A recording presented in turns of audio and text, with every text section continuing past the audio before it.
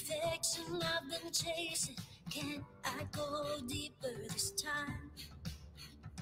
When I'm throwing in the towel, scared I'm gonna drown, I'll pull my body up to the sky.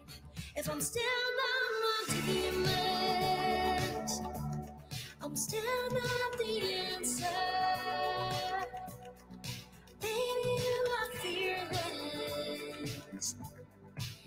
It out louder. Oh, louder, louder, louder. Oh, louder, louder, louder. Oh, sing it out louder. Put my foot in the water, don't rein it in. How long have I been in denial? Is it too late to begin? Rather fight than surrender, or waste my time. Better to lose to myself than spend my life wondering why. If I'm still not my demons, I'm still not the answer. And I'm gonna be fearless, shout it out loud. Starting with a whisper, now I wanna sing out, sing it louder, louder, louder, oh, louder, louder, louder,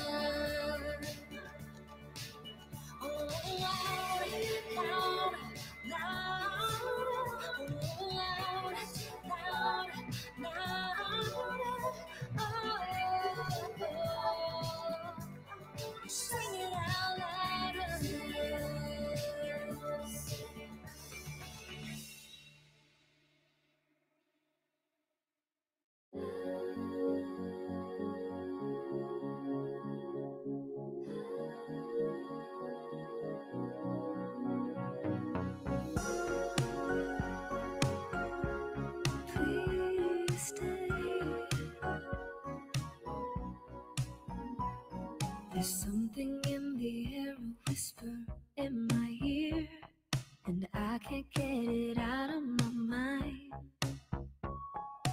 Maybe these butterflies are trying to tell us there's something here that we need to find. And I don't know what love is up to these days, but it sure seems like it's hanging around. So won't you say you'll stay? Even though we don't know what this is all about, guess we'll just have to wait. What we are, we will eventually figure out. All I know is that I wanna be next to you, and right now there's no room for the world. So won't you stay? Please say you'll stay.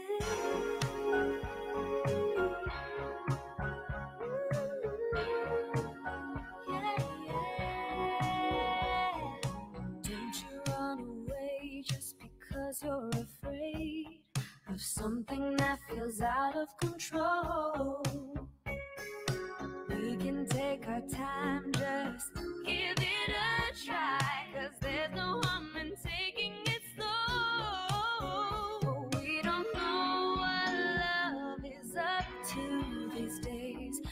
but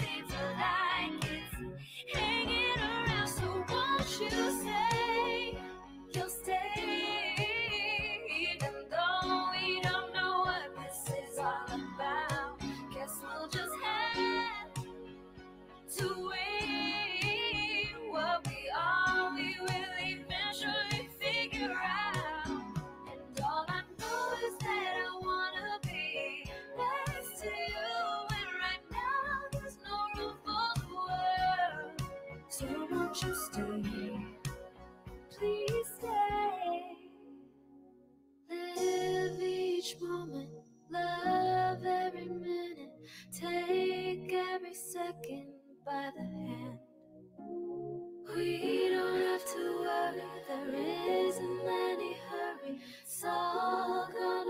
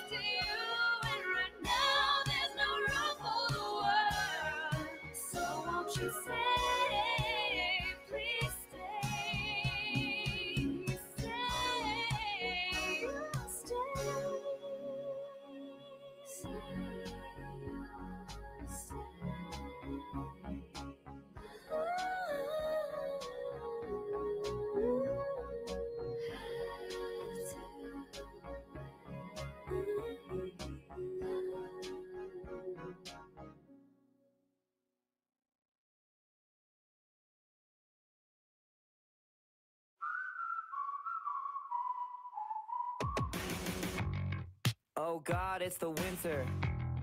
I'm a winter in the summer. I'm a nothing feeling nothing.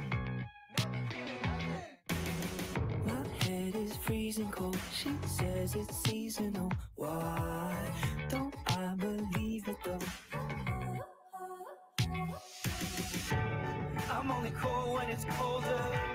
She wants to set me on fire. I won't be this numb,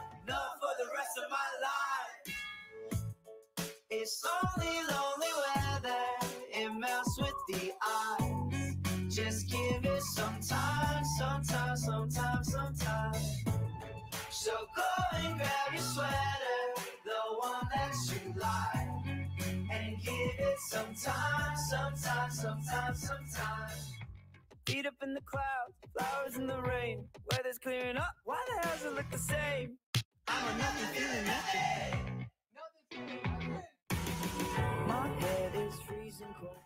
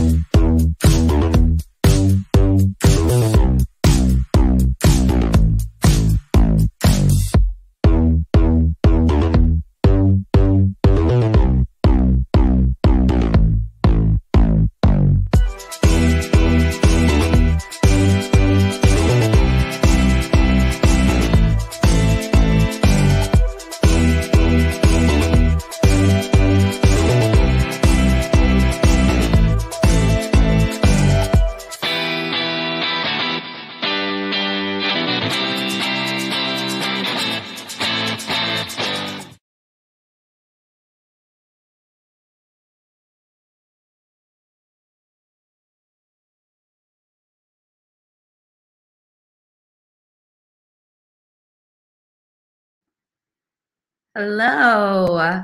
Hello, everyone. Welcome to Kollaboration's Empowered 2021 conference.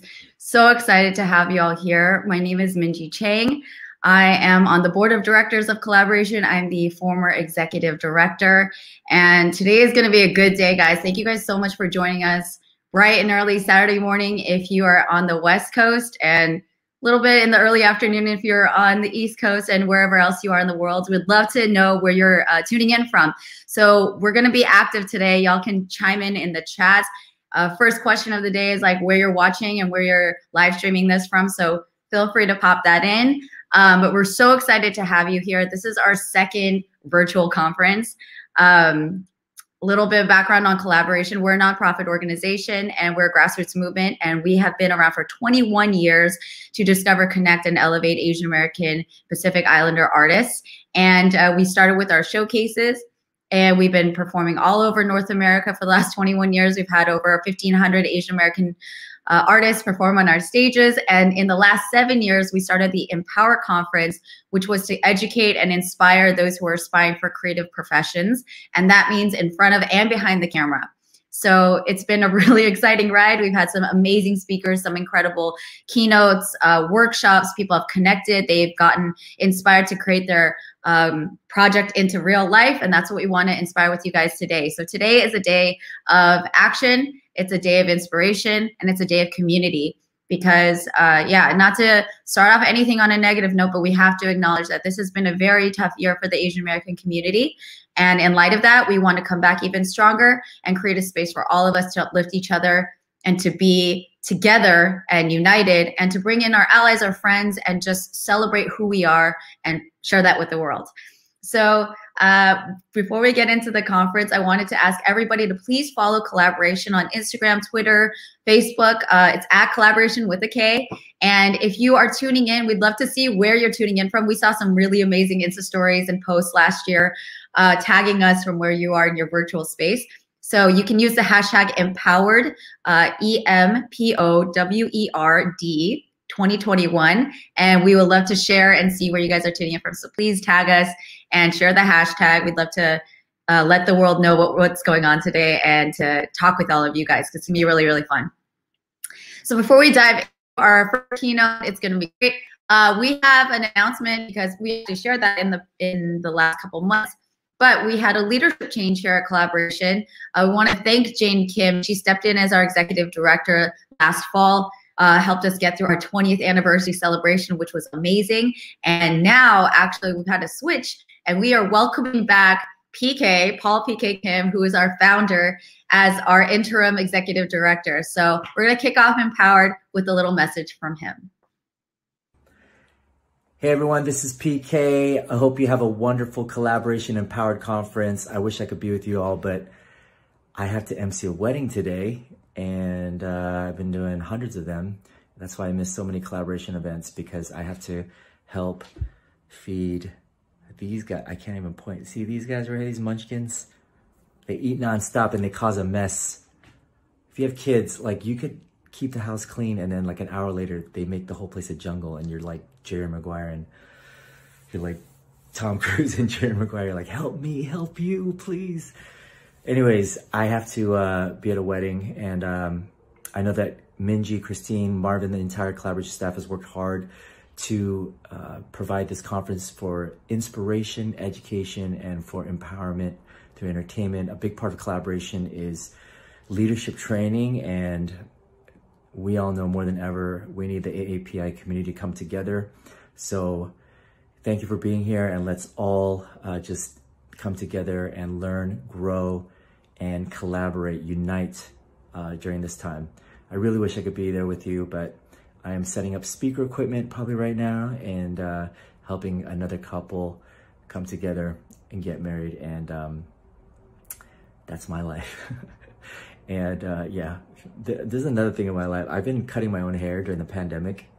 And uh, this is why I started here and I kept messing up. And now pretty soon I'm just gonna shave it off. But Hey, have a great conference, everybody, and uh, love you all. Thank you, Minji, Christine. Have a great conference. Bye. Thank you, PK. That was awesome. Uh, PK and I actually got to co-host the 20th anniversary show together in, in December. I have no sense of time. Um, and that was really incredible because PK is the reason why I joined Kollaboration so many years ago, 12 years ago, actually. And uh, he's been an inspiration to me. So thank you, PK. We love you so much. And we're so glad that you're back and uh, excited for where Kollaboration is going to go from here. It's a really exciting time. And so today we're going to kick things off with a really special message from somebody that I truly admire. A lot of us admire. She's been such an amazing spokesperson and leader and um, just a force within the entertainment community for the rest of society, honestly, as a journalist. Um, talking about the award winning journalist Lisa Ling. Uh, she's the host and executive producer of the CNN original series This Is Life with Lisa Ling. She has covered so many topics, hitting on some of the most important cultural changes and shifts and expansions in modern day. And we're very, very lucky for her to share a few words of welcoming and encouragement to everybody tuning in for Empower 2021. So without further ado, here is Lisa Ling. Hello, Kollaboration. Thank you so much for inviting me to be one of your speakers at your Empowered Conference. I am so, so honored. I am currently in Oakland, California, working on an episode of my show about all of the hate related incidents and crimes that are being perpetrated uh, against Asians in Asian communities here in the Bay Area and throughout the country. And I've had a couple of really hard days here. In fact, it's been a really hard year for a lot of us. And this morning, uh, before I left to start my day, um, by the way, there was a woman attacked in Oakland's Chinatown, five minutes away from where we were. But before I started the day, I watched the new video um, to MC Jin and Wyclef's new song, Stop the Hatred. And it was so, so powerful and really fueled me to get through this day. It just became this mantra in my head and it continued to percolate in my consciousness. And it really speaks to the, the power and the impact that music uh, and, and art and culture can have during the darkest times. And so I know that for many of you, your parents may not be entirely thrilled that you are pursuing your musical or your artistic ambitions, but just know that um, this can have such an impact um, for future generations. You know, we are on the one hand in this fight, right? We're in a fight for recognition. We're in a fight um, to not be invisible. We're in a fight to remind people that we belong here. And one day we are going to be able to tell our kids and their kids about this moment when we all stood up and we spoke out and we we stood together with our arms locked uh, and we condemned the things that are happening to our community. And there will be anthems that go along with this fight. And so i encourage you all I applaud you all for continuing to pursue your passion. We need this. Music can just have the most powerful diplomatic impact. There's nothing like music and, and art uh, that allows us to calm our nerves, to reduce tensions, to even bridge cultural divides. And I really can't think of anything that we need more to be able to do than those things. Um, and I, I can't wait to hear the anthems that will um, be paired with this fight that our kids and our grandkids are going to be reading about one day. Thank you so much, Lisa. Uh, already moved. Good way to kick off the day, right? Um, so a little bit, a tiny bit more background on Kollaboration. You know, we've had so many different types of performing artists perform on our stages, and we've had comedians, we've had dancers, we have singer songwriters, MCs, and a lot of these folks have moved on to become incredible forces in the media and entertainment space. And it's just incredible because that career path is not an easy one. It's not something that we know has been widely encouraged for anybody, but especially for the Asian American community, where um, we had a different existence here, uh, at least in the United States and within this industry. And that's been changing drastically. And Kollaboration is very proud to have been any sort of influence in that in, in terms of encouraging folks to break through break out of their comfort zones, to have hard conversations with themselves, with their parents, with their families and friends and loved ones, it's not an easy thing to do. So we just want to say that at the top that this has been a part of our mission, a part of our fabric of existence. And we are just really excited to have everybody tuning in here to plant a seed and to hopefully create a gateway, a bridge for you to get closer to getting your project, your idea out into the world because as Lisa said, these stories are very, very impactful. These are the reference points that we will see in terms of history. They're the ways that we'll understand who we are and see our reflections reflected back to us and to share that with other people so that they can see the humanity in us. So we're very, very happy um, to share all these conversations. I hope you guys are just ready because there's a lot coming today.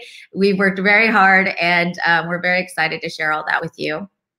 So to get into our first fireside chat, uh, we have somebody from one of our sponsors, Nielsen, who has been collecting data for many, many years, um, understanding the consumer. And they've done a lot of this data work that honestly, I don't think a lot of our generations have appreciated as much, maybe so much as our generations now, in understanding the importance of data and how much that shapes uh, how businesses, how products, how content gets shared with the world, how it gets consumed, and what that does to shape the way that we experience life.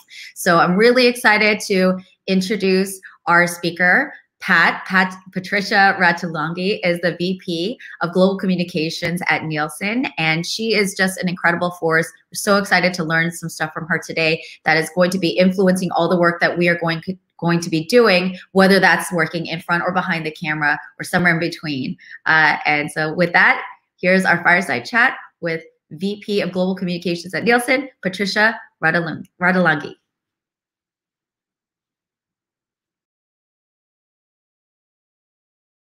Hi, Pat. Welcome to the Empowered Creative Leadership Conference. How are you doing? I'm doing okay, hanging in there, Minji. Thank you so much for having me here. And I'm excited to be speaking to you and to the folks who are here today. Yeah, we have a great crowd. And, uh, you know, it's been awesome to learn more about Nielsen in the last few years. Honestly, I am personally pretty riveted and, and intrigued by data. I don't think everybody feels that way, but there are, there's increased. We have more context now than ever the importance of data. So I I just want to dive right in because we have some important ground to cover um, because of the work that Nielsen's been doing. And before we go into the nitty gritty, I know that we have a lot of uh, ground to cover. Can you just share a little bit about you and what you do with Nielsen and how you got involved in that kind of work? Sure. So I am um, I'm the uh, leader for our diversity, equity, and inclusion communications, uh, but also the spokesperson for um, our Asian American community.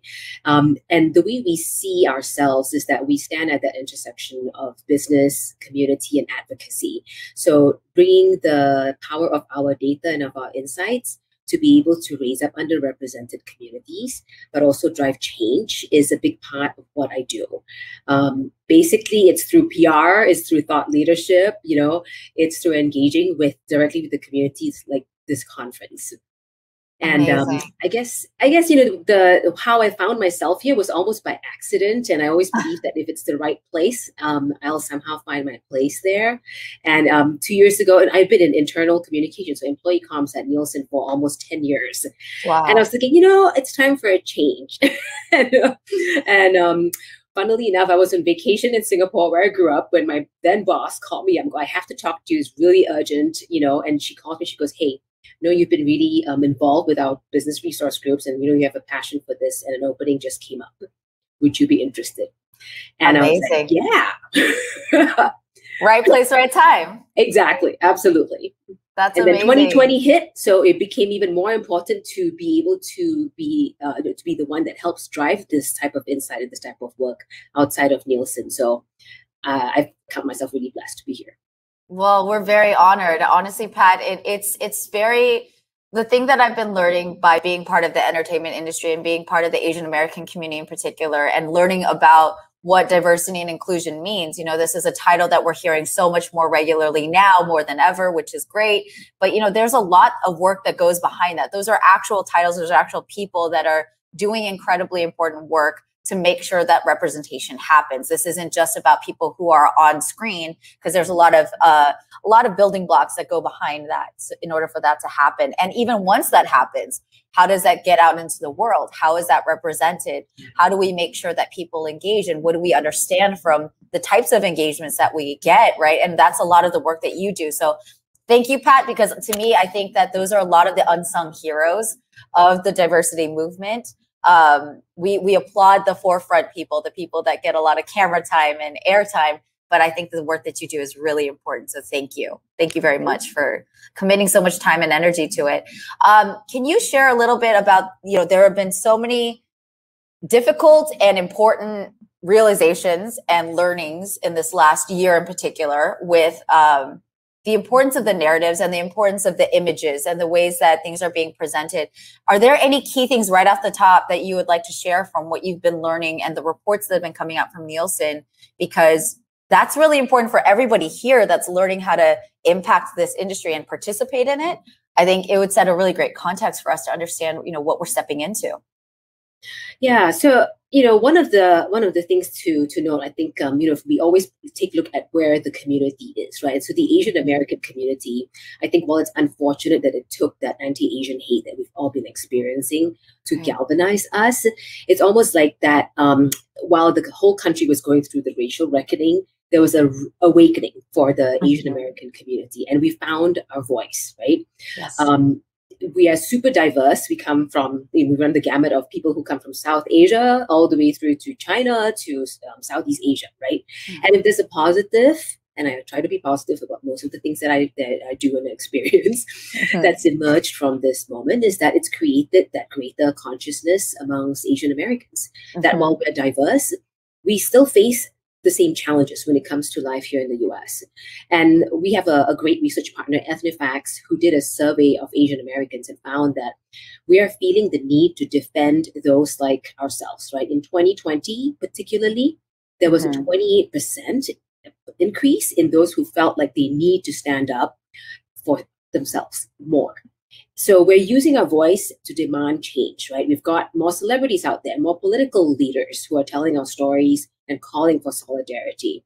Uh, Mhm. movements like Wash the Hate, Stop AAPI Hate, right? Social justice organizations like Asian Americans Advancing Justice are out there Mhm. raising awareness, educating all Americans, but also empowering Asians to protect ourselves. And of course, President Biden's signing of the anti-Asian hate crimes, right? Yes. You know, doesn't doesn't get better than that. It shows Yes. that our leaders see us and are using their legislative muscle. Um, and our advocacy is driving effective change, and that can only drive further collaboration.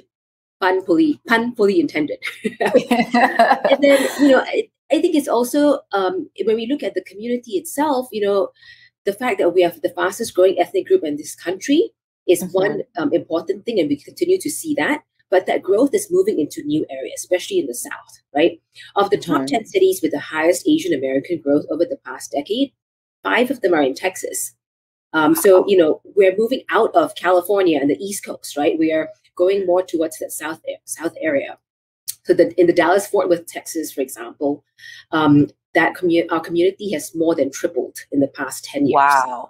So, you know, it stands to reason that these areas will definitely benefit economically from the influx of Asians and hopefully also provide more opportunities for us to connect and learn more about each other in the local communities. Mhm. Um, I think one additional aspect that um, you know we want to also highlight is to break that model minority myth. Right, this was Mhm. a label that was placed on us using our perceived collective success as a racial wedge in this country. But the reality is that Asians are super diverse with very different realities. And one thing that I learned this year was the income inequality inside our community is actually greatest in the Asian American population relative Wow. to other groups in the US. So the Asian top income earners make 10.7 times more than those in the lowest percentile. Compare Wow. that to 9.8 for African Americans and 7.8 for whites. So, you know, this type of data is showing us hey, there's a diversity here that is often overlooked, that we mm-hmm. need to engage Asian Americans differently, but it's also an undeniable source of truth for why we need to act for and with Asian Americans.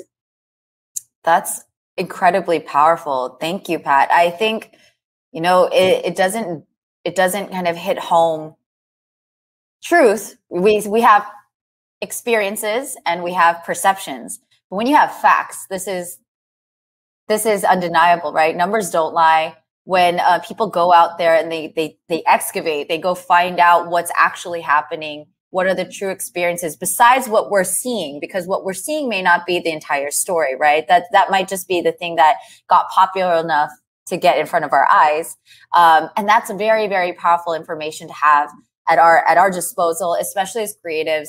You know, just something to another thing to take into consideration about what are the narratives that we're putting out there and what are the potential consequences of misrepresentation, right? Even within our own Asian American community, there has been a lot of attention skewed towards certain communities and there are others that have been even further marginalized it's within a marginalized community and so those are all just things that i think are so fascinating and very powerful to understand. So I really just appreciate you sharing those those data points. Um, I think. Oh yeah, go ahead. Let me. Can I can I just jump in real quick on Yeah. that point? Right. Speaking of the representation of our people um, on screen, right? Uh-huh. So I think, gi- given the awakening, um, there's also this more this greater demand for accountability, and people at the end of the day just want to be seen and valued, whether it's seeing our true lives represented or our true needs addressed, right?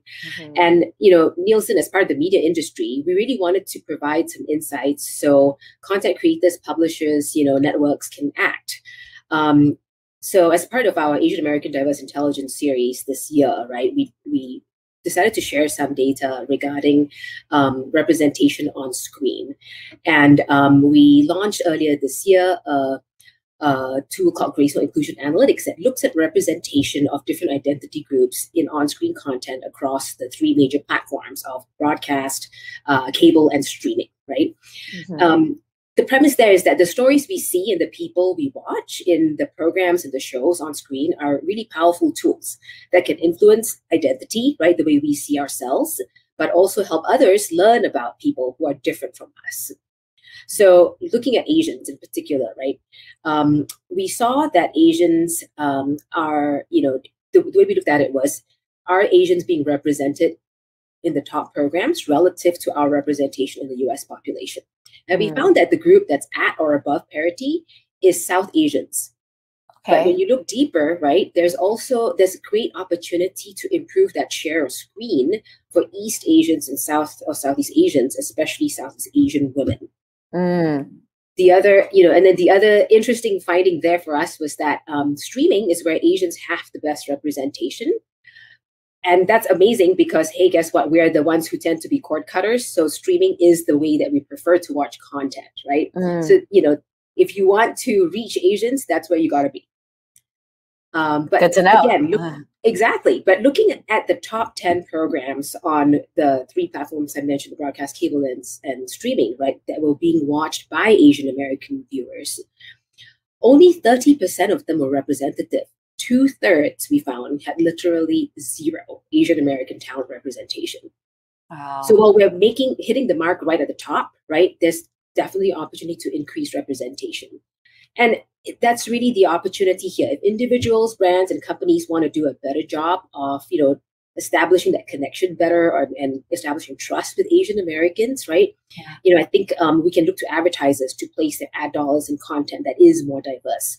It would send Yeah. a strong signal to the industry, the content creators and publishers that you want to change perception and change beliefs. And for the publishers and content creators who are here with us, right? Um, you know, there's an opportunity here to act by green lighting and promoting more of that diverse content. You know, I've heard many times that there's a lot of talent out there, and I agree. You know, there's a lot of um, micro productions, podcasts, you know, YouTube videos, and all of that. But letting them, opening the door to them to the big streaming platforms, to being seen by that greater audience across the board. That's where often the barrier lies. And Yeah. that's why we hope that using the inclusion analytics tool will be able to help flag and provide the metrics for the industry to show where there is a, um, an opportunity to improve that, that diversity. There's also the opportunity to increase your return on, on that investment.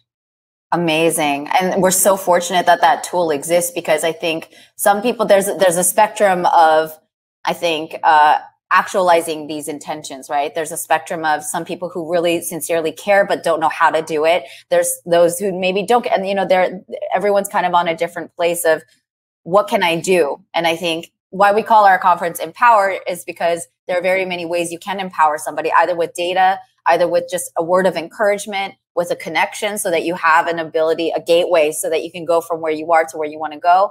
Um, and this is incredibly powerful, so that you have this inclusion tool, and hopefully we can get more and more folks to use it, um, and we can create that that business case, yes, and also the humanitarian case, right? The ethical, moral case of this is just about human empathy and creating connection between human beings that we are much more the same than we are different. You know we have our differences that can be celebrated and hopefully people won't be looking at that in sort of an antagonistic way because we're here to just be ourselves and celebrate who we are and share our stories And Yeah. I think that we are we are seeing some progress on that front, right? So That's great. Chloe Zhao with Nomadland, you know, it's like wow, the first Asian American woman to have won that Oscar on stage. You know, it was such a proud moment. I think I think I shed Yes. a little tear there. I was like, oh, I got Um, emotional.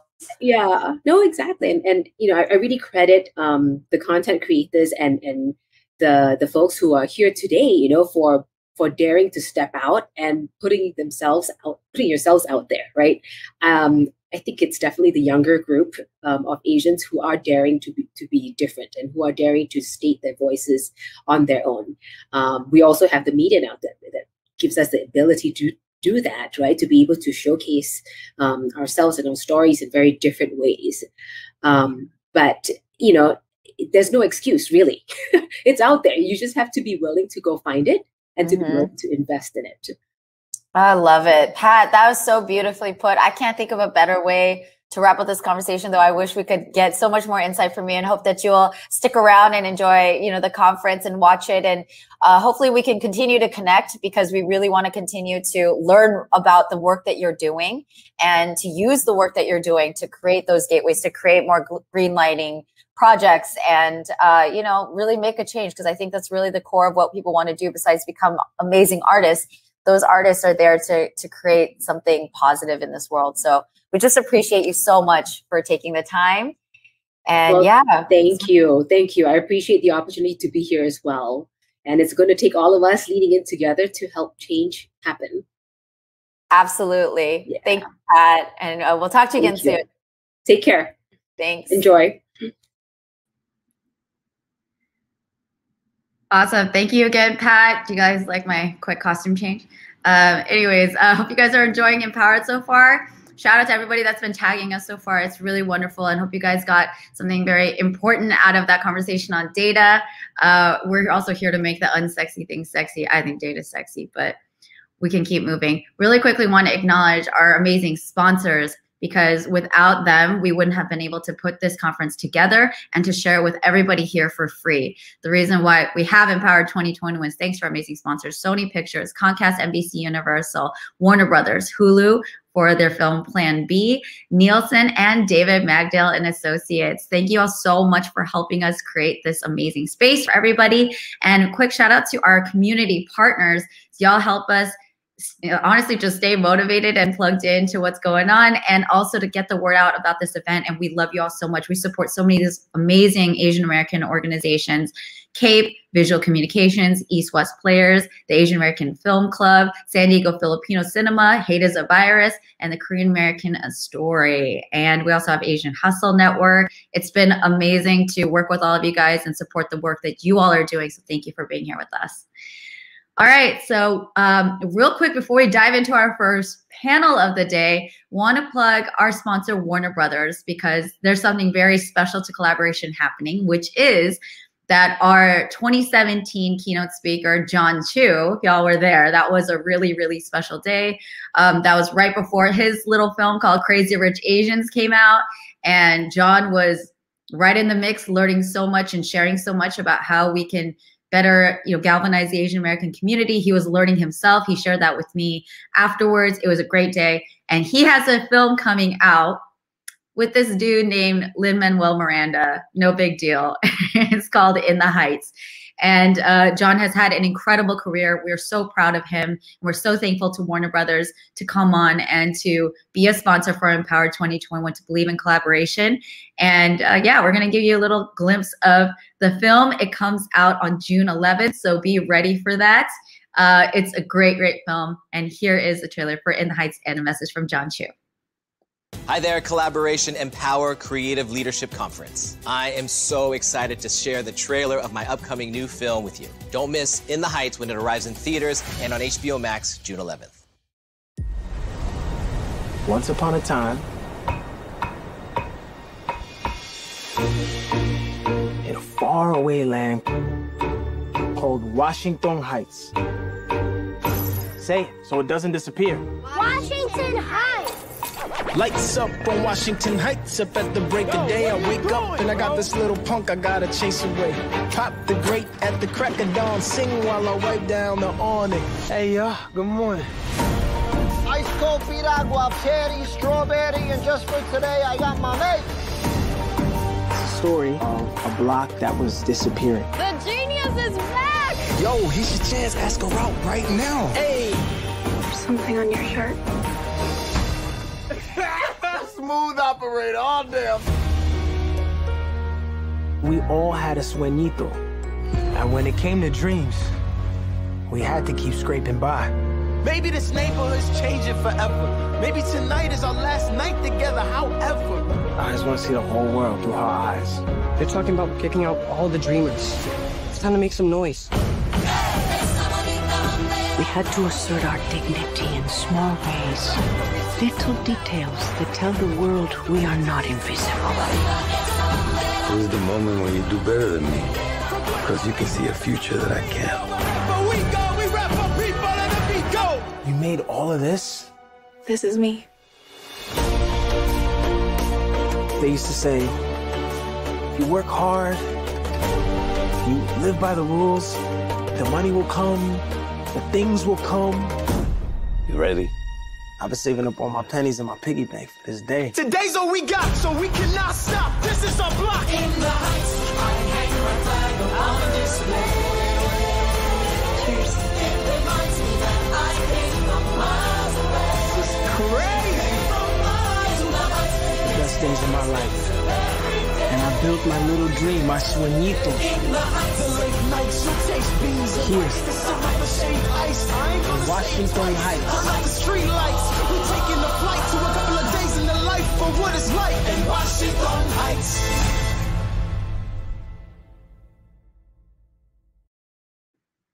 Amazing! Oh my god, I cannot wait.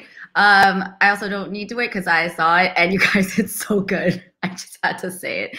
Um, I hope you guys enjoy it. June 11th, keep an eye out. Also, want to plug that Jon's film for Crazy Rich Asians. It is, if you guys don't know this data point, it is one of the top 10 highest grossing romantic comedies of all time. That's what Crazy Rich Asians did.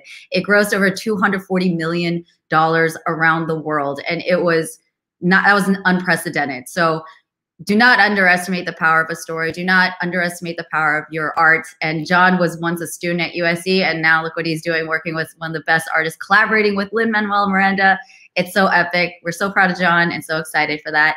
Um, so thank you to Warner Brothers again for helping EMPOWERD come here. And now we're going to go into our very first panel because we have been talking about the business. We're going to talk about business now. Uh, we know that being a creative professional starts with very different beginnings. Everyone has a different origin story and it can be a grind. The hustle is real. So we need to talk about what it's like to be a freelance and independent creative because a lot of us st- uh, start that way and stay that way. And it is a very obscure and mysterious world that we're going to get some insight on with these incredible panelists that are coming to the stage live. And so get your questions ready because they're going to be here to chop it up and answer questions and talk with one another. So our panel of professional creatives are going to share experiences on how they sustain their lifestyles as working professionals, how they network, how they find and pitch product projects, and what to what to think when they think about managing their finances and more. Okay. Y'all ready? Uh, I'm gonna bring to the stage Kavi Vu. My girl Kavi is one of the most powerful, dynamic, beautiful, eloquent uh, poet. She is a storyteller, community organizer from Atlanta, Georgia, and she is gonna take it away. She's been doing some amazing work with Asian Americans advancing justice. You guys, she is out repping Atlanta hard. She is making things happen on the ground. Uh, she was Atlanta's 2019 Rising Star and a 2018 fellow at the Center for Civic Innovation. I love you so much, Kavi. I hope you all have an amazing panel. Thank, Thank you so much. Oh my gosh, can we give it up again for that amazing trailer? I did not expect that at all. That was such a treat. And I love how you're like, I also don't need to wait because I've already seen it. So I cannot wait to watch that. Um, but I first want to start off by asking you, the audience, um, what kind of creative are you and or what kind of creative are you trying to be? Because i think that will help um, us kind of answer our questions so that it's uh, most inspiring for you or um, to help you kind of gather your tools to take the next step to making your dream job a reality or just to give you insight on um, maybe who this life this creative life is for and who it's not for because it's not for everybody So now I'd like to introduce my amazing panelists. I mean, when we look at the incredible trailer that we just saw, y'all, this is it right here. Like, these are the next people who are gonna like rep us. I mean, they're already repping us right now.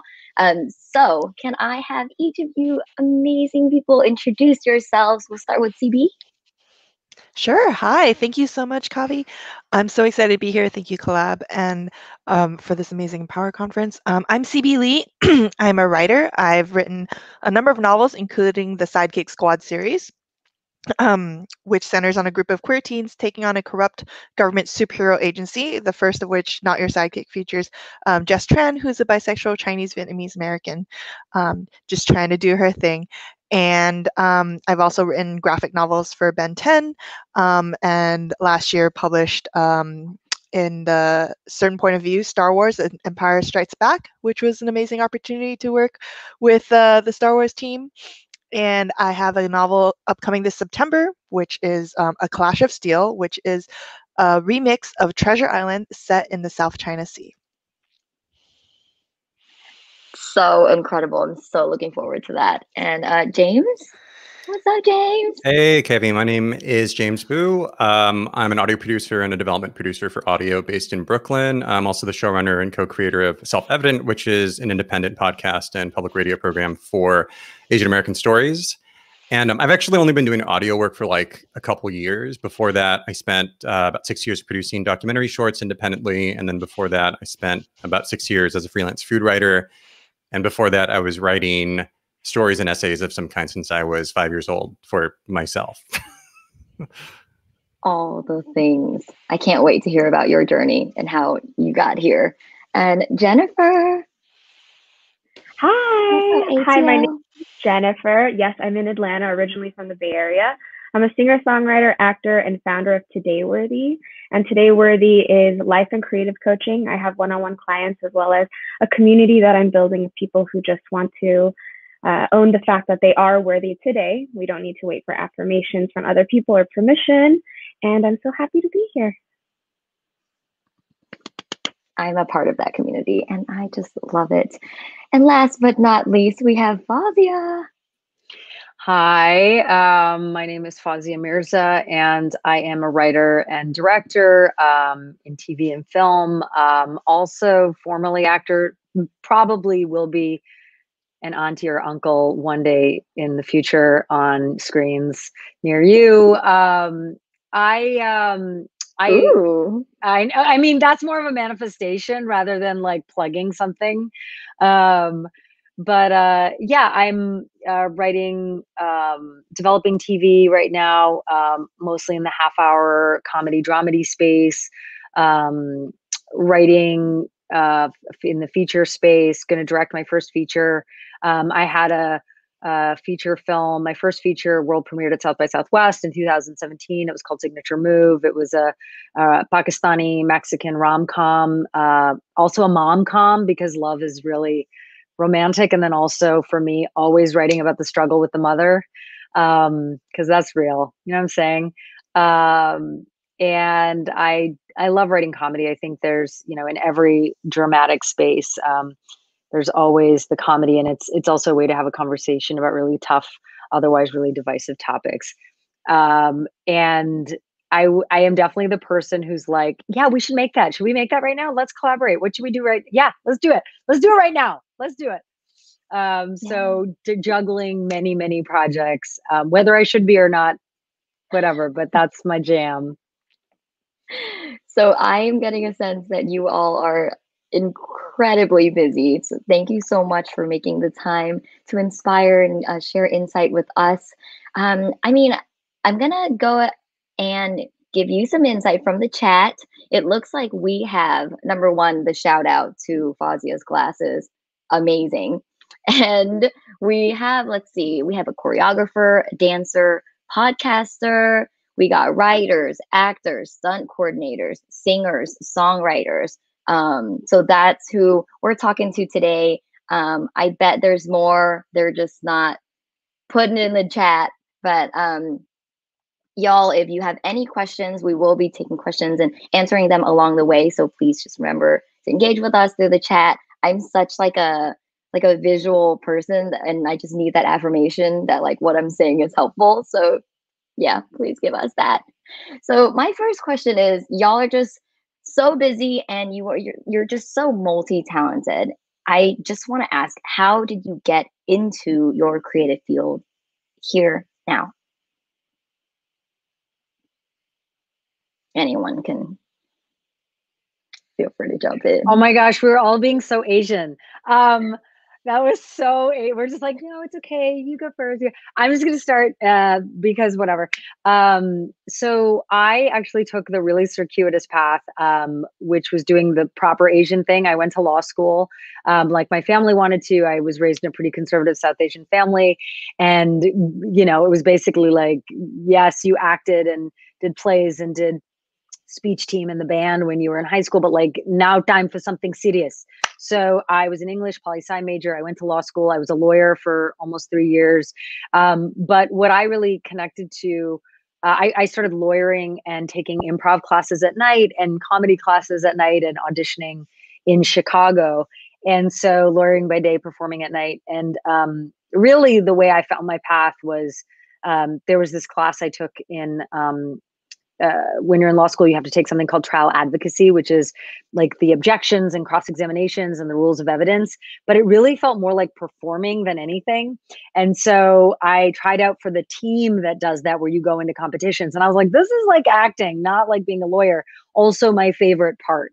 So that just rekindled my romance with the performance side and my artistry side.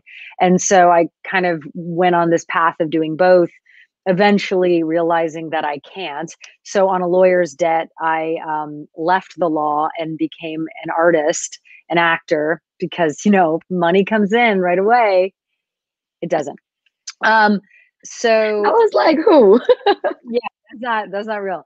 Um, but yeah, and then I eventually started uh, writing because I didn't see really roles that reflected um, all my identities. One, much less all of them, as a queer Muslim Pakistani um, woman. And so I started writing and casting myself and casting other people in my community. And then in the last year and a half, I'm transitioning and have transitioned into being a writer director because that really feels like the natural next step for like that storytelling um, component of of of my career. Um, yeah. I'm gonna. Should I call? Uh, I say, uh, Jennifer, you're next. Okay, that was very helpful. Um, so yeah, I actually come from a family of artists. My grandma was a dance teacher, my mom's a dance teacher, and my dad was a comedian turned um, singer turned activist. And my parents split when I was really young, but I grew up in the arts. But seeing that my mom was a single mom in America, especially in the Bay Area, raising two kids on her own, like we grew up very poor. So it gave me a very realistic example of what it's like to pursue the arts um, and then being an immigrant on top of that. So it made me really think about whether or not I wanted to be an artist. And I had this battle for the longest time. I really feel like until the last few years, recent years, because I didn't want to be like my mother and have to struggle. But at the same time, like it's what I felt like I was called to do and came very naturally to me. And you know, like a lot of times people are like, "Oh, my parents don't support me," and all these things. Like, yeah, my mom like supported me in doing it, but there was no like monetary support in that way. Like, it's just more so go for it, figure out a way. And um, it's just been really persistent uh, doing theater at in school, and I ended up um, studying theater in college. But even with that, I was an early YouTuber. I started posting YouTube videos of me singing um, since 2007, and I got to ride the early wave of that and built a community around it. But you know, trying to make a living of doing art. I lived in LA, and I always say when I lived in K Town, it was when a dark cloud was following me. It was like the hardest time of my life, and I was working multiple jobs. Like I would work at a restaurant hosting, and then I'd go to Sephora and work at the cashier, and then I would work at a boba shop on the weekends, but I would fly out to do a performance and get paid more singing for 30 minutes than I did working like a whole month, right? So it was this like weird juxtaposition of like, um, I'm poor, but I'm making a living as an artist, but it's not making sense. So I I have a history, a long history of working multiple jobs. And for the longest time, I felt like I was an imposter because it wasn't my only focus. I couldn't just do music. And even like having a theater background, I never felt empowered by the community there in terms of pursuing acting. So I actually didn't pursue acting after I graduated college. I did a few productions, but you know, it, it would be things like, oh, you'd be so great in Miss Saigon. And then like, you know, I just have to wait for opportunities like that. But um, it's funny because I just kept mu- kept writing music and I kept releasing original songs and creating a community. Still tough, but um, it wasn't until I fell in love. I met my husband on Instagram and I married him within four months, and I've been here now in Atlanta for eight years. And I just happened to move to Atlanta because it's just where he happened to be. It's just where a lot of TV shows and movies just happen to be filming. And my agent found me on LinkedIn. That's not a thing, it doesn't happen that way, but they did. And I started working with industrials. If you're an actor, industrials is a great way to make a living where you're doing like HR videos inside. And I was like, yeah, I'm a working actor. Nobody sees the stuff unless they work at the company that I'm, you know, being hired by. But I booked my first co-star role in like 2019 for Lovecraft Country, which is like an HBO Yes, show. And did. yeah, and it was really cool to be surrounded by a bunch of Koreans because of that episode. And then from there, I like made it a goal to book a co-star role every year, and I have. And I was just on The Resident recently, and um, I just booked a few commercials. So you know, you just never know because the past five years, I really didn't think I was going to be acting anymore, but still coming out with music. Acting has been awesome, and I founded Today Worthy because from this journey, it has taught me that we are constantly asking people to let us in or give us the affirmation that we need for the work that we're doing. But I realized like it was because I never stopped liking and loving the things that I did. And it wasn't for other people. And I want to inspire people, especially in the, you know, API community that we need to start investing in ourselves. And last year I like ended up working with a coach and I ended up um, working with a therapist. I still see my therapist, and it's something we're still learning to invest in ourselves when it comes to self care. And that's something I didn't see my mom do. And I think that's what's going to help us last in terms of the mental battles that goes as an artist. So that's how I founded Today Worthy, and still still living the dream by pursuing it and enjoying where I am now. But I would love to hear from CB now. Thank you so much, Jennifer. I love like hearing everyone's origin story because I too also had a very circular path. Like, um, like I went into science and then education, and for a very long time, like I had always loved storytelling, and it meant a lot to me as a young teen, as a as a child, and as a young adult. And it really didn't ap- appear like like I never really took it seriously. Like this could be a career path, you know.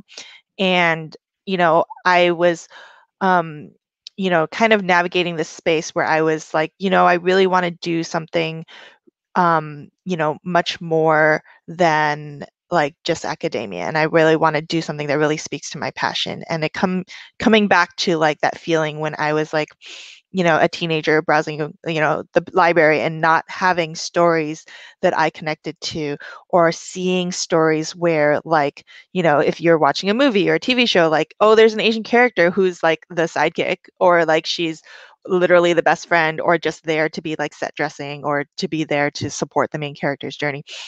And that really like struck a chord with me and so when i started writing i really was like well you know what? Like i don't know who's going to read my stories but i'm just going to do it and if if it's just for me and like you know my friends read it and um then that's that's enough right? Because i needed to like get the stories out of me.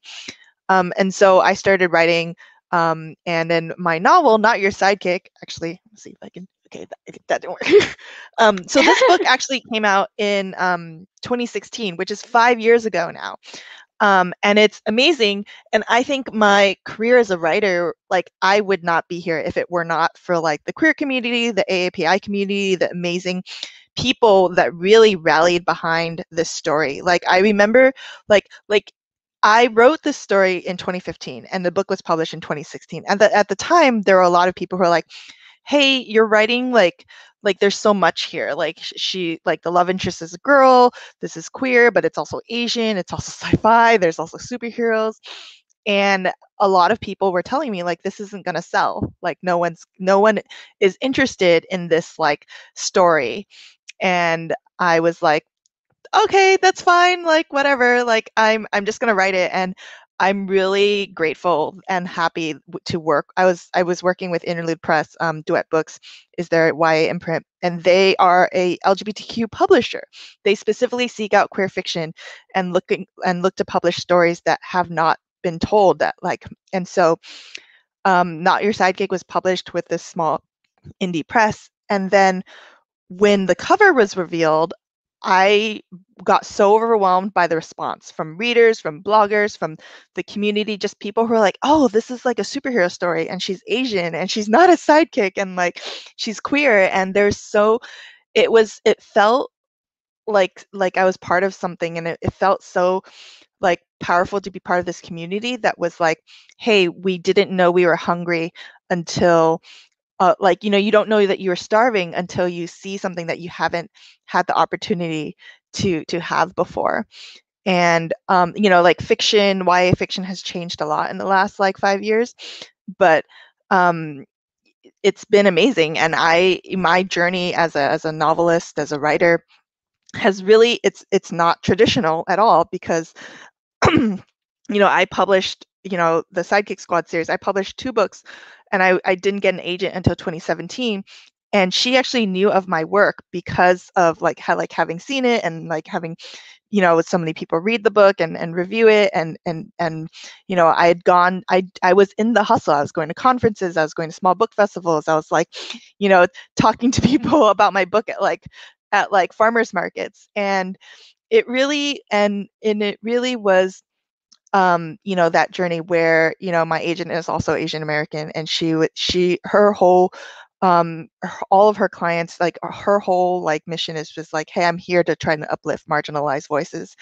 And that's been an amazing part of journey from there to go to being like involved with star wars and and being having the opportunity to work with and t- continue to tell stories and have this platform is amazing and you know i'm still in education i still work full time and that's you know we're definitely going to talk more about like the hustle and, and i'm excited to hear more about how people make things work but it is part of this journey that like there's as as a writer i think as long as you keep writing and you keep believing in your story because you're you're the only person who can tell your story and you're the only person like no matter who you are no matter you're like oh this has been done before. Oh this is like you know there's already enough of xyz i'm like yes maybe but no one has ever done it like you so yes tell your story Um, so I think when we do these like origin stories, there's always like multiple versions you can tell. Um, so I have there's like a couple versions for me. Like one is um, I spent about a decade working at a tech startup, and then at the same time I was freelance writing, and then I was producing documentary work um, independently. And it wasn't until like 2017 that I felt capable of, of, of like leaving my day job. Uh, took me about a year to just like do the math and like save up enough money, and then find the right opportunity to like feel safe to to start taking a bigger risk. Um, but like, I don't think that version of the story is very helpful uh, because it makes it sound like I wasn't actually doing creative work until I could like pay some of my bills doing it. And I think the truth for everybody here and everyone who's watching, I would really believe is like you've been creative your entire life. Um, like whether you get paid has nothing to do with how creative you are or like what your work is. Um, and so another version of like the story I would I think of myself is like in 2007 I started a food blog while I was living with my parents on WordPress. And then like the only rule I set for myself was I need to publish something every two weeks and then like see what I learn. Um, and I should have fun doing it at least some, part of the time. so like I, I, think I entered this whole um, past 14 years with like just two basic ideas. One is like as long as I can protect some of my time and I can pay my bills, then I can make my own experience. And then on the other hand, if I need to depend on like someone else's power or someone else's approval to get experience, then like they screw it. Like I don't. That's not. I just won't do it. It's like a, a like an opportunity I won't pursue. So the reality of that is like it basically closed off a lot of like career paths to me. Um, because in, in a lot of um, industries, like that's the only way you have to enter the hierarchy. Um, but then on the other hand, it opened me up to like learning how to to make things that I care about with really limited resources, um, how to ask people for help, um, how to communicate like a vision or like um, collaborate with people on a vision, like how to build professional relationships that aren't based on like this person has power over me or like I have money for them. Um, and every single project I've done it starts the exact same way. It's like, oh, I have this idea. Let's try one of them and then see um, what happens there. Um, you know, my previous documentary series, I started. It's a it's a collection of 61 minute documentaries, and the reason it's that's the format is because that was what I could do for no money um, while I had a full time job that had nothing to do with it. So I could do this like um, and 12 hours a week at, at, a minimum, and then maybe 16. I just calculated. And it's like, okay, well now I can do one of these every two weeks, um, and then I was able to line up um, a publisher through a website that I've been writing for, uh, Serious Eats.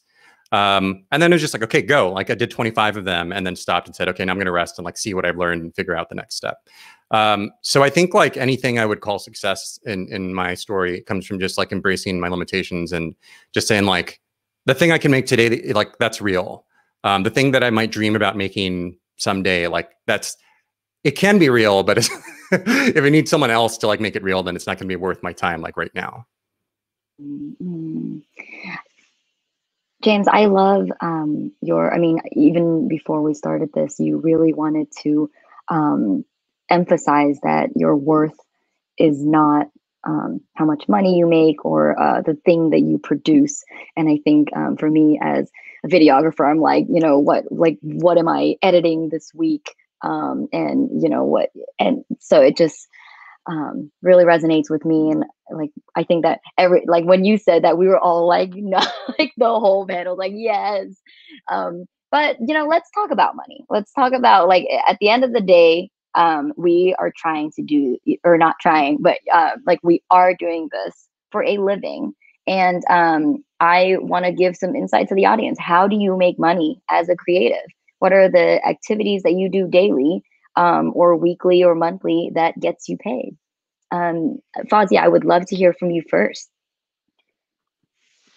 Um, you know, definitely uh, support and want to amplify everything that that James said, and I think that it it's it's it's hard to it's hard to think about like you know well I want to do this as an artist and I have to make money and I have to like have self love and feel self worth and sometimes in a dream world i think we, like i'm a pisces i have a lot of feelings i am constantly in a dream space.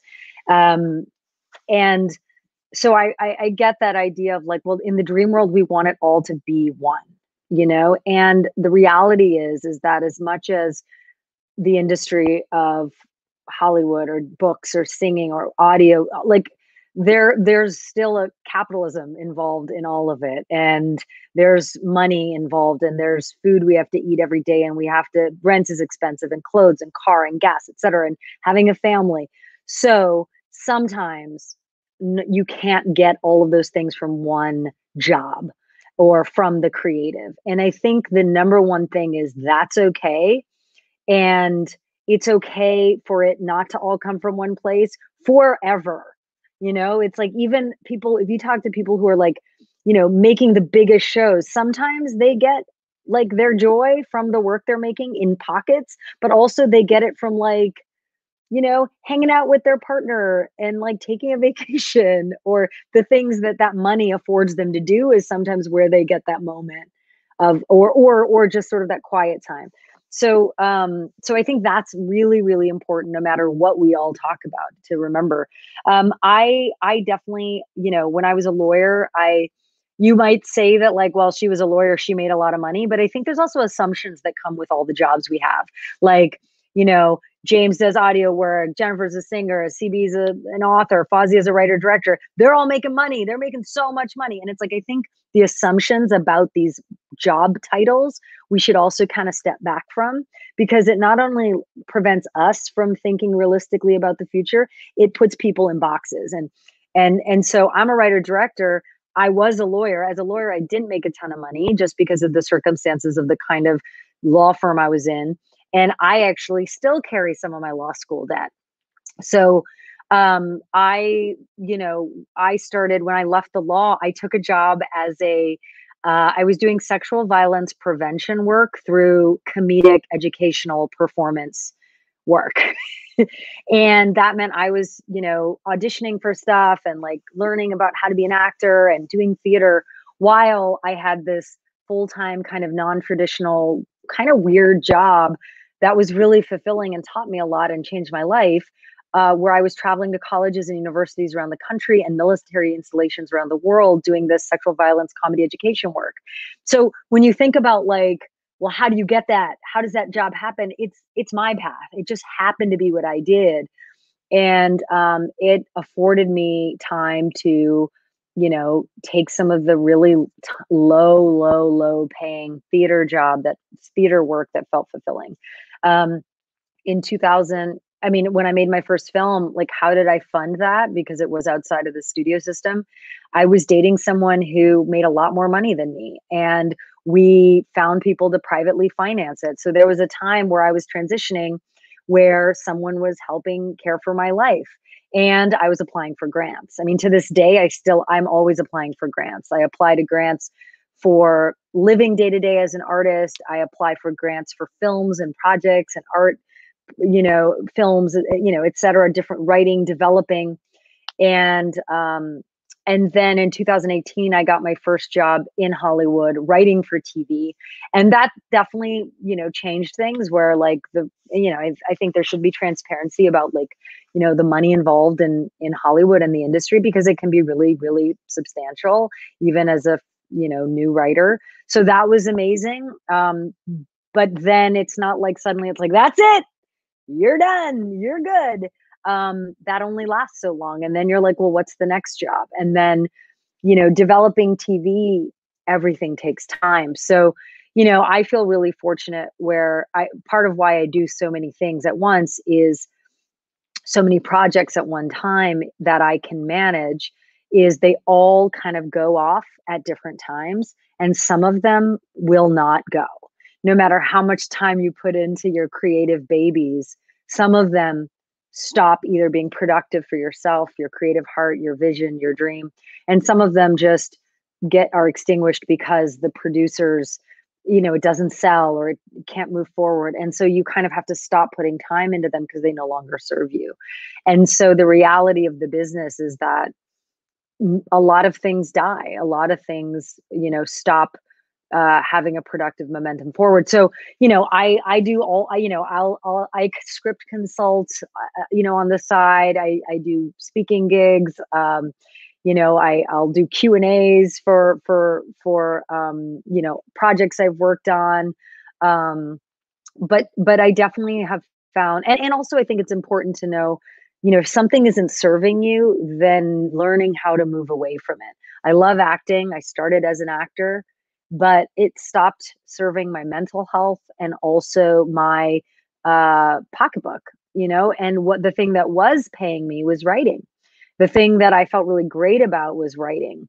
And so, and the directing started serving me as well. And so I had to make a choice that felt kind of maybe anti my dream to to step away from the acting but since i've made that choice my my path feels more clear um, and so I think when we're thinking about how do we make money, sometimes you know we have to create space to to make money doing something else, and maybe acting will come back, which is what I was kind of I was joking with everybody about that uh, earlier.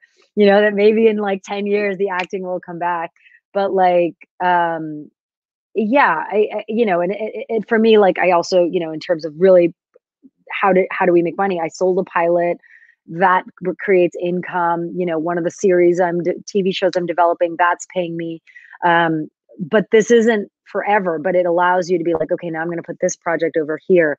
I'm making a feature in canada and i'm also canadian so i'm like how do i work in the canadian system and get that government funding to make those movies? You know?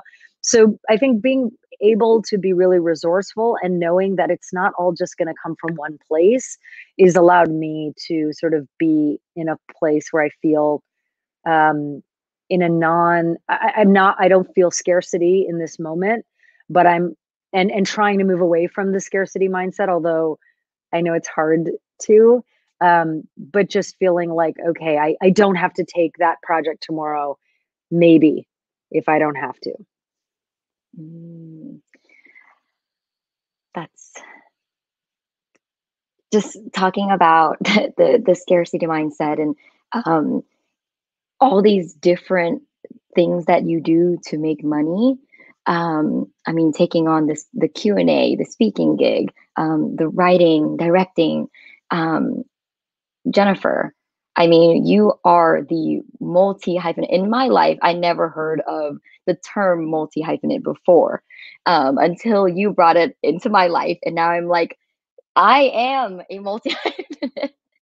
um, and I just want to ask. I mean, you from being a singer, actor, coach, and community creator um, what is what does the day to day look like for you and how do you make money because i mean how do you make money being a community creator Yeah, I think it started off with like the discipline of working multiple jobs my whole life. Like I know what working part time and multiple jobs looks like. I've never only had one job. And I really resonated with what Fawzia was saying about um, you kind of have to take, you have to have the knowledge and the wisdom of knowing when it's time to focus on that one other thing. So for me, I'm known as a singer songwriter first because I've been a singer performer with music since I was 17, right? Like in front of people. And so people have that in their mind, but the reality is it's the thing that brings me the least money, to be honest. So if I average, like this is me being very transparent, I have about 70 to 90,000 listeners a month on Spotify alone. Okay. Guess how much money I make? Maybe $150 a month. Okay. And that's before taxes. So that is not going to pay my bills. It's maybe some gas money.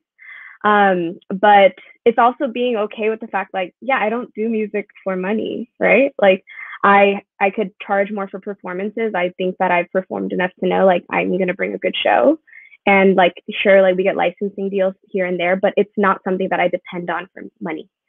So when it came to like having other jobs, like I'm focusing more on acting now because it's actually bringing me more income and you learn also like going into the acting industry like oh wow i'm actually making more money as being in a commercial than i do being you know saying a few lines on a show.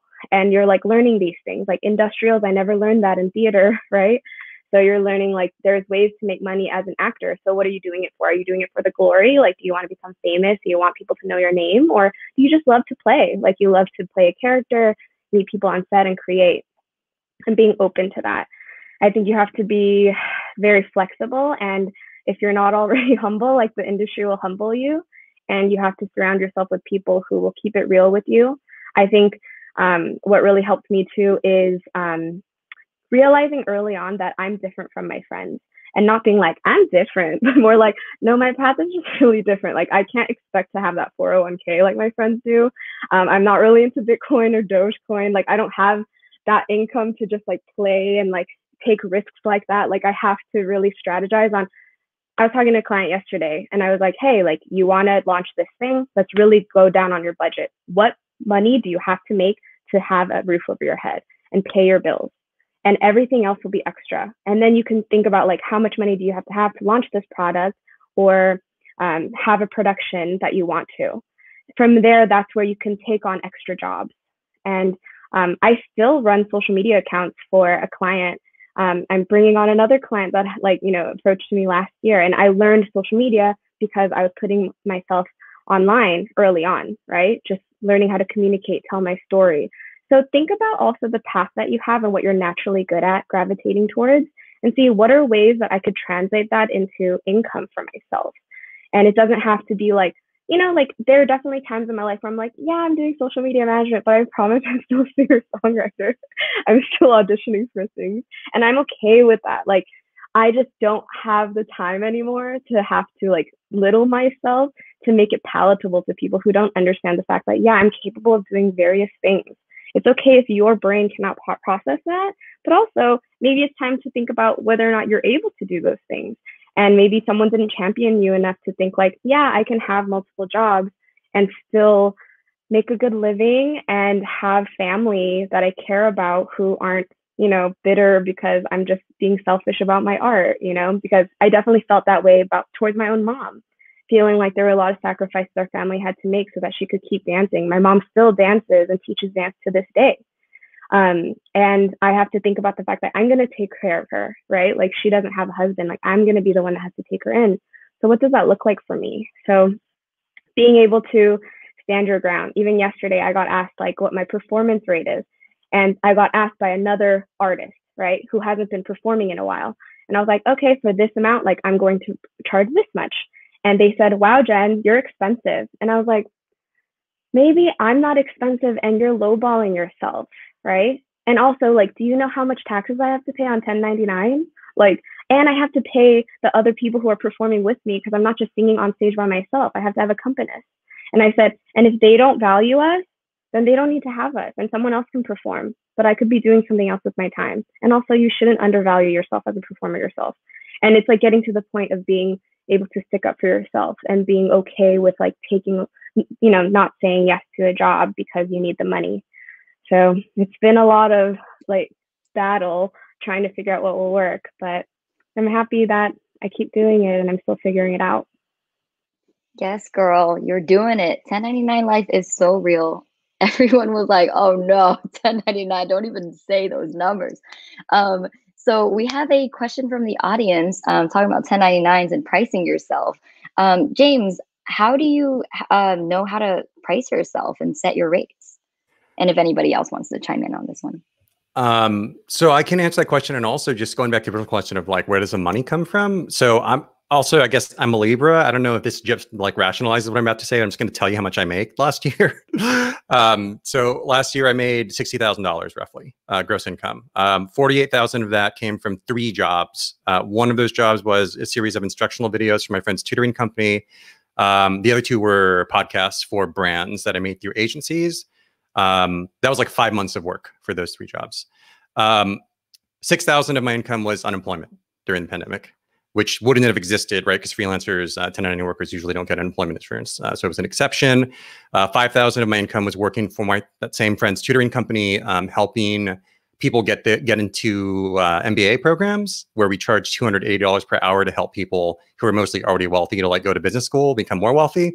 Um, and then a $1,000 was from my show um, where I've spent the vast majority of my time for the past two years, uh, where we've calculated that in 2020 we did $168,000 of unpaid work, um, which is what we say when we're fundraising. Um, and so, in terms of like pricing myself, um, I think there's two approaches. One is definitely like just decide what you need. Um, like I do a lot of coaching with my colleagues also, which is like you need to have a number for your month. That's like you're you have to have this amount of money to be healthy.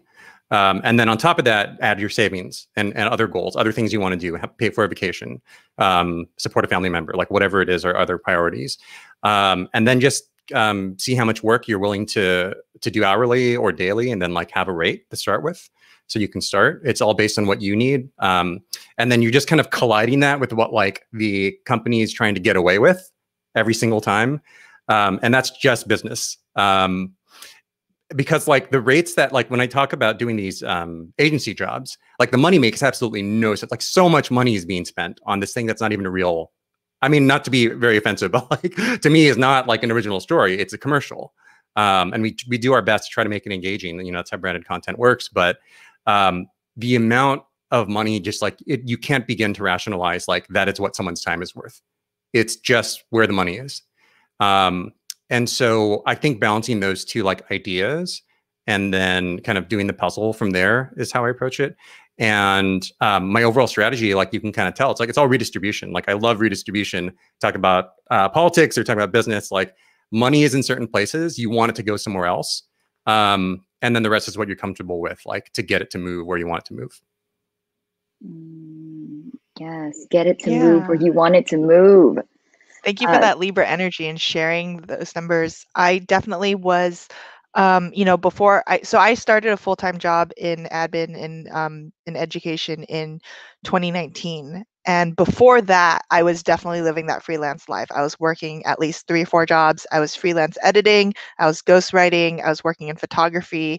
Um, I also worked for a nonprofit agency, and that was great because I love like working with kids and and um, but like I think at the time I was living with my parents and I was also making about twelve thousand to maybe sixteen thousand dollars a year, like just under the poverty line.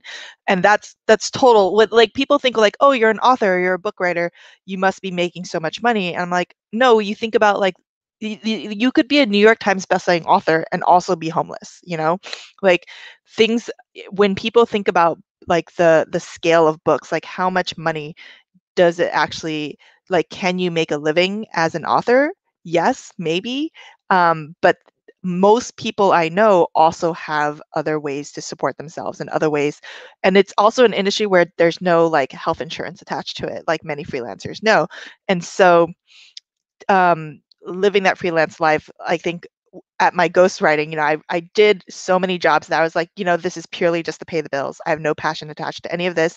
Like I would write like you know, like the little descriptions and catalogs or like your like in-flight magazine and like little articles like I don't care it doesn't have my name attached to it it's just you know I'm I'm creating content. And there's a, um, a point when as a freelance creator where you are doing creative work but it's not for your own creativity where you're burning out on just like I'm doing this to stay alive I'm doing this to keep a roof over my head I'm doing this in order so I can theoretically in order to do other things, but I don't have time to work on my own projects because I'm constantly doing these small projects to pay the bills. And so um, taking the decision to to work a full-time job i was like you know what i'm going to lose time i'm going to lose flexibility but it also gave me much more freedom in that like now i have a steady paycheck and i i work and i have you know 40 hours a week but i also have you know i don't have to worry about my writing having to support me right now at this time. And I feel very lucky and grateful for that. And there's a lot of times because when I was freelance, I was like, oh, I wish I had a full time. And now that I'm full time, I'm also like, I wish I was also freelance because I would like to have that flexibility again. Because I'm like, oh, I don't have time to just like sit and just like write all day if I wanted to. Um, and so carving out the time to to work on my projects is is different but i make it work right? Because we live in a capitalist society and we live in a society where we have to make it work and i'm i love hearing everyone's journey and i i think there's there's no wrong way to get there and there's no shame in having to do like like you don't like people say like oh you need to like love what you do but there's a point in the day where like there are some jobs that like they can just be a job like you know and there and sometimes maybe doing that job will allow you to do what you love and not have to turn what you love like every single love into a hustle because then like then you turn that into resentment right? And then you're like you know i love my art but i have to do this art that doesn't speak to me. I have to uh, do something that that that I don't feel personally connected to. And so, you know, I hope that all the young creatives out there, people who are aspiring to do, they're like, I've always wanted to try this. I've always wanted to try that. There's no wrong time to start, and there's no wrong way to start. Ooh, that takes me to my next question, which is it's like there's no wrong way to start, there's no wrong time to start. It's such a good takeaway that I feel like I can just like put that on my chalkboard and it just stays there. Um, what are some things that you wish you knew um, when you were starting out that it's like, this is my mantra, you know? Um, Fawzia. I mean, I think a lot of this, everything, honestly, everything everyone has said, I wish I knew. And, you know, it's definitely a balance where maybe if I knew all of this, I wouldn't have just been like, I'm going to leave the law and do whatever like or you know maybe maybe sometimes we need a little bit bit of that courage or the unknown and uh the uncertainty and a little bit of fear like maybe that's good to help us take those bold choices um but i you know and i have no problem admitting like how naive i really was i truly thought and i I, I think it's pretty safe to say that I'm not alone in this even now. Like I truly thought that I was like, well, I felt this like talent and I felt like my own like gut draw and um, natural instincts for the work that I, the artistry I was doing, the acting field world and acting as a performer. And I was like, I feel it, it's in me. And I really thought that it would just take a couple jobs. And and it seems ridiculous right because it is ridiculous and also it's a real truth that i think a lot of people think is just going to happen. And i think that you know maybe it's especially now that we have we're so close to engaging in like we, like we can make a TikTok and we can get a million views and we can do that like there's so much like through social media we're just so close to being like one viral meme away from fame and notoriety and and and so it feels like everything is just within our grasp but that is that can happen and yet you might not be able to earn a living a steady living being an artist or making memes or making tiktoks. Um, a great example i think like i i directed on a, a soapy gay series called hidden canyons that uh, we're actually shooting season two um, in june and my fellow director slash the creator uh, of the series po- put it up on tiktok on tiktok. It's i think the first series on tiktok. It's gotten like three and a half million views and tons of comments. Like people are super engaged. But there's no money in it. No one's making there was no you know there we even talked to the people at tiktok you know there's no funding coming in. Like we're not rolling in it like those views are something we can talk about it's a way we can fuel the next step it's a great marketing tool and but but i know better now than to put all of my hopes and dreams on 3.5 million views. I know that that's one thing that i can talk about you know what i'm saying? And so um i think that uh i really i, I and the other thing is is that i i- things do take time. And i i think that it doesn't matter what your age what your field how good you are just find that sense of like grounding in yourself. Like no matter how talented you are be okay with something if it's going to take a minute. And you know i was telling all of our panelists and and and Kavi, we were talking like things take time even a contract to, can take time like you know i mentioned i sold a pilot but it took six months for that contract to even be a thing and then another month for me to get my first paycheck and it comes in steps. So i mean I, I was i was needing that money and it's you know it's like when you're like oh but i got it. It's like you don't got it until it's in your bank account and and so i think that's another like step that we forget. And that is real no matter like whether it's you know making $60000 a year or making six million dollars like those those points of reality are still true. It is not real until you have that money.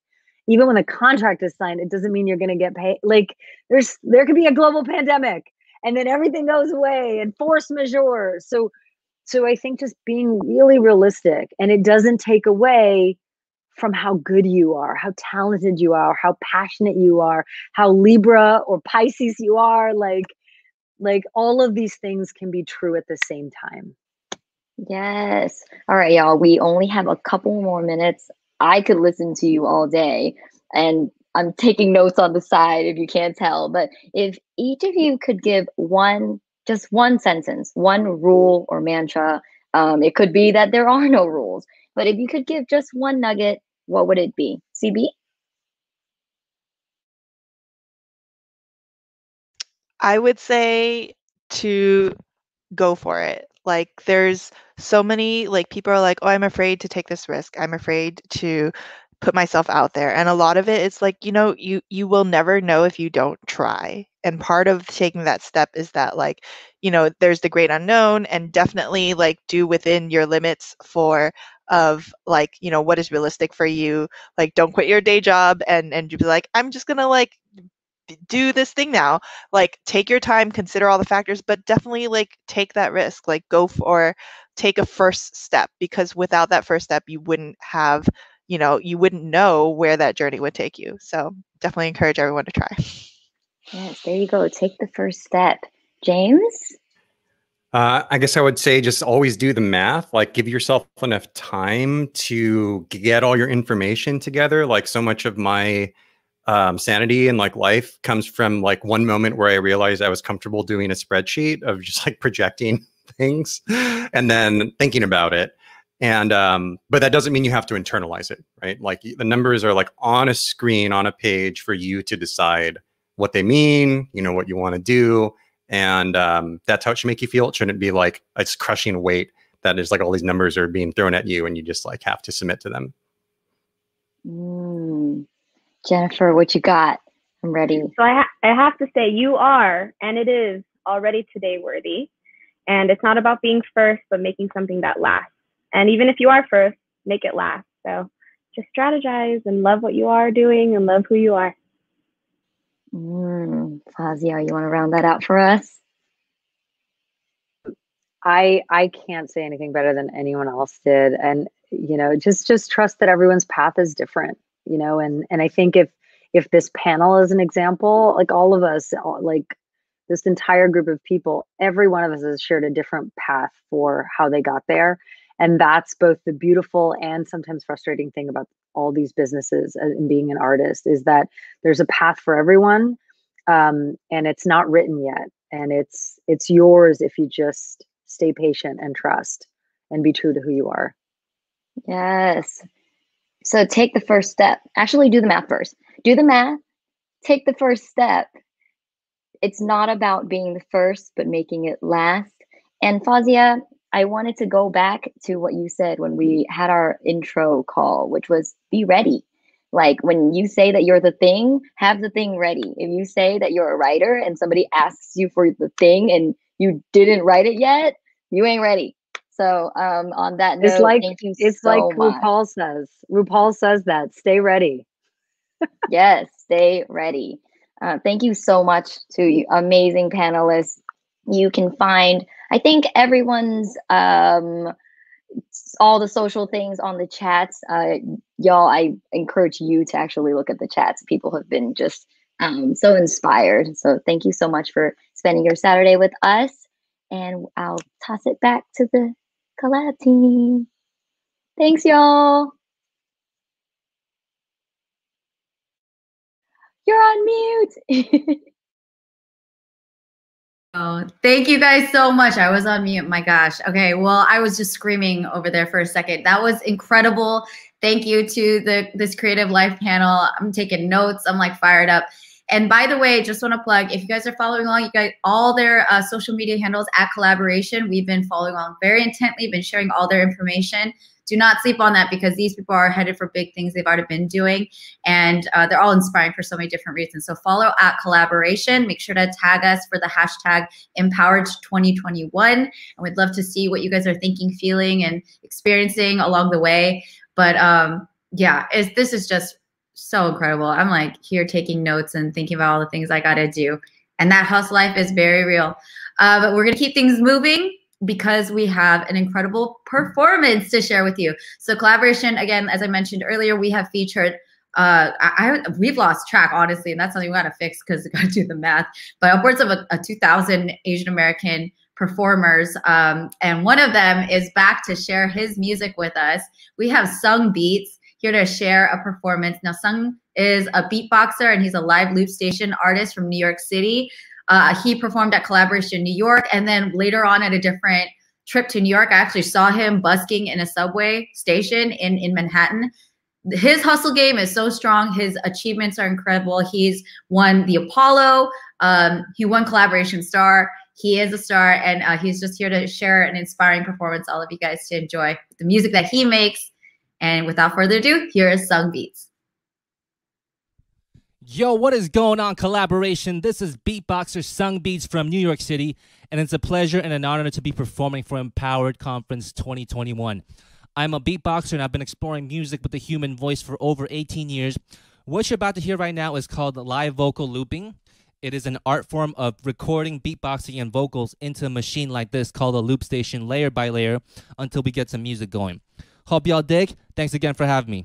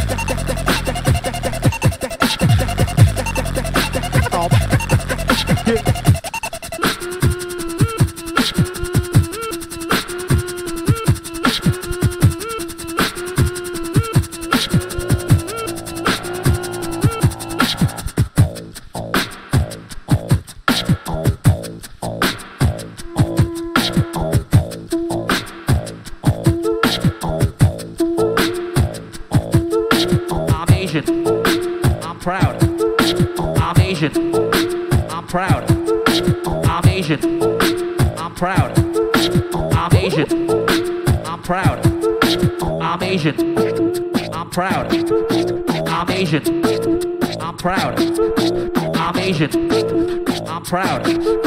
I'm Asian. Empowered conference. Asian. I'm proud. I'm Asian. I'm proud. I'm Asian. I'm proud. I'm Asian. I'm proud. Powered conference. I'm Asian. I'm proud.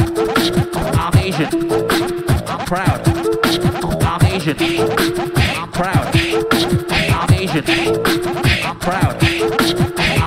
Empowered proud. I'm Asian. Empowered proud. Conference. Empowered. Conference. Empowered. Conference. Conference. Conference. Oh my god. Is everyone else like dancing? I was going crazy. I'm sorry. I had to calm it down so I can come back and host. Thank you, Sung. That was absolutely incredible. I hope you guys are all enjoying that. That I'm so hyped right now, and I need to be chill because I'm hosting a conference. But it's fine. It's a Kollaboration and power conference. We don't have to, you know, we're a different kind of professional. You know what I mean? So just stay true to yourself. Okay, so we are going to share another amazing plug for one of our amazing sponsors, which is HBO. And HBO has been putting on the HBO APA Visionaries competition for several years now. And it is a short film competition that provides emerging uh, directors of Asian or Asian Pacific Islander descent the opportunity to showcase their work. So this year, the theme was called Taking the Lead. And so all the emerging directors have created short films. Those films are going to premiere this September at the Visual Communications Los Angeles Asian Pacific Film Festival. So shout out to VC. We love y'all so much. And uh, here's a quick word from our sponsors at HBO about their APA visionaries. So all y'all filmmakers, pay attention and submit. 我跟你说个秘密，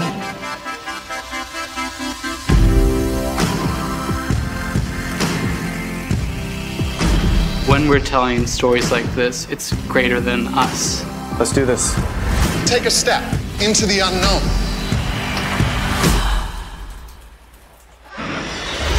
You're gonna like this. HBO is continuing to give Asian Pacific American filmmakers the opportunity of a lifetime.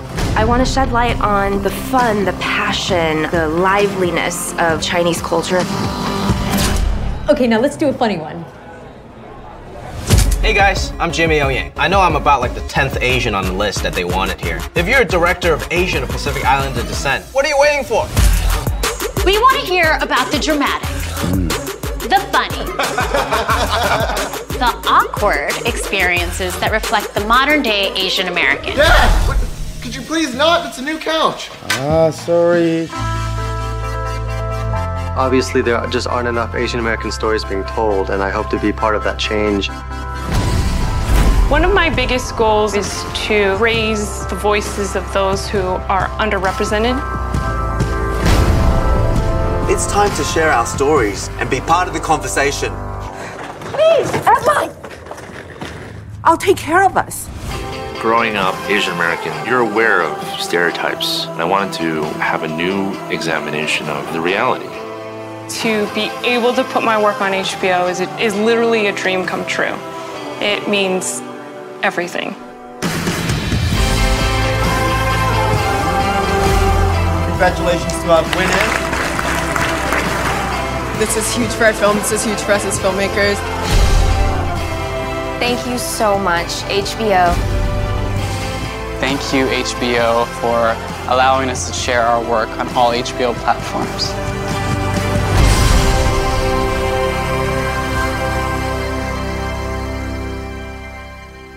And put me in your movies when you get famous.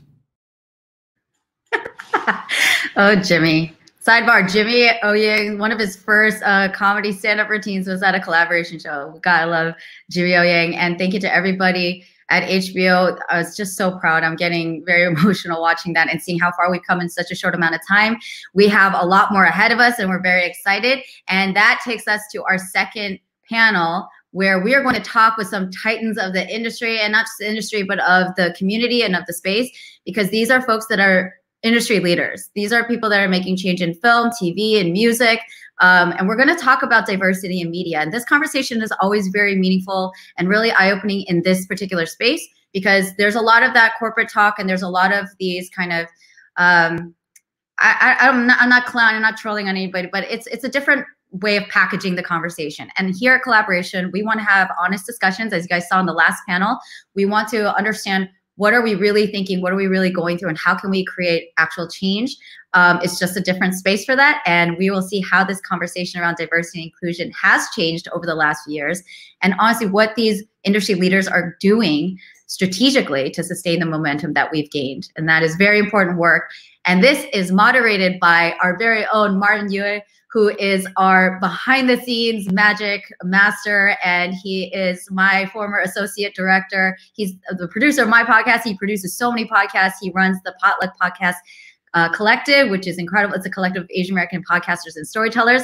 So, so excited to have Marvin moderate this panel. So, welcoming him to the stage, or he's going to welcome himself to the stage because he's doing this. And there he is. Take it away, Marvin. Hello. I Have am a running great this panel. conference. I'm You are. you off and add. Hi, welcome to uh, the second panel of Empower. We're so happy that you are here. Um, this panel is all about diversity. And um, when we were conceptualizing this panel, we were thinking about how, you know, there's so many, we, we hear a lot about how diversity is good. And I think at this point, you know, five, ten years in, um, we've all established that yes, diversity is good. But so where do we go from there? So um, our two main goals for this panel is to a talk about how the conversation around diversity and representation in media has changed over the last few years, in addition to find out what people are doing, um, what our industry leaders are doing, and what types of actions they're they're making to you know make sure this moment is sustainable. So let me go ahead and bring in our panelists, our wonderful panelists. Um, who will be joining us. Um, hi, everyone. Um, like Minji said, my name is Marvin Yueh. Uh, I am calling in today from Tongva territory. Um, I am the former associate director for Kollaboration and still um, one. I'm the lead producer for this conference. Um, still get called in from time to time when Minji makes the call. When Minji makes the call, you say yes, right? So um, that's why I'm here. Um, but we have a really great um, wonderful panel of I want to say industry experts, industry titans, industry just leaders with us that I'm very happy to talk with about. And so I'm trying to center myself on my camera, but um, I'm gonna have them all them all um, introduce themselves and let you know what they do. Um, starting with Naia. Hi, everybody. Uh, so happy to be here. Thank you, Minji and Marvin, for inviting me to this amazing panel with all of these amazing people. And thanks for everybody that's tuning in for being here with us. Um, I am the EVP of Walden Media. I run development and production, and I'm also the executive producer of the Babysitters Club. Awesome. Uh, Richie. Hello. Um, first, I want to acknowledge um, I'm calling from the San Francisco East Bay area on the unceded land of the Ohlone, Muwekma, Chochenyo.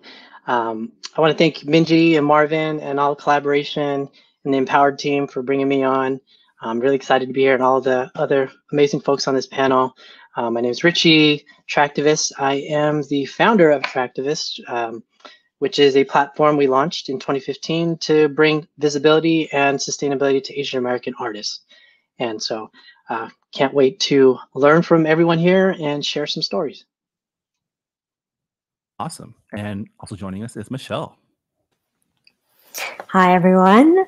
I am calling in from the unceded lands of Tongva communities, and my name is Michelle Sugihara. I'm the executive director of CAPE, the Coalition of Asian Pacifics in Entertainment. And Frankie. Hey everyone, my name is Frankie Appenchai. I'm from Seattle, Washington. Um, I'm a senior creative manager at Amazon Music, and I'm also on the allyship board for the agents at Amazon Affinity Network at Amazon as a whole. Um, I do Asian American programming um, for Amazon Music and also Flex activations for artists and, and labels on, on our platform. Awesome. All right, so let's get started. Uh, diversity, especially diversity in media, has been a goal for our community for a long time. Um, we've, you know, we all work in the entertainment space. Diversity and representation is very important to us because, you know, we want to see ourselves represented in, especially in things that we ourselves make and we ourselves see. Um, so, like I mentioned, um, the the what diversity means for us in the industry, it's not a static thing, right? It's something that has um, evolved, especially for us who work in the space um, over the years, um, where you know diversity used to mean we see our faces on screen and now it's, evolving towards oh now we see our stories now we see like the inclusion of our stories and like the equity of you know what types of roles what types of um, stories we get to tell has evolved so uh, my first question to you all um, is what does diversity mean to you and how has that changed or evolved over the last few years um, anyone can start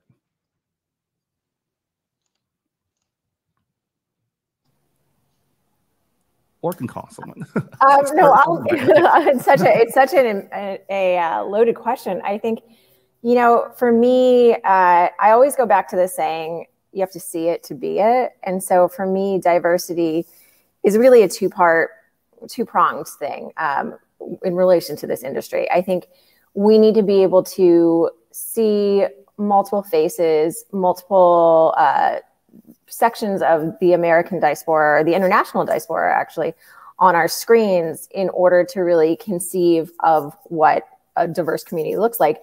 And then behind the scenes, I think it's just as important to have the people that are making the decisions, the people that are creating the content, be as diverse as possible. And and I think when you really get to that equal playing field, which clearly we're not at, I think that the study that uh, Nancy Yuen just put out um, said that uh, two thirds of Asian characters reflect stereotypes, and there's only 3.4% that have leads or co leads that are AAPI or um, in the community. And I think that, that that just shows how far we have to go. But when we, if and when we get there, I think then because there's so much specificity, because there's so much um, kind of intentional storytelling, we'll get to a place where it feels really universal. And so for me, that's diversity.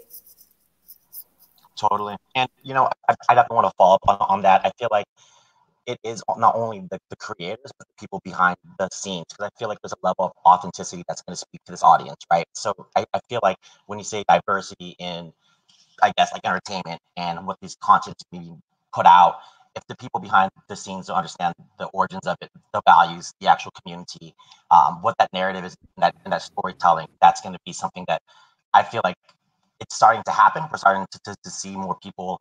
I mean, even in like I, guess on the music side, I'm seeing more A&Rs that I mean, and label managers that are Asian or Asian American or actually understand, you know, like we don't have to make music that is like talking about just Asian issues, right? Like there's definitely like a larger landscape where we've had a similar experience. I'm like, you ask where I'm from, I'm like, well, my family moved here from Chicago, right? I'm not like to say immediately we're from the Philippines, right? I'm like, I was telling Rich, you had a good conversation about this, and I'm working on the Asian American programming. I'm like, I'm not the voice of Asia, right? So it's just like kind of like I'm just someone who works on the just programming, and I value like our community members. If I have a project I'm working on, I'll call Richie and say, hey, like, what do you think of this? You know, like I want to make it as authentic as possible so it resonates with our audience, and I think that is is gonna what's gonna help the, the diverse playing field in um the, the next generation.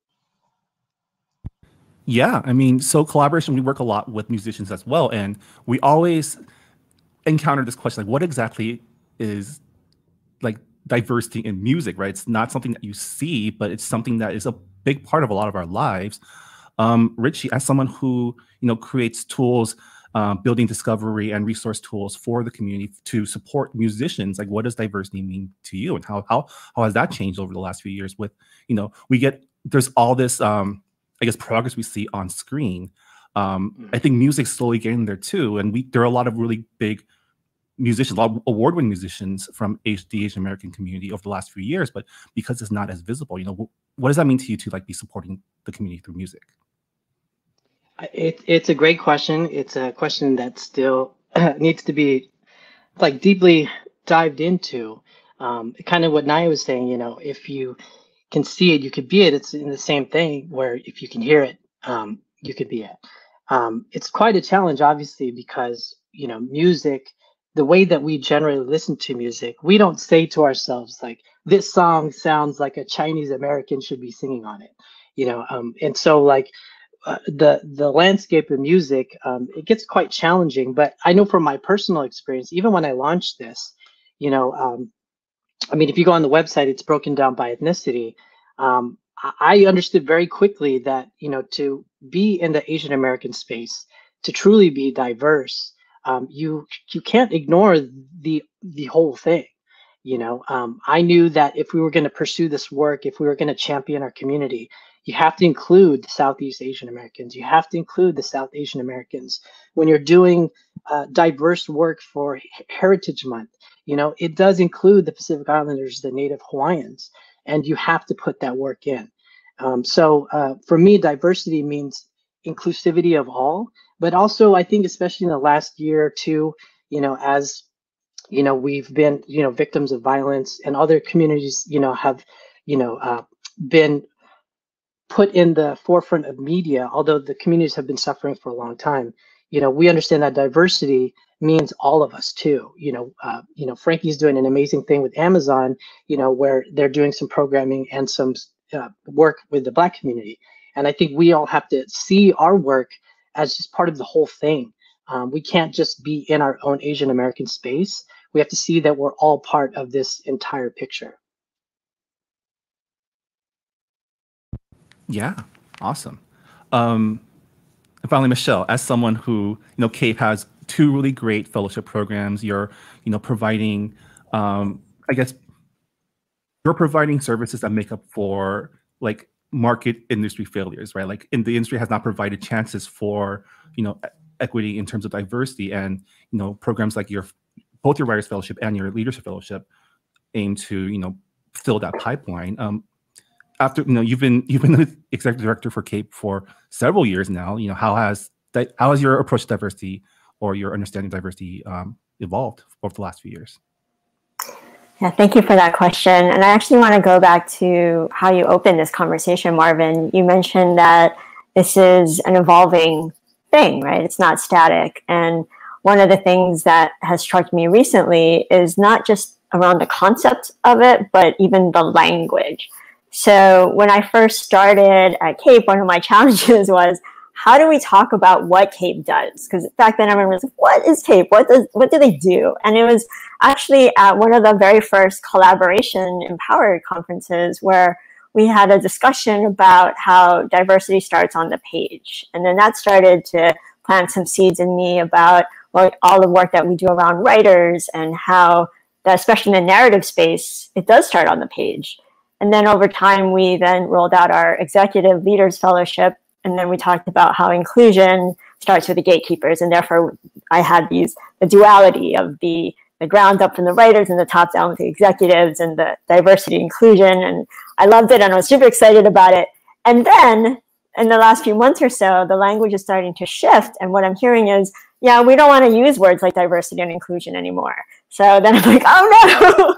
so then now I'm just trying to reframe it a bit. And I just heard something the other day on a different panel I was on that they're saying, let's just call it what it is because when we hear about these diversity pipelines or the diversity hires, what we're really saying is non-white, right? Because it's just a euphemism. So like, why are we dancing around it? Why don't we just be direct?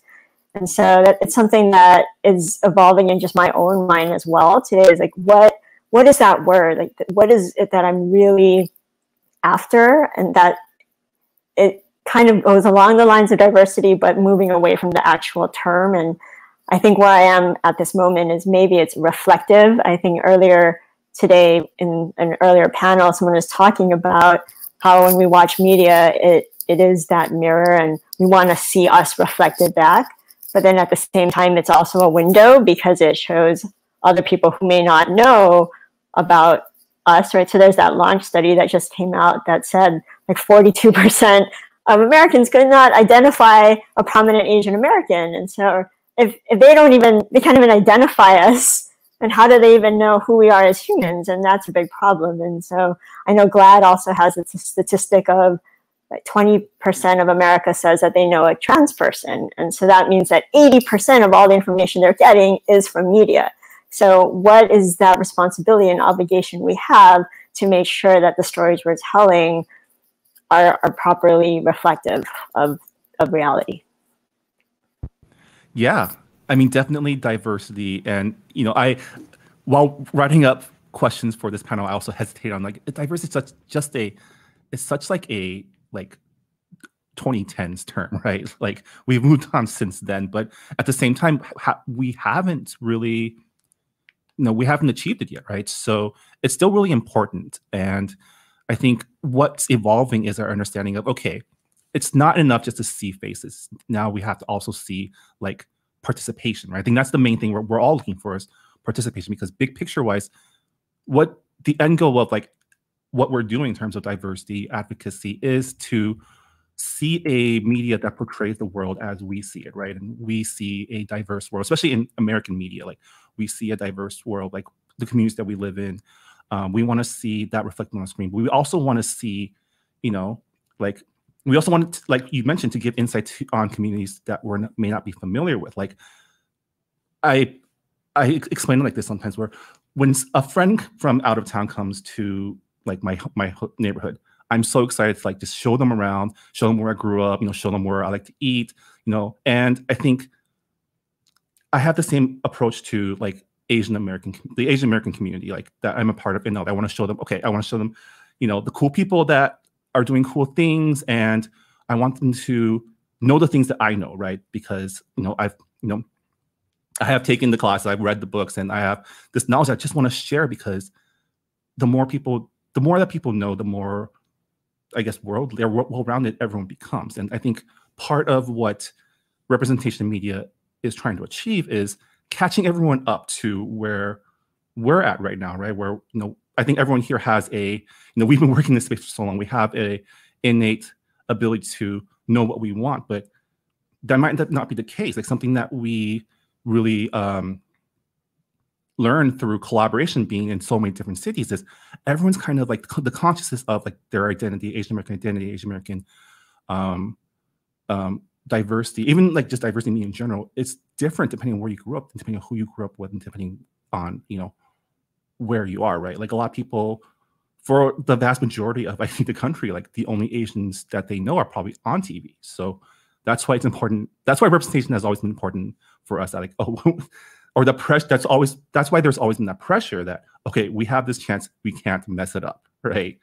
Um, which is why it's great that you know you all are either working in the industry or alongside industry and really working like your day to day involves bringing those ideals to to life. So I really want to take this opportunity to let you all flex a little bit about what you do in your your, your own organizations to really you know pursue that goal. You know, um, I guess starting with Frankie, um, you know, this month is a big month for you, right? You you're the leader of Amazon's like Asian Pacific Heritage Month like campaigns. Like you you you know put together the the mixtapes, the the highlights, and so um, yeah, let us tell us about how, like I, mean, I guess yeah, how you became that guy, and what you what are you doing to you know um, what are your goals? Like, what are your hopes that this will lead to in the future? Yeah, no, thank you. Um, it's been interesting because like this is the first year Amazon Music has done a more robust APAM plan.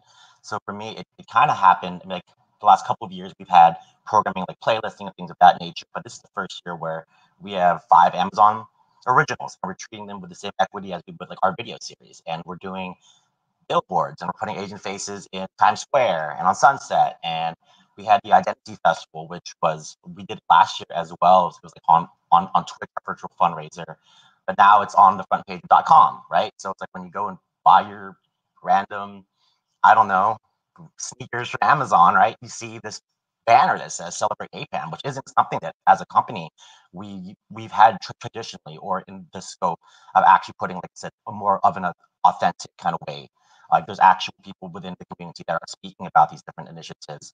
Um, Amazon Studios did one with Core that featured prominent names. Uh, you know, working with CAPE, working with Gold House, working with the actual community members. You know, to build out these programming. So for me, it, honestly, like my main function at Amazon is working on Alexa activations with artists and labels, and working to make that Alexa such a big piece of what our music service is. Um, when I started there, you know, there was a, a, need to fulfill kind of like how can we create Asian Asian American programming. Um, so this kind of like for me personally, it just kind of happened in the last couple years organically, and just me working with the community, I could help find the right avenues to not only create the product, but then also work across teams to make sure that it's fulfilled with the, same way we would treat like a Taylor Swift project, the same way we would treat like the Nicki Minaj project, right? I wanted to give Dumbfoundead that same kind of love in, in, in Times Square or AJ Rafael in Sunset, right? Like we can do that that same type of project, but let's give it the same type of care. And we did this year, so I'm super proud of that. Um, it's been a tremendous month. We have a series uh, called Group called Group read by Jane by Jane Shin every Friday on our Twitch channel. She's amplifying women's women's voices, um, Asian women's voices, and she's had conversations with Japanese Breakfast. She did one with Joyce with Joyce Wrice and Umi about you know multi multiracial um, experience of being an Asian woman. Um, and then the next week, this the flex it's for Jane. You know, I appreciate her so much. We're having a film um, called Message in the Music, and it's it's focusing on API women, starring Audrey Nuna, uh, Malibu Mitch, and Joyce Wrice. And that's gonna be on our Twitch channel next Friday. So super excited. I mean, with the current climate, right? Everyone's trying to find avenues to support the Asian community. If it's Stop Asian Hate, hate is a virus. Like a lot of these groups are doing have, have been doing this work. So for me to incorporate that within our music programming is super important, like super special for me. Um, so for me as an employee of you know a kind of a larger corporation and kind of um, you know seeing this come to fruition, obviously it's it's been very very fulfilling. So super happy to be working on this. Awesome.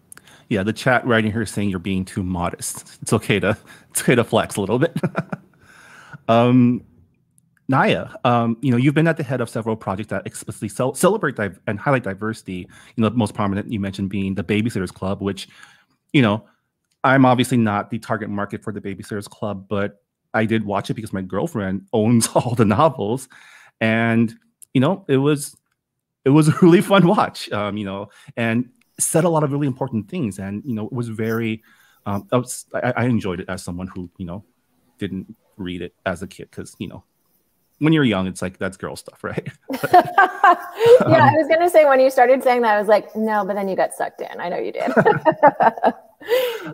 um, can you share about you know your approach in developing projects like the Babysitters Club, and you know, was there ever a time when you had to, you know, did you have to fight for the diversity and and the the the progressive storylines that we saw on the show, or was that something that you know, you know how, yeah, did you have to you know fight for that, or was that something that just came yeah I, I, mean eh, god i can talk about this forever but um, you know I, I think that uh, just kind of going back a little bit you know for my company i work at walden media. We're a family film and television company. We really focus on co-viewing. And So in the past, when I came on in 2013, there are two things that really kind of impacted me and how I started thinking about the kind of content I wanted our company to be working on. Unfortunately, I had bosses and higher ups that were okay with that. One thing was that we had done a Harvard School of Education study on our films and found that 90% of our films had featured an entirely Caucasian cast, which is just really rough to see, you know? And I, I think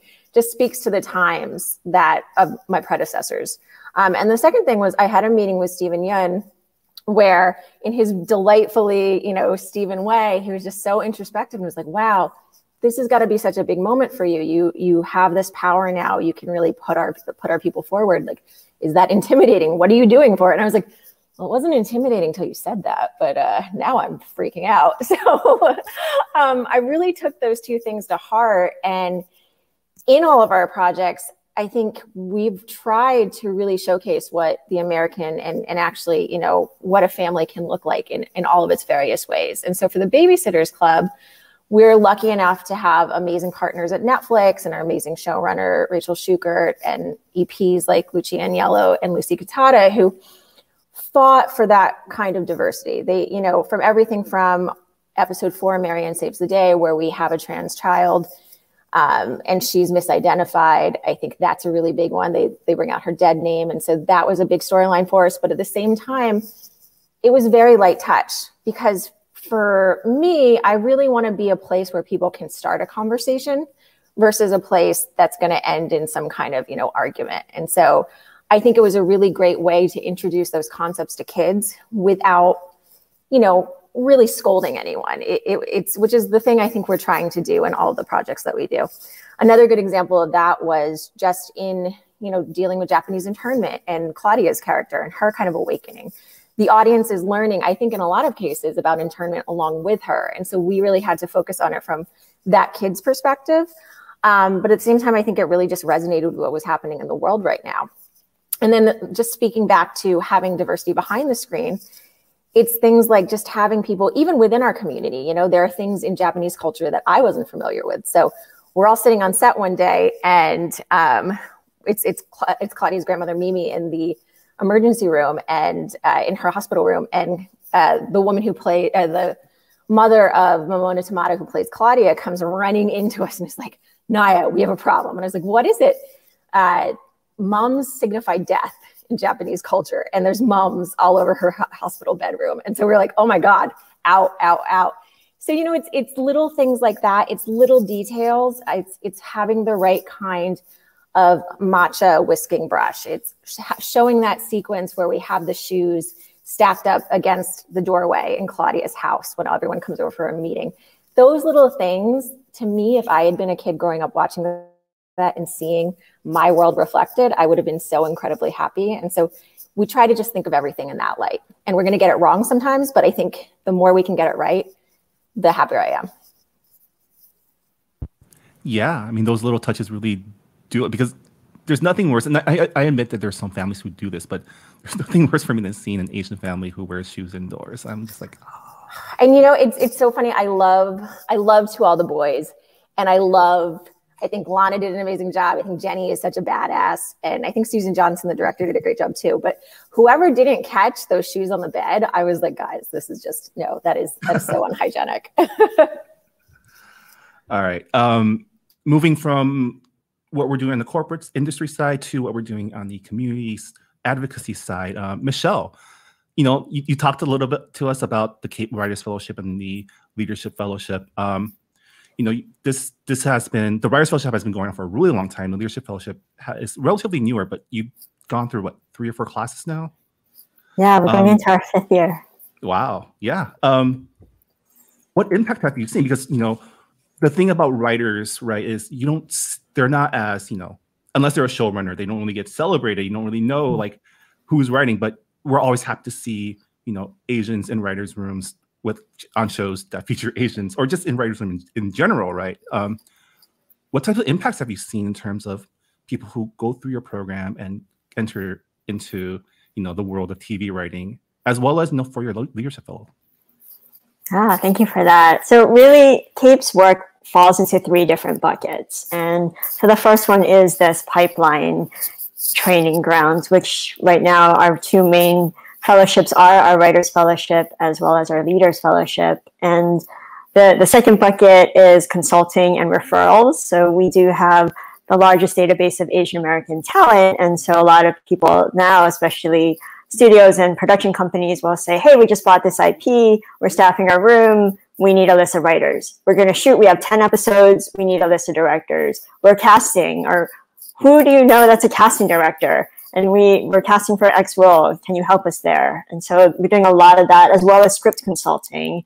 And then the third bucket uh, is Gold Open, which we do with Gold House. And that's about, we all know this is a business. And so like once we get our projects to the screen, it's really important that we all support it. But going back to the pipeline side, um, as you mentioned, we started with writers and our fellowship is now going into its 10th year and we have multiple showrunners now, and we're so excited because now they are reaching back and hiring our graduates and staffing them in their rooms. So really what we're doing is trying to build a new ecosystem. So now we've got that vertical feedback loop within the writers and they're writing on 50 plus shows, which has been so amazing over broadcast, cable, and major streaming platforms. So that has been just such a success. And then as you mentioned, five years ago, we started the Leadership Fellowship, which is the, the counterpart complement to that. And that's our horizontal feedback loop. We have a lot of our executives also reaching out and hiring our writers. And so it's, it's really just been such a great thing to see and projects that are getting made and people working together. And even like, so Naia is our vice chair, but she's also a speaker and mentor. And like from her very first year that she participated in our Leaders Fellowship, she was already talking to some of our our fellows at the time who've now graduated and are doing wonderful things and hiring them. And so it's really just creating this community and it's been so beautiful to see. So what we, we say at CAPE is that we are changing representation from the writer's room to the boardroom to your living room. Wow. That is poetic.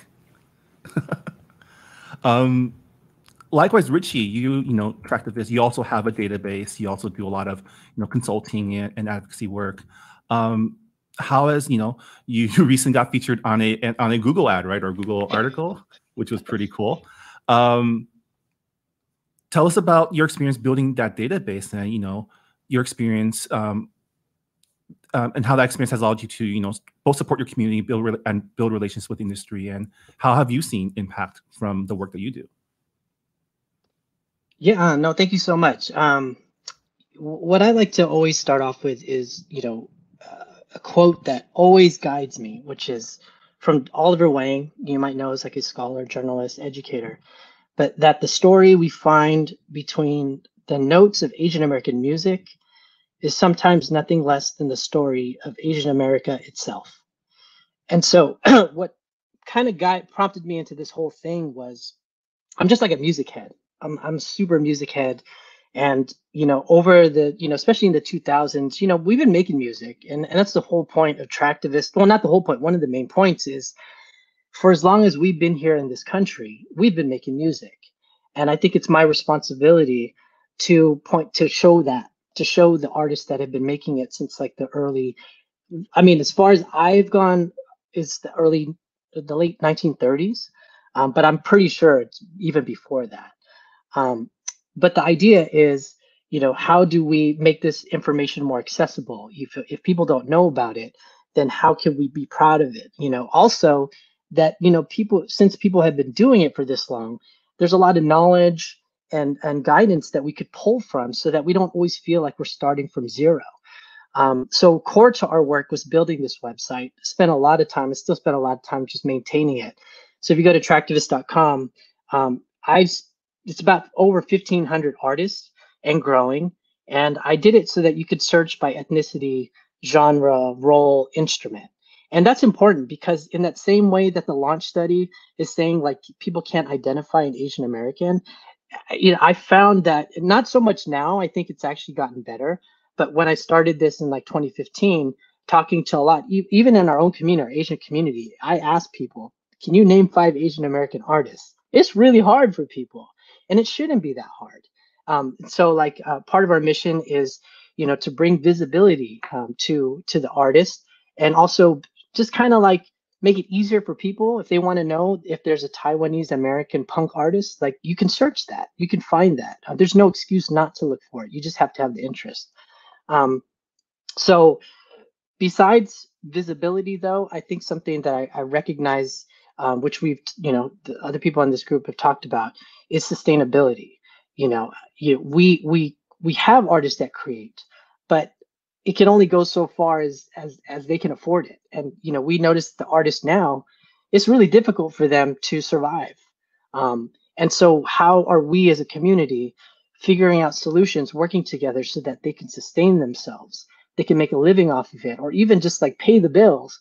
You know, um, it, it's difficult, and that's where solutions need to be now. I mean, visibility. There's a lot of people which we, you know, which uh, like, you know, my wife Trisha likes to call amplifiers but you know we also in the back end have to understand like well you know it's cool to showcase and all but then how can we how can we make sure that they can continue going? We want an asian american artist to make music for the rest of their life. Um, so i've had the you know i've been lucky to over the years um, i think because i just nerd out over this stuff uh, you know people have come to me um, to to kind of like ask like you know who's out there? Uh, who exists?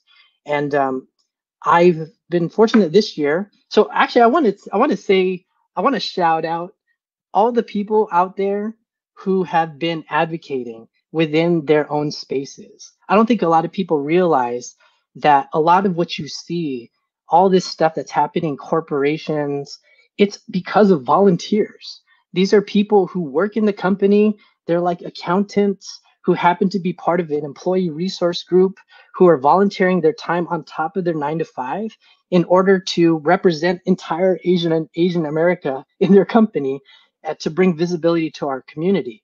A lot of this stuff, unfortunately, they don't get paid for, um, but they carry that weight. So I want to acknowledge all the people who have been putting in that work. And, and that's, to me, a lot of the stuff I've been involved with is because of these volunteers, you know, whether it's, you know, Google, um, you know, I recently volunteered with the ERG at Universal Music Group. I went through the entire roster around the world to create this playlist and to identify all their Asian, Asian American talent.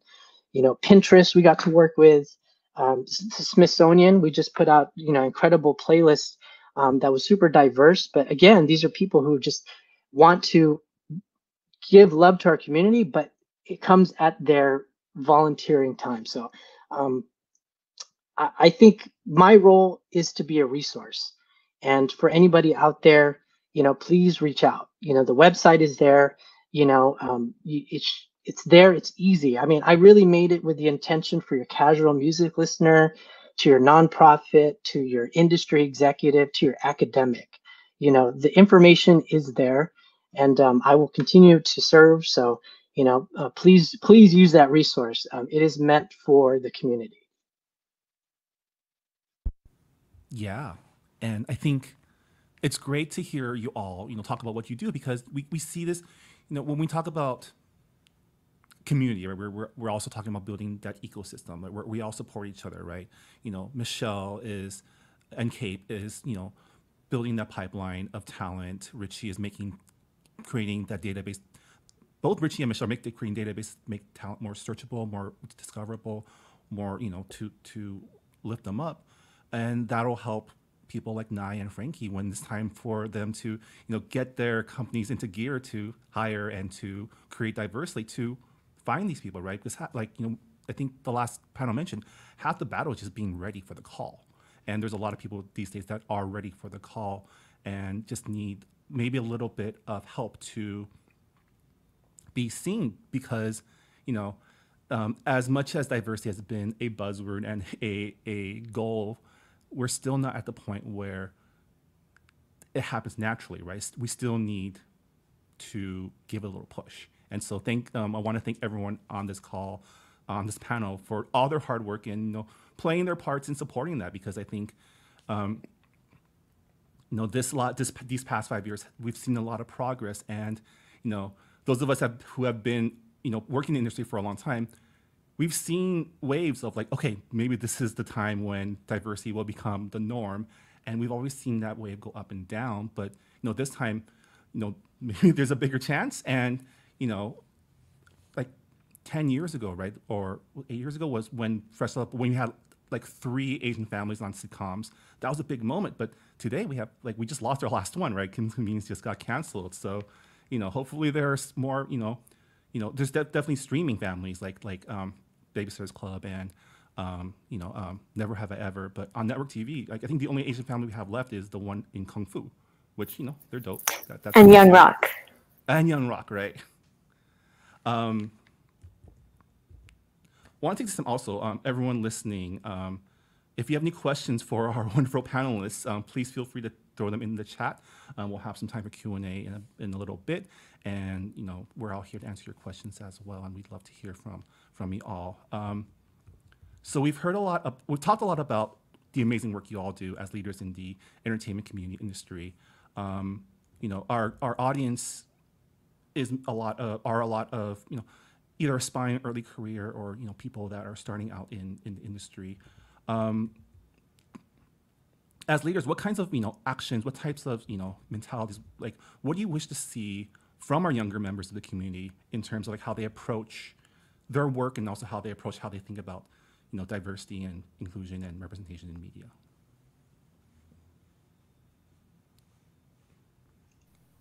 I think for me, it's just, you know, telling the stories that you're passionate about, telling the stories that you feel, you know, if you saw someone else tell that story, you'd be angry that it wasn't you. And, and, you know, you just have this burning passion for. Um, and I think the thing that's so great about where we are now in the world is there's so many different ways for us to access your talent and to, you know, find you. Um, just continue, just making things, just getting out there, using your iPhone, you know, writing your scripts. There's so many resources. Obviously, there's CAPE as a great way to get in.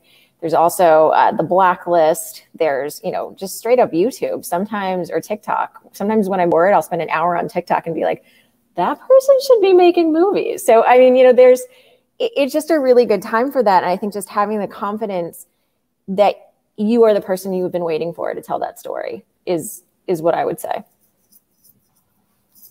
Totally. I mean, I, I think for me, for it's like different younger creators, I think it's supporting your fellow creators and supporting your community. You never know who you're going to meet. You never know who's going to be a relationship years and years down the road. I think it's just being good to everybody, but more importantly, showing that you show everybody what you would want to reciprocate back. Show up to people's shows, like plug each other's music, podcasts, whatever it is. Show up to the events. Like, it's crazy, but like that is legitimately why I'm on this panel, right? Like I've I've had relationships with you guys for ten years, but it's I mean it's also kind of doing the right work t- t- together. Like I, when I'm looking for music, find out new artists. I talk to I look at Richie's site. I'm like, man, this I did not know about these artists. Collaborations, holding events. I wanted to get a part of it. How can we find ways to sponsor it? Like these type of things were like be involved in your community and show the right authenticity. I keep saying that same word. It's not like my buzzword, but I just say it a lot. But it's like being authentic to people really goes a long way. Um, being kind of like finding your next avenue. Yeah, and I do want to plug in. Frankie's been a part of the Kollaboration family for over a decade now, right? Like it's it's getting there.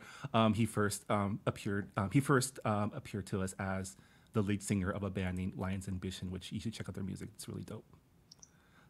Um, Michelle, um, yeah, actually, I, I, yeah. I want to piggyback on what Frankie just said because, and this is why I'm also so excited for when we go back to in-person events because one of the things that I like to say is make sure to expand your concept of networking and network sideways, not just up and down, and like look look to your left, look to your right, because these are the people that you are going to be in community with and rising alongside. And and even just expand your definition of who you think a mentor is because I, I think a mentor is anyone that knows more about something than you do. And so it doesn't have to be like oh i have to talk to the ceo like it could it could be just a, a peer that has more experience in something that you don't have yet and so that that's really just something that i would encourage people to think about and then just expands on when you have a project, think about who else you can include. So even for me on an organizational level, I'm starting to think about, okay, I'm in these meetings with these studio executives. Who else can I bring to the table? And so I'm starting to expand like, okay, I mentioned casting directors, but what about your composers? And what what does your soundtrack look like? And I've been reaching out to Richie more and more. So shout out to him. Um, we I got contacted by CMT and they're like, do you have any Asian country singers? And I was like, let me call Richie. And so that's really, it's really great how we all can work together and find the touch points that we can bring each other to the table. Yeah, there there are many country artists, by the way. if anyone's interested, we could share that list. And it's cool. I mean, that's the diversity of, of our community, right? Um, we don't just make pop music. We make metal, we make classical, we make country. Um, and, and I guess, you know, to piggyback on what everyone's saying, you know, what I like to tell, you know, young aspiring artists is you have to focus on being authentic, you know, um, because if you look at many of the artists who are succeeding, they know who they are or they're pretty close, you know, and I think that will guide you into making the right decisions for your life and and also create creatively. Um, but but also I think it's important to recognize what you're good at and what you're not good at. And for the things that you are not good at, like it's okay. You can say, I don't I hate social media. And that's okay. You can say that. But that means there's a gap. And that means you have to fill it. And that means you have to budget to get somebody to volunteer or to pay someone to do it um, because unfortunately and fortunately, I guess it depends on how you are as a person. Um, you have to wear many hats as an artist. You know, it's no longer just about creating, um, especially when you're starting. So you have to recognize all the different parts of the process, fill the gaps that you either are not good at or don't want to do. Um, and then um, to piggyback what I was saying too is um, if you study music history, uh, you'll notice that our waves, in the ways that we have come into the light, right? Into like the media light. Um, it always evolved around community support, right? Case in point, let's look at YouTube. We we decided let's let's take a chance on this platform. But if you think about all the people that made it, all the people that were able to create careers out of it, how many of them were in each other's videos? How many of them were featuring in each other's covers. There was this community this unspoken community or sometimes intentional. I think a lot of it was intentional. Um, that's that's what lifted us up. Because if others are not giving us a chance we can give ourselves a chance. And that same thing happened in soundcloud. Um, you know a lot of the electronic artists that came out the producers same thing. They were working with each other. Um, and so i think you, you have to rely on community especially when we don't have seats at the table we don't have our foot in the table. Um, but also, I think for those that are aspiring um, industry executives, um, I think it's important to to recognize that we are missing resources. Um, and we, it, I think it's a responsibility that once you have access to these resources, that you have to figure out a way to make those resources more accessible. Um, so I think it, it doesn't matter where you are. Like, I mean, I worked in finance for for an artist, um, that is important for people to know. How, royalties is a mess. Like people are leaving hundreds of thousands of dollars on the table because they don't know about royalties. But that's something that someone who works as a royalty analyst or a financial analyst can help out with artists. Um, and I think those are just gaps that we need to fill and pass on. Um, because otherwise, like I keep saying, you know, our community ends up starting from zero after our waves. And in order for our waves to just keep going, you know, we have to sustain it. Totally. And that actually goes with um, we have a question from Sung um, that's asking about, you know, what you feel the community is still missing or lacking in order to, to push um, Asian American um, music artists, actors, filmmakers, and writers even further. And um, I wanted to throw that question also to the rest of the panel. You know, we're all leaders in our organizations, but you know we can't do everything, and we shouldn't have to do everything, right? So, um, what are some gaps that you've seen um, when working in terms of diversity media representation that you think needs or should be filled?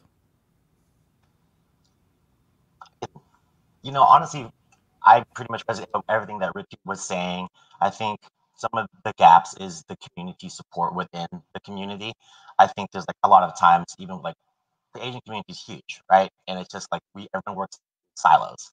And I just I think about what if we had the, the same kind of like unity as certain communities that got together when their someone's album came out or someone's single came out or project or fundraising event, whatever it, it is, I think that is still lacking. I think for what's also kind of like lacking is a lot of the different people trying to make it into either a professional job or a creative job aren't as intentional. They'll have a business card with like 25 things on it. And I'm like, I have no idea what you do.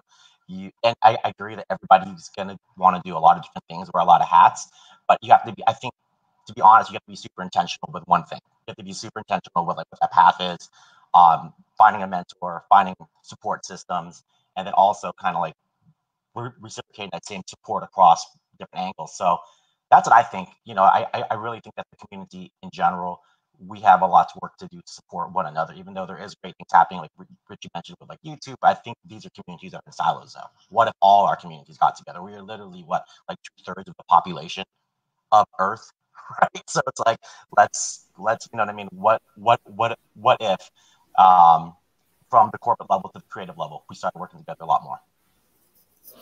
Yeah, I, I think to uh, to just kind of echo off of that is there's still so much I think uh, almost even even internally there's a little bit of tribalism there's colorism i think that there are still really gaps in the south asian and southeast asian community in terms of representation there and I think the default is constantly East Asian. And I think we really need to work harder at making sure that all of our communities, including Pacific Islanders, actually are are represented to the same level. And so that's a little bit of work on our side of just making sure we're leaving seats at the table and extending the table. And then that's even I didn't even get into the LGBTQ community, but that's obviously a big part of it as well. Yeah. And Michelle, any Yeah, I mean I think I echo what everyone was saying because one of it is the recognition of the intersectionality piece of it of our of our communities and that we're not just one identity but we're we're all multifaceted and made up of many different identities and so really recognizing and celebrating that and then i also wanted to highlight and underscore what frankie was saying about the multi hyphenates like i know people are are very talented and they can do all kinds of things but one of the things that struck me the most recently. So Karen Horne, she's at Warner Media. One of the things that she says is it's a little bit like getting onto a freeway. So you're on the on ramp, you pick a lane to get on that on ramp. Once you're on the freeway, you can change lanes, but if, to break in, pick one thing, be super good at that, get onto the, the freeway, and then from there, then you can start branching out. Man, Michelle's just being poetic all over the place. Metaphors. She is. Saying. you can tell she does this a lot. all right. I wanted um, to. Oh, oh, can I add something just real yeah. quick? Uh, I, I think I also wanted to, you know, in terms of what is missing, just to echo, you know, what Frankie was saying, what everyone else is saying. Um, something that I noticed because I'm really focused more on the industry um, lately, and um, you know, what Frankie was saying, people working in silos you know um, we we are not as organized as we need to be. Um, and i think if we make an intention within the industry to say this is what we have access to. These are the people who are down to like share these resources or at least like give guidance on these resources then then we can at least give better guidance to those who need those resources or at least like um, what they need to do to you know to to get access to those.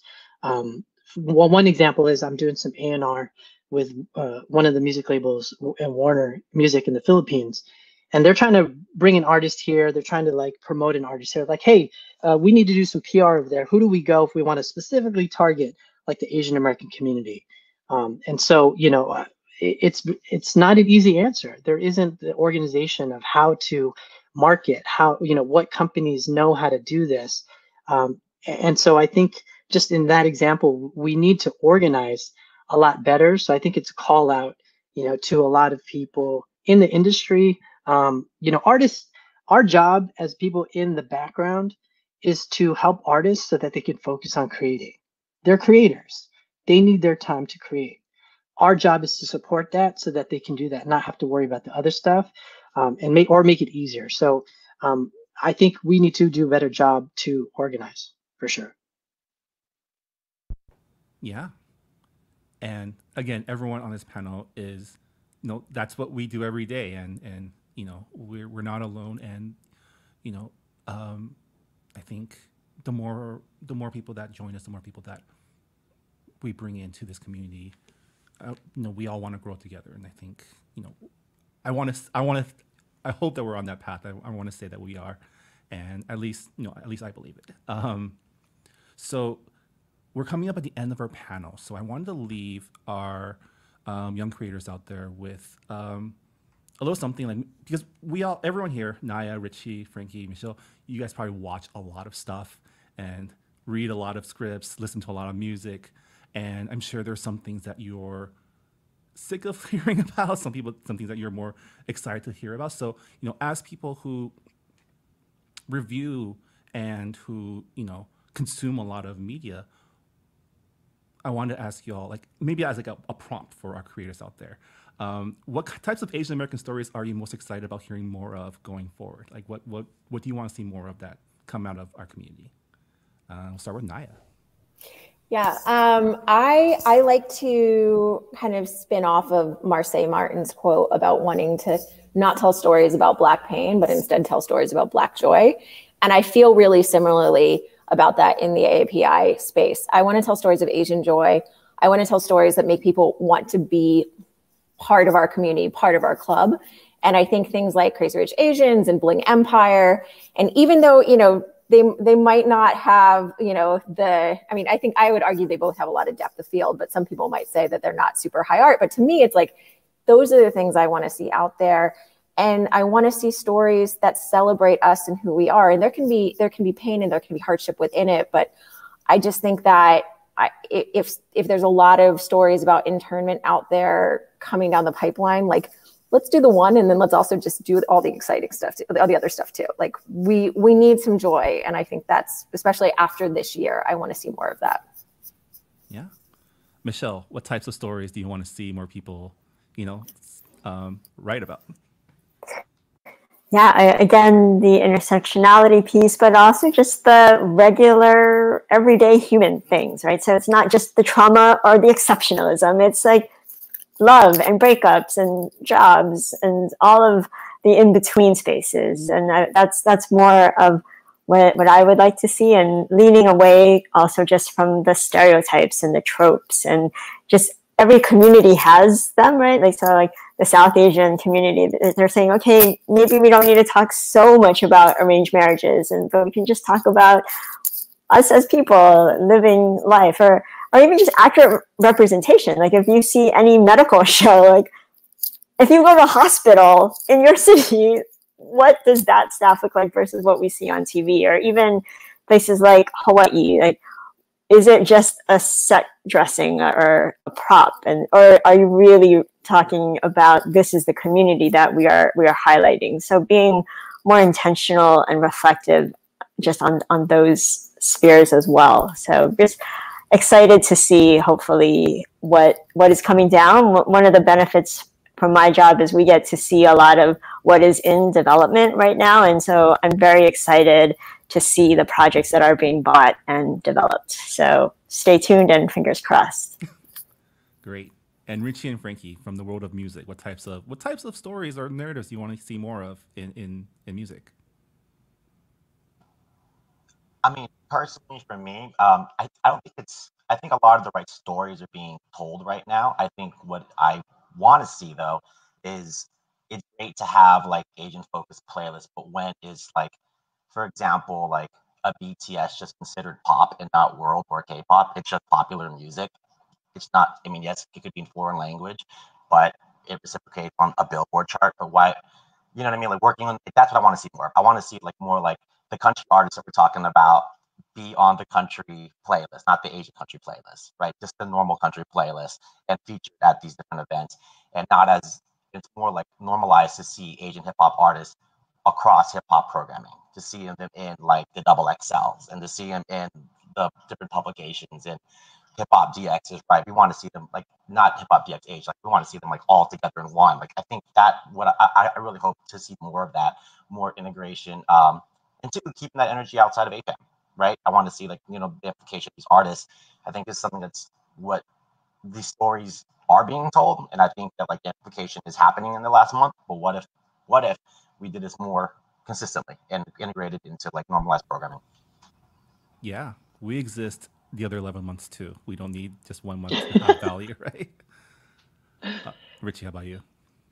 Yeah, I think two two two things I, I'd like to see more of. One, um, one we're in a very very unique time. Um, unfortunately, it's due to the violence, but I've never ever seen this many songs that have been made specifically as response um, to what's happening, and um, a lot of that is incredibly powerful. And I'd like that it's happening because that has been something that we as a community have been um, kind of been taught like don't talk about it. Like don't don't express being asian american. It's going to mess up your uh, stats. You're going to get less likes. You're not going to get as many follows. But people are like you know what? Who cares? This is important. This is our story. We need to talk about it through music not that you have to like be super pro asian all the time but if you feel it you should be authentically okay to do it. And so I want to see more of that when people feel that way. Um, two, I also want to see and, and hear more stories uh, of artists that have been doing it. Um, some of the stories I love being able to share, for example, is you know I went through the whole Grammy Awards and and you know since the beginning, and um, you know we were able to identify the first Asian American Grammy winner, Grammy winner, which was Larry Ramos, you know, back in 1962. Um, I want to be able to highlight stories like, you know, I was just telling, you know, the, the folks on this panel, you know, the four tops through our Smithsonian playlist, we learned that Duke Fakir, who is the band's only surviving member at this point, he's actually part Bangladeshi and part Ethiopian. We just discovered that now. It would be so cool to highlight that. Or one of my favorites is the International Sweethearts of Rhythm, back in the 1940s, they were the first integrated all women's band in the US, which, you know, one of the members was, you know, Willie Mae Wong, you know, part, part um, Chinese American saxophonist. Um, and, and the stories are incredible. I mean, imagine being a band back in the day during those times with how racist it was.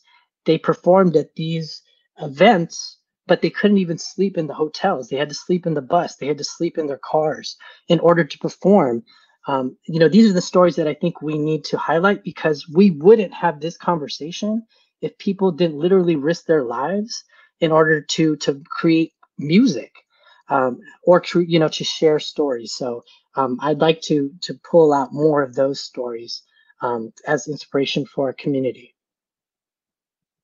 Great. Someone write that and submit it to the CAPE Fellowship. well, um, thank you. Oh, Oh, sorry. I just wanted to. Can I just add one really quick thing that I, I I wanted to amplify a movie that's out right now during this month that I don't think has seen a lot of attention, but it really speaks to everything that Michelle was talking about in terms of you know quiet moments of ordinary life, but also hits on uh, Asian country songs. Uh, if any of you, if none of you guys have seen Yellow Rose by Diane Paragas, it's a film that's out right now on streaming. It is so good, and seeing a Filipino country star is just really, really cool. So, yeah, check it out.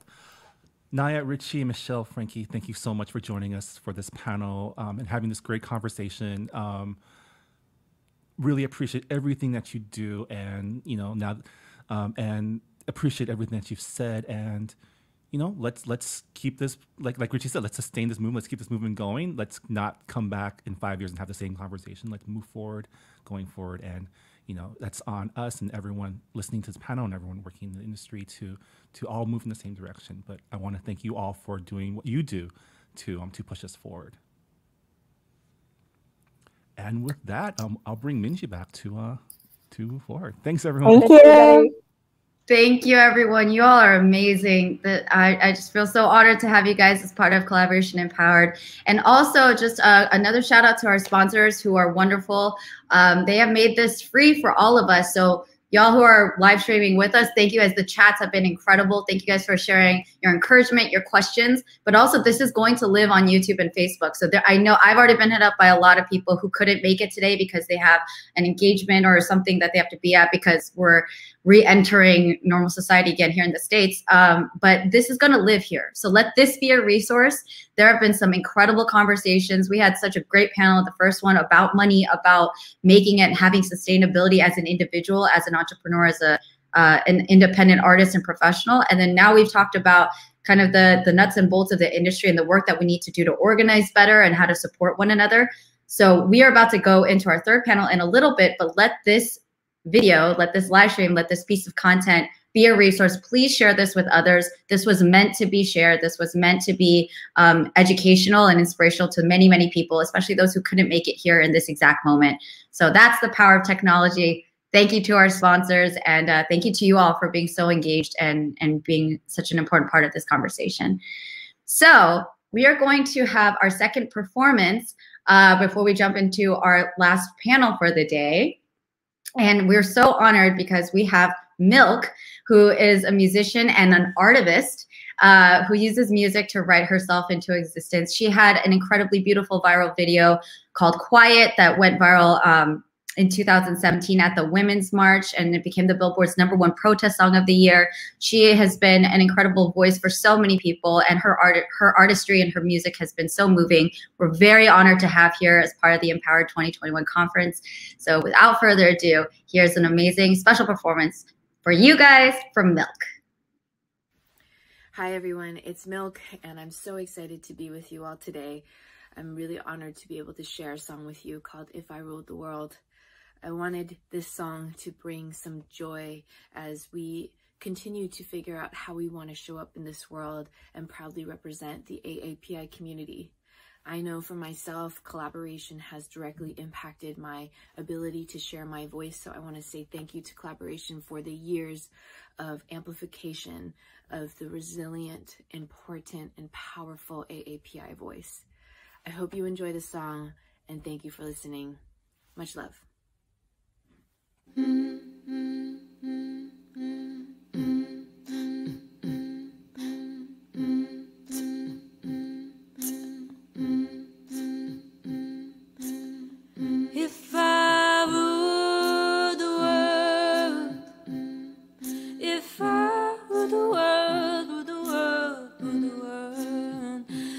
Give the power to the people. Everybody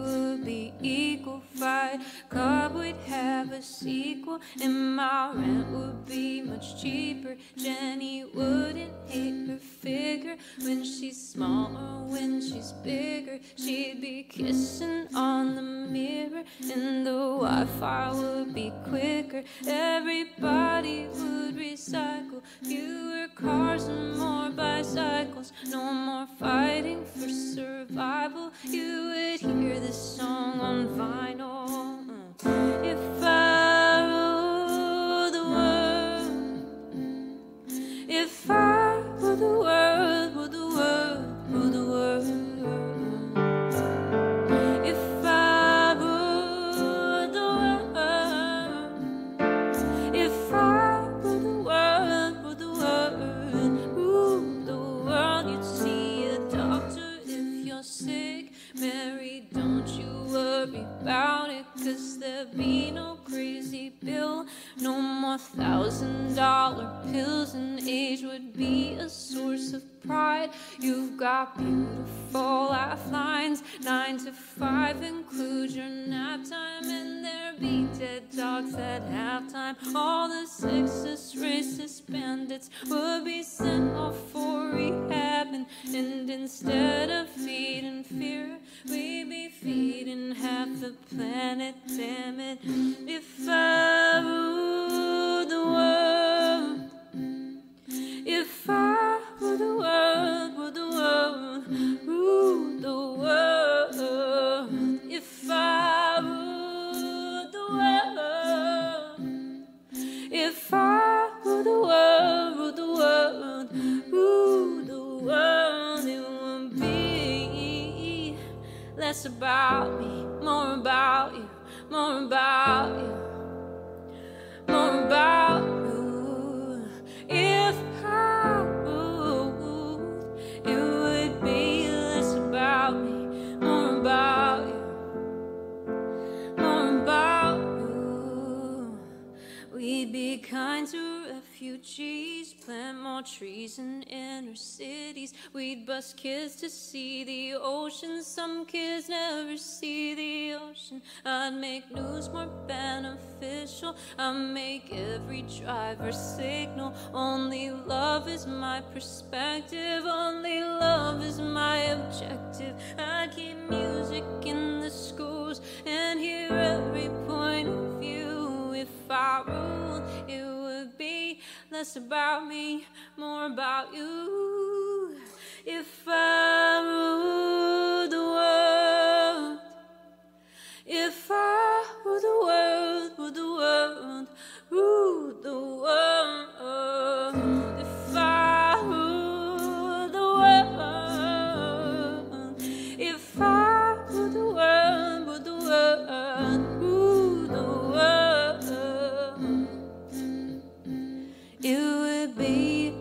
About me, more about you, more about you. If I ruled, it would be less about me, more about you, more about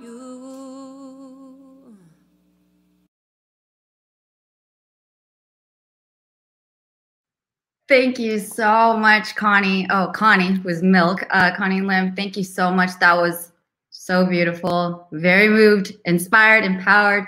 I uh, hope you guys are enjoying the conference so far. Thank you to everybody that's been following along. You can follow us at Kollaboration, of course, Kollaboration with a K, and use the hashtag, hashtag empowered 2021. It's really great to see how everyone's watching and tuning in from their computers. It's good vibes. I love the chats. Keep them coming, and all the support and love is great. Um, before we dive into our last panel of the day, I uh, want to really quickly plug our virtual networking reception, which is happening from 3 to 5 p.m. Pacific. So if y'all are connecting here on the chat, if you've been speaking, um, or if you've been joining late, doesn't matter. You guys can join in and uh, we're going to share that link with all of you soon. And if you were registered for Kollaboration through Eventbrite, we already sent you that link. So you do have to register to participate. It's on a platform called Remo. We'll all be in a virtual space together and meeting each other face to face and getting to talk to each other. Um, and as Michelle mentioned in the last panel, it's important to talk to people who are our peers and around us. I know we're all aspiring to meet all the big ups, uh, bigger higher ups and everything, but also we are collaborating with one another. So don't be shy a lot of people get intimidated by the whole networking concepts, uh, but it's going to be good times, and we're just there to connect and, and see each other face to face as much as possible in a virtual space. So as we move along, we are quickly going to share some uh, something really amazing. Um, that's actually the work of one of our next panelists. But we want to do a shout out to Hulu, who is sponsoring Empower 2021. There is a very funny and very different and very amazing movie coming out called Plan B. And uh, we have the writer of Plan B last panel, but we're just going to quickly play the trailer for you so you guys get a glimpse of that. And it's coming out this coming week. So stay tuned. Right now, puberty is telling you to step on the gas. If your vagina was a car, what would it be? Ferrari. Stays covered up and completely untouched in the garage. Mine would definitely be a transformer. You think you know her? Boom. Autobots pop out. I feel like if you're following the metaphor, that means you have crabs. What? We finally tried reverse cowgirl. And amazing, right? It wasn't that great for me, but I feel like it looked cool. Girls are horse fucking, and I haven't even had my first kiss. Oh, fuck. Look at Hunter. Who plays hockey in a cardigan? He's like an athletic librarian. You know, Sunny's throwing a party. Really? Love a good high school party with the liquors and the touching, all the other stuff, drugs. Big night for you. Inviting your crush? Partying and drinking. I feel so stimulated. Is this what white privilege feels like? Hey, good choices.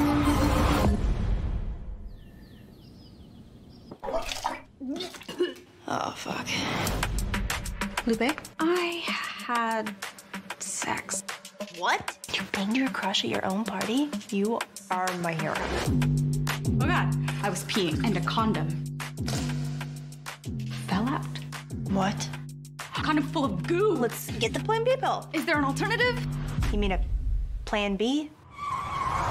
sorry, but I decline to offer you the Plan B pill. I have a nice day. Let's go to Planned Parenthood in Rapid City. Hey, do you realize this is our first official road trip? Where are we on here? What do these red lines mean? This really it needs a pension zone. I hate to tell you, but Planned Parenthood is probably closed for the night. My 24-hour window is closing. Ah! So the condom just fell out? I've been there. Oh, sorry. Make sure that condom fits snug. Morning after pill. I got one more right here. That could be anything. I got some pill. Buddy. It's like a really small chance it might be PCP.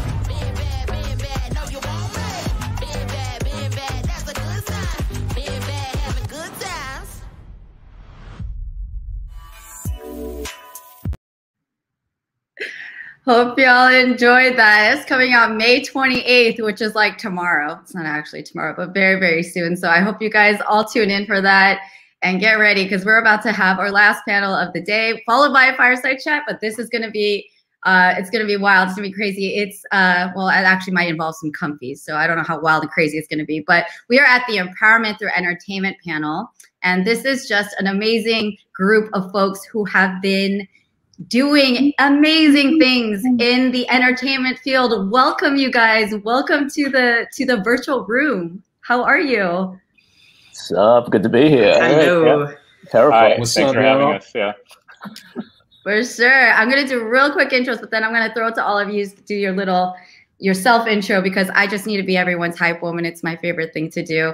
We have Kato on the track. We have Chris Jew, who's a Korean American, five time Billboard charting music producer and entrepreneur out in Atlanta, Georgia. He's worked with Tyga, Snoop Dogg, Jack Harlow, E40, Joyner Lucas, Tory Lanez, K Camp, and many more. Y'all need to like check out his stuff. It's it's amazing. He's been a soundtrack for my life in COVID. So thank you for that, Chris. I appreciate you so much. We have the incredible You're Bao welcome. Nguyen, who is the award-winning Vietnamese American filmmaker. Y'all have seen his film. I hope you have seen his film, Be Water, which was part of ESPN's 30 for 30 documentary. Super moving, powerful documentary on Bruce Lee. It was nominated for the Grand Jury Prize at Sundance. No big deal. Uh, and he also directed Together, which was a music video uh, part of GoFundMe's, uh, not music video, sorry, a video part of GoFundMe's Stop Asian Hate campaign and raised nearly $6 million uh, for that grassroots AAPI organizations this past year. Amazing work. Uh, welcome, Bao. We have Lena Khan, who's a writer and director. She's the director of uh, Tiger Hunter, which was starring Danny Pudi, hilarious, so powerful. Um, and she got tapped on the shoulder by Disney, no big deal, to direct Flora and Ulysses, which is out. She's been directing uh, Mindy Kaling's Netflix show, Never Have I Ever. She is killing the game, and we're so honored to have her here. Hi, Lena. Hello. Hello. And then we have Desmond with his jawline, because that's what everyone talks about in his Instagram. You can stop the introduction right there. Just uh, no, that's all. That's all. Yeah, he um, he's an actor and writer. Awesome. Um, and he's known for his work on Marvel's The Falcon and the Winter Soldier. We're so excited to have you here with us, Des. It's an honor. Thank you. And then last but not least, we just got to see a glimpse of her work in that trailer with Prathi Srinivasan. And she is an immigrant writer and actor from the bustling city of Chennai, India. And uh, Prathi has just been doing such incredible work. She's written for iZombie for CW, Titans with HBO, and most recently Plan B for Hulu. So welcome everybody. Thank you. Thank you. Thanks for having us. Yeah. It's an honor for us. Yeah, seriously. Uh, I okay. So what I was thinking is we wanted to get to know and highlight all y'all Ameri- uh, just amazing work that you've been doing because we've been talking through nuts and bolts of the industry, how to make money and sustain ourselves as freelancers, and you guys are kind of people that we a lot of us watching are aspiring to to make the milestones that y'all have made um, and so i'm going to take us on a hero's journey if you will we have a lot of writers here filmmakers uh, storytellers we know that it's it's not an easy path to get where we're going so we're going to kind of structure this this conversation through through that lens not restricted um, but starters would you guys introduce yourselves and like what your origin story was how did you get before you started becoming an artist can you give that one minute or two minutes little sneak peek into who were who were you when you started this journey. You can start with Des. Oh no. Um, yes, I didn't get to go first. Thanks. Thanks. um, uh, okay, origin story. Uh, well, yeah, I'm Des. Uh, Desmond. I'm an actor. Um, wasn't always the case, I guess, if we're talking origin stories. I once upon a time was a lawyer. Um, absolutely hated it. It was not my thing. Uh, listen, you can enjoy it. Some people really, really do, but I, I wasn't equipped for it. Um, and yeah, I'm from Australia. You can tell from the accent. And uh, what else? That's those are like the salient points. That's about that's about the most of it. Um, yeah, popped over here to try to make a career, and now here we are.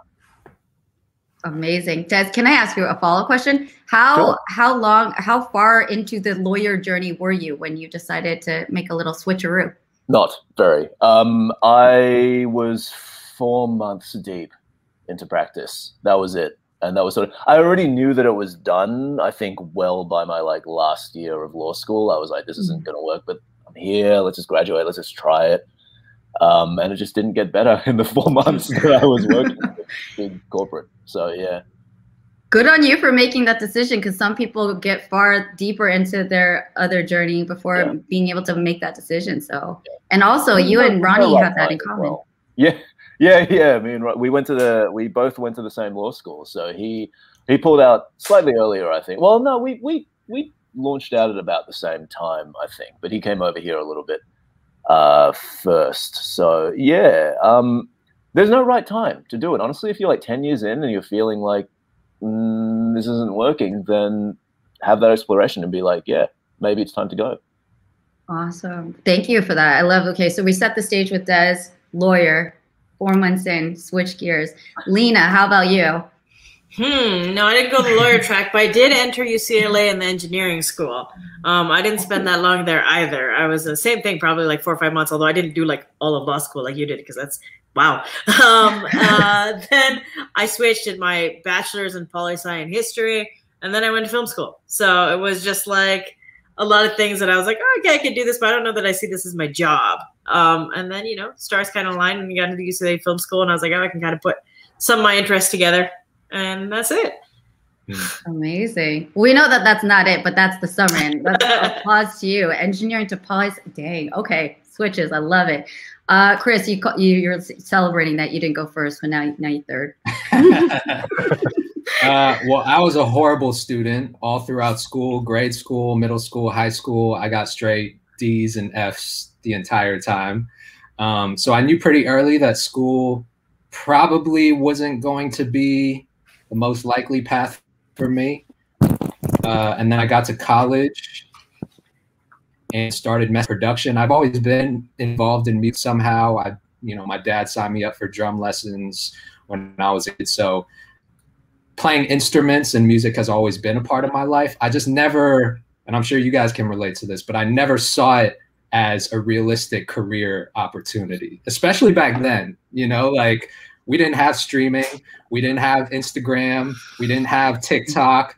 There was no such thing as a viral rap video yet, you know. So in my head, it was just like not even a possibility to pursue music. But I went to college, and that I think that independence kind of gave me the opportunity to explore different things. And so I started going out and um, did a couple open mics and started rapping over my own beats and just started, you know, experimenting and trying different things.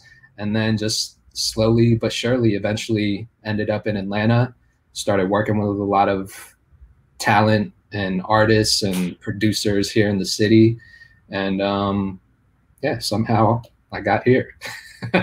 Amazing. We're glad. And and those those experiences can be really challenging, which we'll get into um, to kind of like obviously to figure out your place in the world and what it is that you want to spend your time and energy on. So thank you for that sneak peek and that origin story from you, Chris. Uh, Prathi, what about you? Honestly, uh, well, I was a student, so I went from directly from college to the HBO fellowship, uh, which, which was my start. But that's kind of like the most sanitized version of events. Like the reality was, I was a straight up failure, and then I got at the HBO fellowship. So I mean, I I didn't necessarily have those experimental years because Um, I was experimenting so much in college. Like I went to like four different universities um, just because it was a combination of like being extremely unhappy in the in the schooling environment and also doing a major that I didn't give two shits about. So it was. I mean, I don't know. If it's half of an answer, I guess. What was the major that you you didn't that, that wasn't speaking to you? Sorry, excuse me. I should have cleaned that up. Um, I was No, a you're classics fine. major. oh no, I was a classics major, which I, I liked, but I, I read everything early, and then the the test just. I was like, I don't really care about the test. I, I, I just kind of want to read this stuff. And then I was um, doing rhetorical analysis and lit studies to be a lawyer. Um, but again, I, that wasn't really doing it for me. I mean, I'm a professional writer, and I had to do intro to writing like 101 three three times because I could not get through the class. Like, wow. they were like, "Can you read?" Like, that was really bad. But that, that obviously has had absolutely no reflection on the quality of my life or my career currently. So Thank you. Yeah, let's we'll dive into that in a second. That's I think that's really powerful stuff and actually a, a recurring theme about just the, the the choices that people make and how it doesn't end up actually being a barrier to what you want to do. These failures, quote unquote, right? Um Bao, let let's get your origin story. Where were you before you became the? Okay. Um, I, I mean, I had a similar trajectory as Des, but I didn't even manage to get to law school. I, um, i i remember like the day that I was supposed to take my LSAT. I'd been studying like nonstop for like six months, like twelve hour days, and I um, remember like you know sitting in the car, about to turn on the key to ignition, and like looking in the mirror and like, do I want to be a lawyer for the rest of my life? And and uh, my parents were Vietnamese war refugees, so I think like many of us who are first, second generation, we felt sort of a, a debt to to our parents and wanted to sort of find a a career that was stable and lucrative in some ways, and and filmmaking wasn't that for them at least. Um, and so yeah, I I wanted to honor them somehow, so that's why I like pursued law for the longest time. But I remember like when I was little, my dad, you know, we uh, we owned like a small shop, and he'd come home late from work, and we'd have dinner like at nine nine thirty, and he would take out a piece of paper at the end of the night, and me and my older sister would like huddle around him, and he was like sketching, and what he was doing was like architectural sketches, and he he told us like when he was in Vietnam when he was a kid when he was younger that he always dreamt of being an architect. But when he came over to America he felt like he couldn't pursue that because he had to find something that would provide sustenance for our family. And so I was like is it and you know am I truly honoring my parents sacrifice by picking a job that I don't think I would have loved or by following something that I really have a passion for? Is that the best way to honor it? So I you know turned off the key to my ignition went back to sleep and um, I applied for film school like soon after that. Wow, that, that's powerful. Thank you, Bao. And also, I, I, I want to call out and thank Bao because he's actually in Vietnam right now, and he is well into the the sleeping hours, and he's still joining us. And we're just so grateful that uh, you're here live because um, it's it just means a lot to hear all these different stories and to understand. You know, we see a lot of the highlights, and I think that it's a really important reminder at all times, especially honestly, the longer that we have Instagram and all of our social media platforms, I think the more that we need reminders of like there are real challenges and tribulations behind all these successes and highlight moments. Um, and we celebrate those highlight moments hardcore, you know, we're definitely there. But this is the true story behind how we get there, right? And I think that's what's truly inspiring. So thank you for sharing all those origin stories, everybody. And honestly for being so transparent about these failures and these these changes because i think that's the truth of any artist and what gives us a lot of substance to work with honestly when you're putting your creativity into your work. Um, and people know the the hero's journey. It starts you know you start in your ordinary world and then you start off with this call to adventure right? You're called to something and you're entering a new world. Um, can we go around and share that part of how we started that new world? What was it like entering your chosen calling. Was it a calling too? I mean, I'm curious what y'all would call that. Um, and whoever wants to start, I would, if if I need to call on anyone, I will. I think before we jo- is Lena. I think she logged Oh. back in as backstage, so she might. Oh, even yeah. back in. Thank Um, you for she just calling was that. having technicals. She was having Um, technical. Yeah, yeah. Marvin, How- you know, bring Lena US back. Live, yeah. This is live. This Video is live, live. yeah. Yeah, yeah. These are live events. And I'll definitely re re-prompt the question once Lena's back. Um, but while we get her back on stage, Marvin, um, and we'll figure that out. Does anybody want to start with their their entering into the new world? What was it like? There she is. Yay! Lena. Sorry about welcome that. Glad you're back. Okay, I so was like, Lena, hello, real- how do I get in? oh no. Okay, well, we're glad you're back. So we're gonna go into the new world right now in the hero's journey. Um, how everybody crossed that threshold into the taking on this new calling of theirs, if you want to call it a calling. Um, and whoever wants to open up with their uh, with that part of their story, you may take the floor, or I'll call on someone. Just a rant. Uh, go ahead. Go for it. Um, yeah, I mean, because mine was not straightforward, but it was literally like one thing that did it. Um, I was uh, I was working in development at Participant Media, um, and way back when, and then I was like, I knew I wanted to do my own thing, so I was like, okay, I'm gonna make my own movie, and it was helpful that I was like naive about what goes into making a movie, because my mom was like, nobody will ever give you one million dollars. I'm like, you know, all these wealthy doctors, and wealthy doctors don't ever give you money. That's why wealthy South Asian doctors are wealthy. Um, and so I spent, you know, seven eight months writing a script, and then you know the the year uh, raising money for it. And then, you know, we went to India and we had like gundas, like which are like crime bosses, like try to steal our money. It was like a whole thing. But at the end, um, we premiered at the, uh, and it was a great call by my executive producer. We had gotten into some bigger festivals and he said, you know what, premiere at um, the Los Angeles Asian Pacific Film Festival. He's like, you're going to have a community there that's going to embrace you for success. And he was right. And, and that's my first kind of window into this community. And, um, he was right. They gave us like a huge premiere, invited all the press, all those sorts of things. And from there, right there, I got um, repped by CAA. Um, they came to the thing. After that, four months later, I was on Flora and Ulysses. And then um, meetings that they had set me up on three months after that premiere are now why like I'm executive producing a show right now. People like who I met way back when came back to me after Flora and they're like, hey, remember after Tiger Hunter and all that sort of stuff. So it was um really nice to like circle back to kind of like where it all started here. Amazing. Lena, I love also that Tiger Hunter is like her first film because there's such tiger energy. When you speak, it's just like, yeah, we got to go do stuff. We're gonna make stuff happen. I love it. So Lena just she went all in and she she dealt with crime lords. Oh my god. Tiger Hunter was so good too. I, It yeah, was yeah, I really, funny. really love that movie. I'm, a, I'm a Awesome. Big Danny Pudi fan, so one of those who's coming out in a, in a movie. He is fantastic. Yeah. Yeah. Um, Des, do you have your story?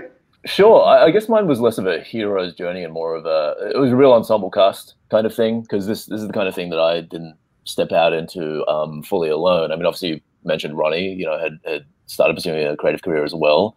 Um, but for me, once I jumped out, because jumping out was I didn't spend too much time on that decision. I sort of was just like, well, I quit. um, but then after that, there was a bit of a stage of like, huh, maybe should have thought that through.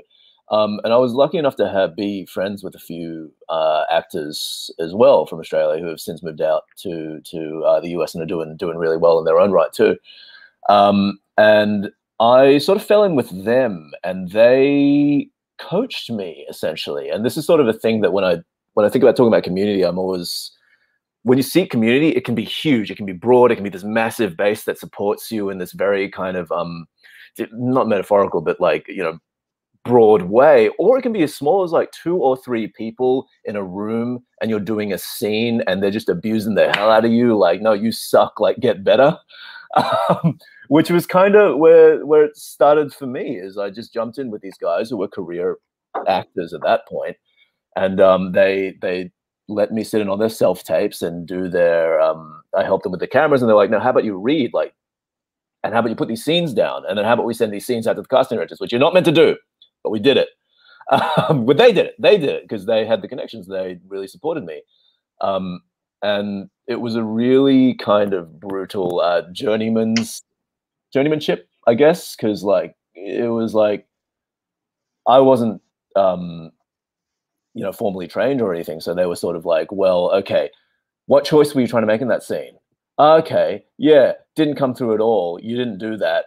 Do it again, but actually make the choice. Or it was like, oh, what choice was that? Well, that's a bad choice. Don't do that. You know, it was really like, um, it was pretty, it was pretty honest, which was something I think when you're starting out, definitely seek people who are more honest than than not, because that definitely helps set the initial trajectory. Because at the very base level, when you enter into a new career, you need to figure out how to become moderately competent at it, and that'll get you there the fastest.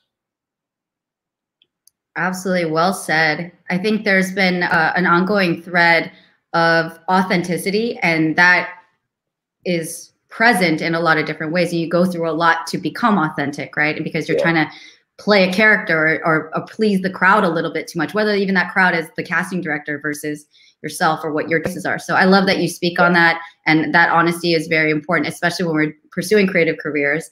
And uh, when it speaks about honesty, Prathi, I mean, we saw in that trailer you you have a very powerful point of view. You have a very honest voice, and I'm curious, like you you had this self recognition in school about you know the, these failures.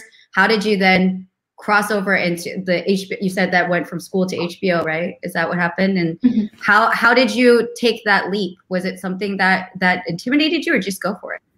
Um, it was just kind of more like a long shot. I was, you know, I knew that school was not it for me by any means. Um, and a lot you know, of what Bao was talking about really, really is exactly. I, I know I didn't have exactly your your life, but so much of what what he was talking about in terms of you know honoring up you know the parents' sacrifice and being somebody for them to be proud of. You know that they know that they went through so much to come to this country to give you the best shot, and how can you fall short of that? Um, that sort of thing, and um, that was kind of a sort of a crippling thing that I, I I felt like I had to live up to their expectations, which were quite narrow. Um, long story short, not the case. Um, their expectations, I think, have been more than than exceeded upon. I think partially by straying from what even they thought that they wanted from me. Um, so I just applied for the HBO fellowship, and I just just gave it my 100% all the way through. And luckily, it was a diversity fellowship, and like, hello. So, you know, that worked out for them as well. Um, but the honest truth is that when I moved to LA, um, I had like a backpack and like $2,000. And so for a full year, I couch surfed. I just was essentially homeless. But like, no one could have ever told you that because like I wear glasses and have like a bob. So, you know, it just seemed very sort of clean cut. I don't know if I'm straying away from the question, but that that initial shot was not one shot. That initial shot was like two years of just just pushing, I guess. So I guess like yeah, I think that's that's kind of the the honest the honest truth of it was seemingly f- screwing up, but kind of listening to that that that inner voice. If it's if it's loud enough, there's nothing that you're doing that seems so crazy to you, and you know that that trajectory makes sense. Respect. I love that. That actually speaks a lot to our first panel. We had a freelancers panel talking about all the gigs that folks have taken and all the different things that were not expected either of them or they expected of themselves in order to just keep pushing. And that's something that nobody else can dictate to you. So I love that you had that self awareness and that trust in yourself. And I'm sure that that's hard earned. So we're very we benefited from you taking those things like saying you're like that hbo benefit like the world has benefited because now we have your work that we get to watch on on may 28th just saying um so uh how about you i mean you shared such a beautiful story about your father and these expectations uh when was applying to film school that moment or when do you feel like you really kind of entered into that new world? Um, I mean, I still feel like I'm entering that new world in many ways, but I think uh, I remember I, I had a sort of similar experience to where it was going and having something play at the LA Asian Pacific Film Festival about like 12 years ago, and I think you know for the longest time as a filmmaker as an artist i was always trying to like fit into like a certain mold of like what people thought filmmakers were and like what people thought audiences were. And i think there's like such a difference between like fitting in and belonging right? Like fitting in is when you want to be part of something and belonging is when they want you. And i think that's how i feel about those sort like things like the la asian pacific film festival other um, you know, Asian American Festival specifically. So like quick shout out to like visual communications, right? And and all what they do for the community.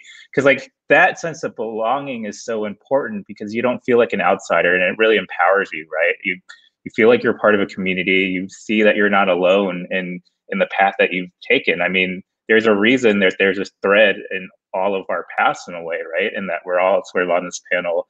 And I think that's it's it's it hasn't happened a lot like until recently. I feel like these panels are like safe spaces, right? For us to really talk about experiences and, and traumas and struggles that we've all went through. And again, it's so similar and it just makes you feel not alone. And so um, I think, yeah, I, I, feel like I'm finally entering this world where I feel really comfortable because there's like this this sense of reckoning of our past and like being able to talk about all of that um, in a in a meaningful way and hopefully push push things forward for you know other people who are looking to to do the same work. Absolutely. Thank you for speaking on that. And shout out to Visual Communications. They're one of our community partners. We freaking love them. Um, we're so excited for all the work that they're doing and have been doing for many years.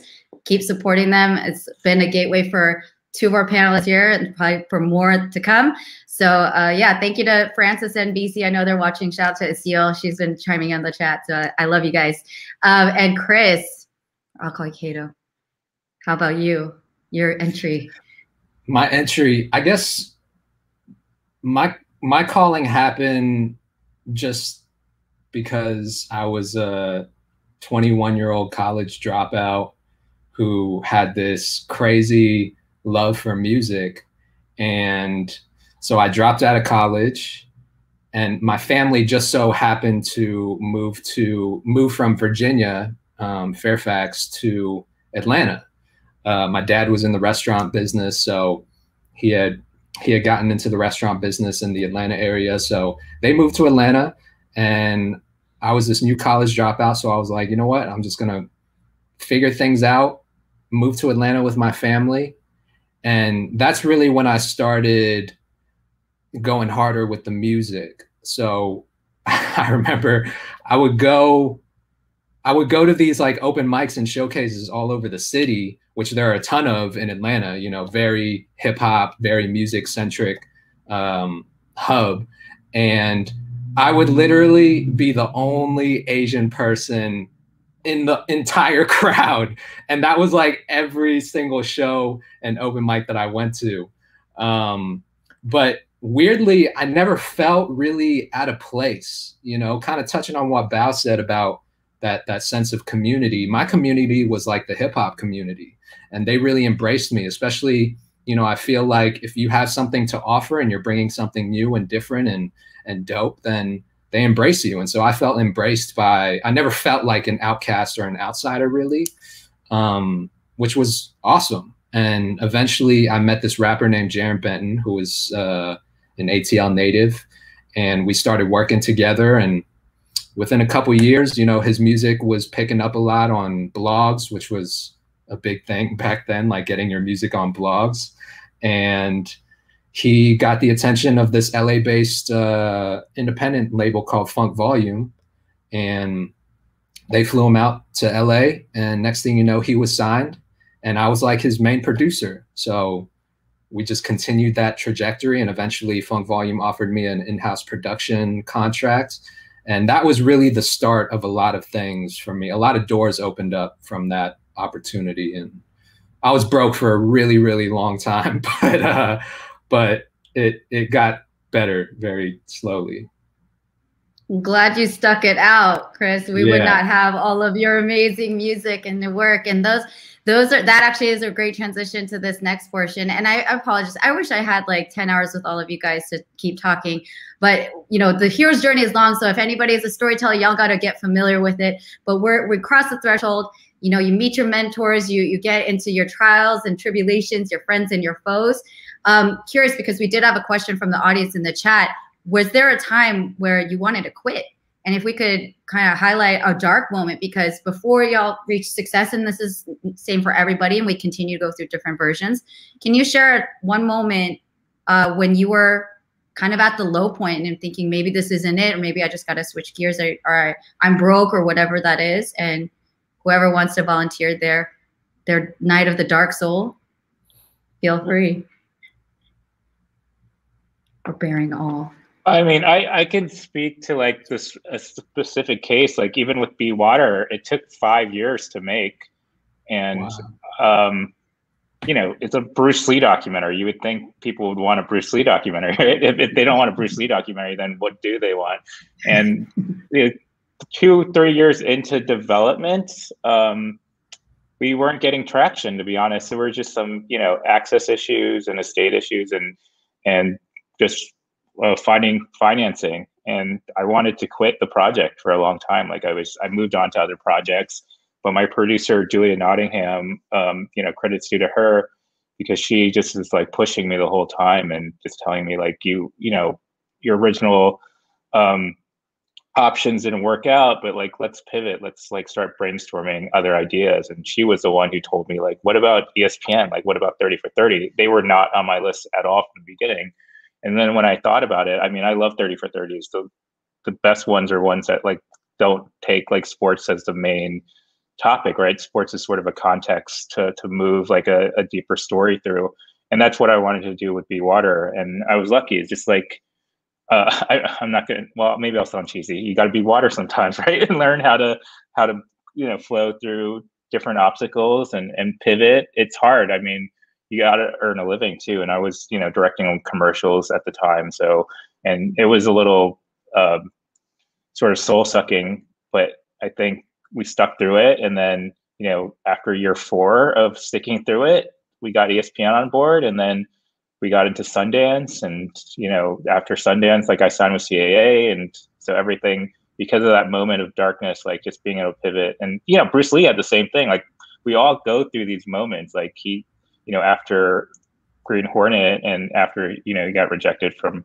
kung fu he pivoted and went to hong kong and that's how he became bruce lee I think persistence is really important um, in this industry and in what you do. If you really love it, then it should not feel like a chore. You're going to constantly push yourself to to do it because you you honestly can't do anything else sometimes, right? You you, you live and breathe your art in many ways. Very true and beautifully said. I I, I just want to add, I actually got my name Kato from Bruce Lee's character in the Green Hornet. So when I heard about Be Water, uh, I was like, yes, I have to make sure that I'm available to watch this. Um, but yeah, like I feel like as a creative, you you reach a point of no return because you've dedicated so many hours to your craft. And were there points where I felt like I wanted to quit? Probably, But honestly, I don't even really remember those moments as much as like the the wins that came out of pushing through those moments, you know? Um and and like what Bao said, if it's something you love, it never feels like a, chore or a job. It it just I would be doing this even if I wasn't making money off of my music. I'd still be at home like sitting here making beats, you know what I mean? So um, yeah, I just wanted to add that. I think I think you kind of reach a point of no return, and the only way to move is forward. Just to add on to that, I definitely. Oh, I'm sorry, Minji, please. But I, I definitely agree with that. Like those sort of like nights of darkness and those points of no return. I think for me, it, it wasn't like I want to quit, but it was more like I want to keep doing this. But what is my life going to look like if I keep doing this? sort of thing where you're like, do I have to recalibrate my quality of life here? And the answer is yes. Um, because like when I was living, when I was doing the couch surfing thing, which I've always been, been pretty open about, people are like, oh my God, how did you, how did you survive that? I'm like, well, I lost 15 pounds. Like that's how I survived that. Um, like I uh, fell really sick, like truly, truly sick. Like I became, a, I did not know this, but you, you, you could be allergic to a virus, but I had an allergic reaction to a virus and my throat just completely closed up. And like I truly could not breathe. Um, so yeah, I was like in and out, in and out of the hospital for ages, and I had to have injections and the whole nine yards, and I had to go home for a month to get like a lot of physical therapy, essentially to help me breathe again. And the day that I was cleared, I just went back to the couch, like because I was like, I I don't have a choice. I I, I can't I can't go back now because what am I going to be? Failure? No, I don't think so. but the other side of it was like my first I'm not going to name names but there was a job that i was on and the moment i entered they all gave me a round of applause for being the diversity hire sort of thing. They're like oh the diversity's here. Yay! And like the boss was like big on massages and like there's a lot of like weird sexual innuendo not even innuendo full on verbal harassment thrown in my direction and it never occurred to me to quit or to leave i just thought like this sucks. Maybe the next job won't be. But it was really bad. And I and I, I don't know if that's even such a good thing. It's just more like it's not even like living and breathing your art. It was just more like I'm not gonna go back. I refuse. So there's I, I think that there's like a double-edged sword there, to be completely honest with you.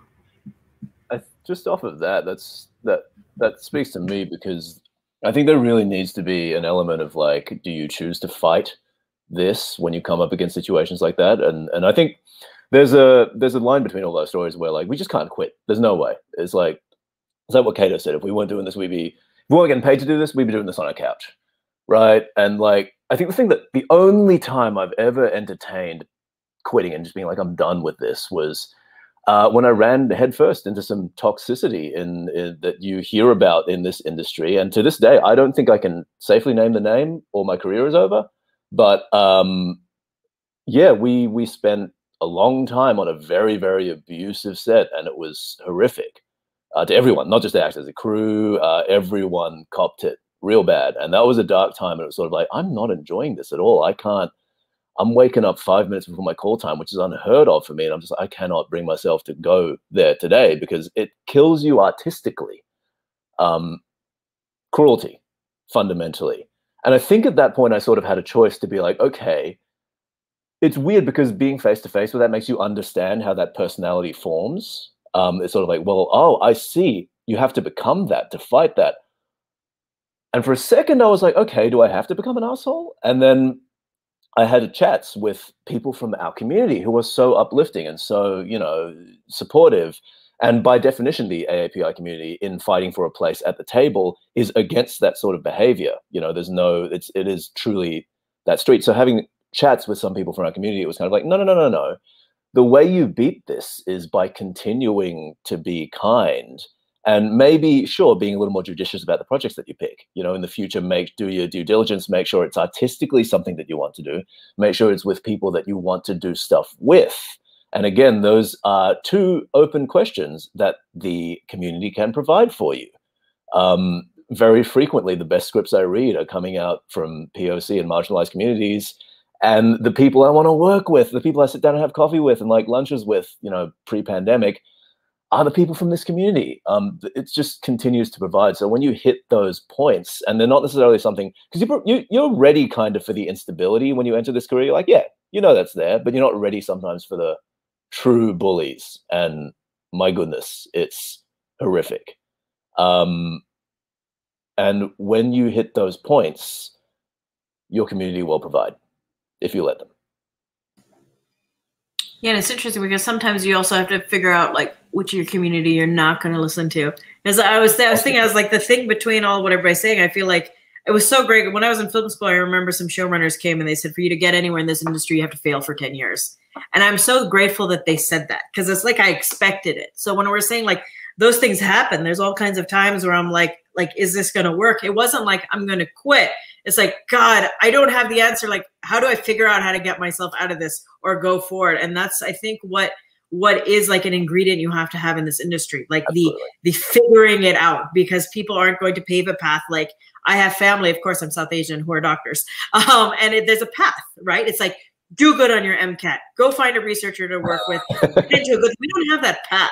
It's like, no, you got, and we don't have that many people from our community in the industry who can really like tell us or or send a rope. None of us had ropes that people could throw us. You know, they're like, hey, you know, we can introduce you to some people. We had to figure out a way to enter. And so there's always like, you have to have like this fight that you're mentioning and creativity. Like, okay, this didn't work. Like, I was just starting to learn how to write, you know, my screenplay and I was getting like bad coverage the first like several several drafts after a while i was like maybe i don't know how to do this maybe this is a bad idea and then running out of money when you've like raised half the money but it is not easy to get the last 400000 and it's like i was like writing ehow articles all day long i was like okay twenty dollars per eHow article, and that's how I can get some money to fly across the country to do those sorts of things. But it was never. And then it's like, okay, let's learn how to design a website. Like you just have to do what you got to do, and then figure out how to get forward. You know, like my first, our first screening of Flora and Ulysses, I did a Friends and Family of my own before Disney did their big one and it did not go well. They were like, we don't like that other character. And so it's been, you know, next five months figuring out how do we fix that character so people can actually like her. So it's just that.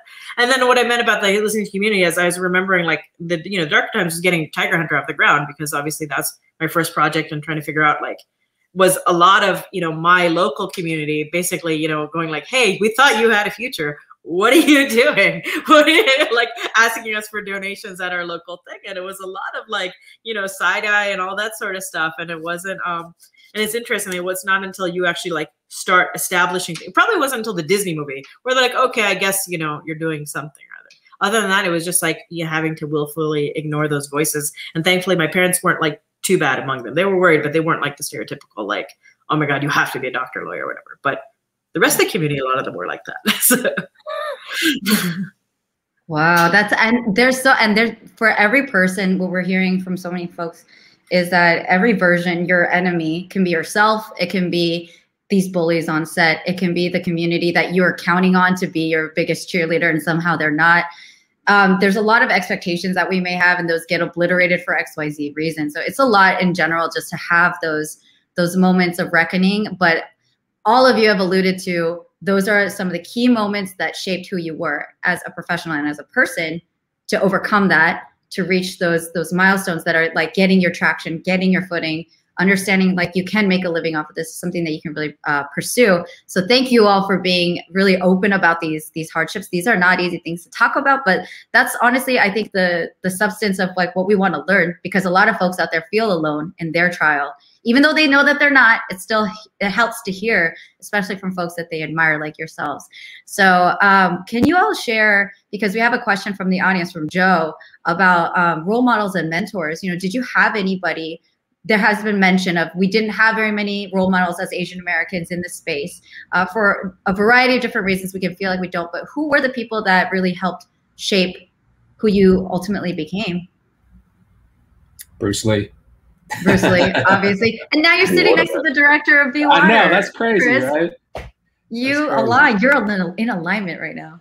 Yeah, but honestly, when I was growing up, he was uh he was probably one of the only Asian figures that was in pop culture, you know. So for me, um, and also like you know, my dad signed me up for uh for martial arts like when I was four years old. So I did that for about 15 years. And so that's like another reason why I looked up to Bruce Lee so much. But um, yeah, he was like, he was, he was that figure for me. So I, um, I, I kind of tapped into that, that energy a little bit. Uh, I guess I'll go next because it's a natural transition, I suppose. Um, I, I, mean, I, I, I guess on a more personal level, like, yeah, it was the it was the folks that I met like at the LA Asian Pacific Film Festival back in 2009, I believe. Um, you know, filmmakers that I really respected, and and you know, I think uh, for a long time I put them on a pedestal, and then I realized like, oh, they're just like us. Like they're still they're trying to pay the rent, and it made it made it more you know the proximity to to them and their achievements was important like so like people like Anderson Le and like stefan gauger um, they really taught me like this is something that's uh, manageable and accessible and like i remember also seeing like um, Yung Chang's like up the yangtze and having a screening with seeing a q&a with him and you know he's uh, asian canadian and he looks like me and i was like oh there's someone who can make a film of that like quality and have the same upbringing. And i think that's so important in terms of like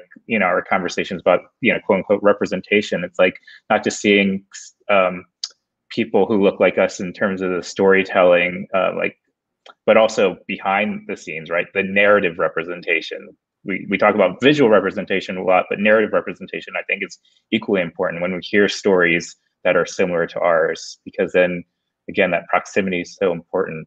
And you know i think for for pe- the folks in the crowd like um someone mentioned it i think in the previous panel like when you network it's like don't always try to like network so high. Like lulu wang like taught me she's like network horizontally. Like don't try to like reach for a spielberg. Like find your peers and you're going to come up with them and you're you build that community and that sense of like um, resiliency together and i think that's so important. Um, and so uh, just and some practical advice if like people don't respond to you right away don't like think that's like the end of the world and i know that so, sort of like uh, can be um, you know a bit disappointing sometimes but sometimes in the world that we live in it's hard to correspond with everyone so just keep trying and be persistent and and yeah don't take t- things too personally sometimes Yeah, being a human person and talking to people is kind of like where my finding role models or, or mentor thing sort of went. Because I've never been like good at, I don't know, doing like, oh, I, got to get into this room and I got to network and this and that. I just, I like humans. Um, and then I don't know how to like do the whole poser thing, like, oh, I'm going to pretend I'm important or whatever. Uh, I don't know. I think you just, you know, know what the hell you're talking about and be a person and talk to people. And I found that most of the networking people many years later that I found, including my first mentor, which was just like when I was um, trying to figure out how to go about making a movie. I literally just went and just anywhere there was an occasion, like any group, anything, any like whatever, whether it was like a giant fundraiser, like we drove all the way to Las Vegas for some random like gathering. I don't know what it was for, to small groups like Film Fatales, to you know these sorts of like everywhere. You just talk to people and meet them, and you find people who are like they might remember you later. And so my first, so like when I was raising money, uh, I met this guy who ended up his old roommate was a guy named Alan Powell. Alan Powell, who you know, who, yes, there you go. He, he's guy knows what he's doing, and he's a he's a cool guy. He had you know produced a lot of movies, and he took on um, Tiger Hunter as executive producer, and just like told us what the hell we were doing. Like I had no idea. He's like, this is how you actually do things. Ye who have no producer, like like and help me actually. Like I was producing by myself at that point. He like got the proper producer on board, helped all those sorts of things. I learned so much from him, and then he introduced me to this community, and so but meeting him was literally just it wasn't like with an agenda it wasn't it was an agenda that i'm going to meet people not that i'm going to work this room. Once i was in the room and i found like even the show that i said i, literally just came on board uh, a couple weeks ago was somebody i met uh, three years ago at one of these random things who later remembered me and he heard when i was done with flora and ulysses he reached back out. He's like oh i remember having met you. Like i'd love to work with you. And that's kind of like just how that networking went. Other people who like like i think when you try to force a connection with somebody and they don't want to be talking to you right now and it's not going to happen it's not It's so key what you said. Like, if you know what you're talking about, you will also attract people who know what the hell they're talking about, and then you tune each other. That's yeah been it for me. That's that's but that's the beginning and end of my mentorship kind of thing. Like, my mentors have all been my peers, as Bao said, and it's just I made the best shot at knowing what the hell I was doing, and they were like, "Okay, you're vaguely competent. Let's get you to like very competent." And then it was like, "Okay, now I'm very competent. Let's get you guys here." And then it was just sort of just yeah, it was that, you know. I definitely get that also because I, I, I I'm sure backstage you guys realized um, I am the worst small talker in the world. I'm like, can we just talk about like the most in-depth thing and like just go right there because if someone's like, how are you doing? I'm like, fine. Like, what else do I do? Kind of Yeah. thing. So like my luckiest thing, like how Plan B was made, was that um, with a peer that I would consider absolutely wonderful, Matt Lotman at uh, Hurwitz and Schlossberg.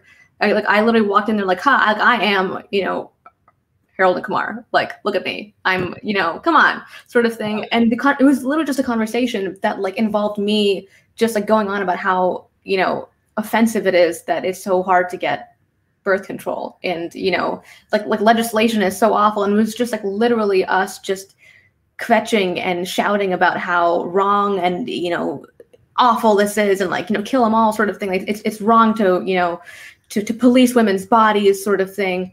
And then like at the end of that conversation it was like oh we have a movie. Wow. Okay. Like like literally that is literally what happened. So i mean i think in that way like my vulnerability something that i've never been so interested in which is as lena was saying the whole like poser like look at how important i am. And like gosh like quote me in this article sort of thing. Like i don't care for that sort of interaction and i don't care for that sort of behavior on my part or on anyone's part. Um, having that standard and deciding to just pursue like whatever man you're either going to dislike me or like me and hopefully you like me because i have a, an idea for a movie just worked out like quite well i think.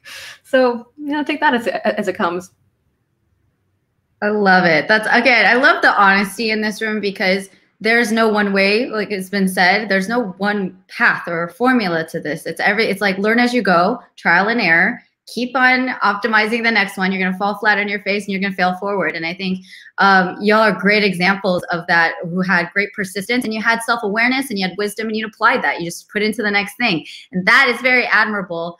Um, and uh, again, I hate that we got to wrap this up soon, but we want to get to the bright shining moment where we get to share the wins that uh, have been kind of making all of this this persisting and this self-development and this artistic endeavor worth it.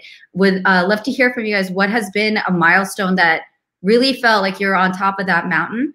And if you could also pair that with what is something that you want to do. You know you're you're not y'all are not done. You're you're at the middle part but we've reached this particular peak uh, what's your win and what do you what's the next one that you want to speak into existence because i'm all about that Uh, I mean, I'll, I'll go first. I'll keep it short and sweet. Falcon Winter Soldier is obviously a big milestone for me because personally, Captain America, for some particular, for some weird reason, meant a lot to me growing up. Um, I have a whole thing on my Twitter about it. You can go read it there. But he was a very special character for me growing up, and uh, and just to be able to play in that corner of the universe has been really, really fun. Um, and as far as whatever the next thing goes, I mean, like after that experience I alluded to, I'm here to have fun. I'm here to enjoy what I want to do. I want to be a space cowboy. Someone do Firefly with like a diverse cast and and, and put me in there. spoken it it is out there and it will be shared Hell yeah. space cowboy i love it anyone next Want to speak your wins so this is the part where people get quiet because they're like i don't want to hype myself up I have an unchecked ego, I don't so wanna- that's no problem. Guys, you you you can actually take the helm you can call the next person I'll go. I'll Popcorn. go. okay I'll volunteer. okay Um, I think the first big win for me was when I signed a funk volume, and I can remember when when Jarren, who is the artist that I met in Atlanta, and we started working together, he got signed to Funk Volume first. So um, I can remember a very specific moment where I was like, "Wow, things are really about to change." He signed, and he was supposed to do this like kind of live stream, kind of like what we're doing now. He was going to do this live stream with the fans, and Funk Volume itself is kind of like it was its own kind of universe, its own world with their own fans, and um, they were like super fans. But I didn't know anything about it. Like I wasn't familiar with the music really, or you know the fans.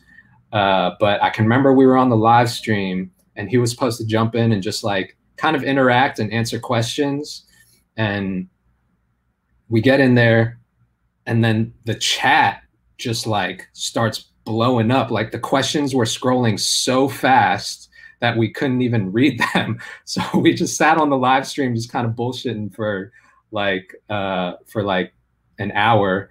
And um that's at that point I was like, man, this is a huge opportunity for me, you know? And a lot of doors open for from from that opportunity. I got to work with a lot of major and bigger independent artists uh, and I guess more recently, um, I had a song go viral on TikTok called "So Pretty," and that was like a big moment for me because I was always working behind the scenes with all these artists, producing all their music, and I was just like kind of the footnote, you know, like produced by Kato on the track. And TikTok was an opportunity for me to really start putting my my music and my beats out there and letting the community engage with me, you know. And that's kind of what happened and it happened in a big way and pretty soon after that we must have gotten reach outs from every major record label in the world. Um, they started blowing blowing us up and reaching out via email. We got on so many Zoom calls with like the CEOs of these record labels. Uh, so that was a pretty cool experience. And then Tyga jumped on the remix, which was dope. And yeah, TikTok. It's kind of mind blowing.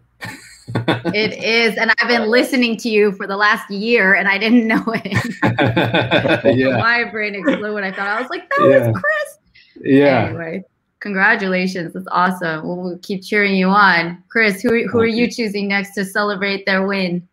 Uh, let's see. Des was the only one to go. Um, I guess uh, Lena, you go. Um. Okay. I guess because it's the thing that I just came off of. Um. Probably the Disney movie. Like it came out and I found out that they um. It was it was crazy to like. It's like to work with this giant studio after being in this tiny little movie of mine. Um.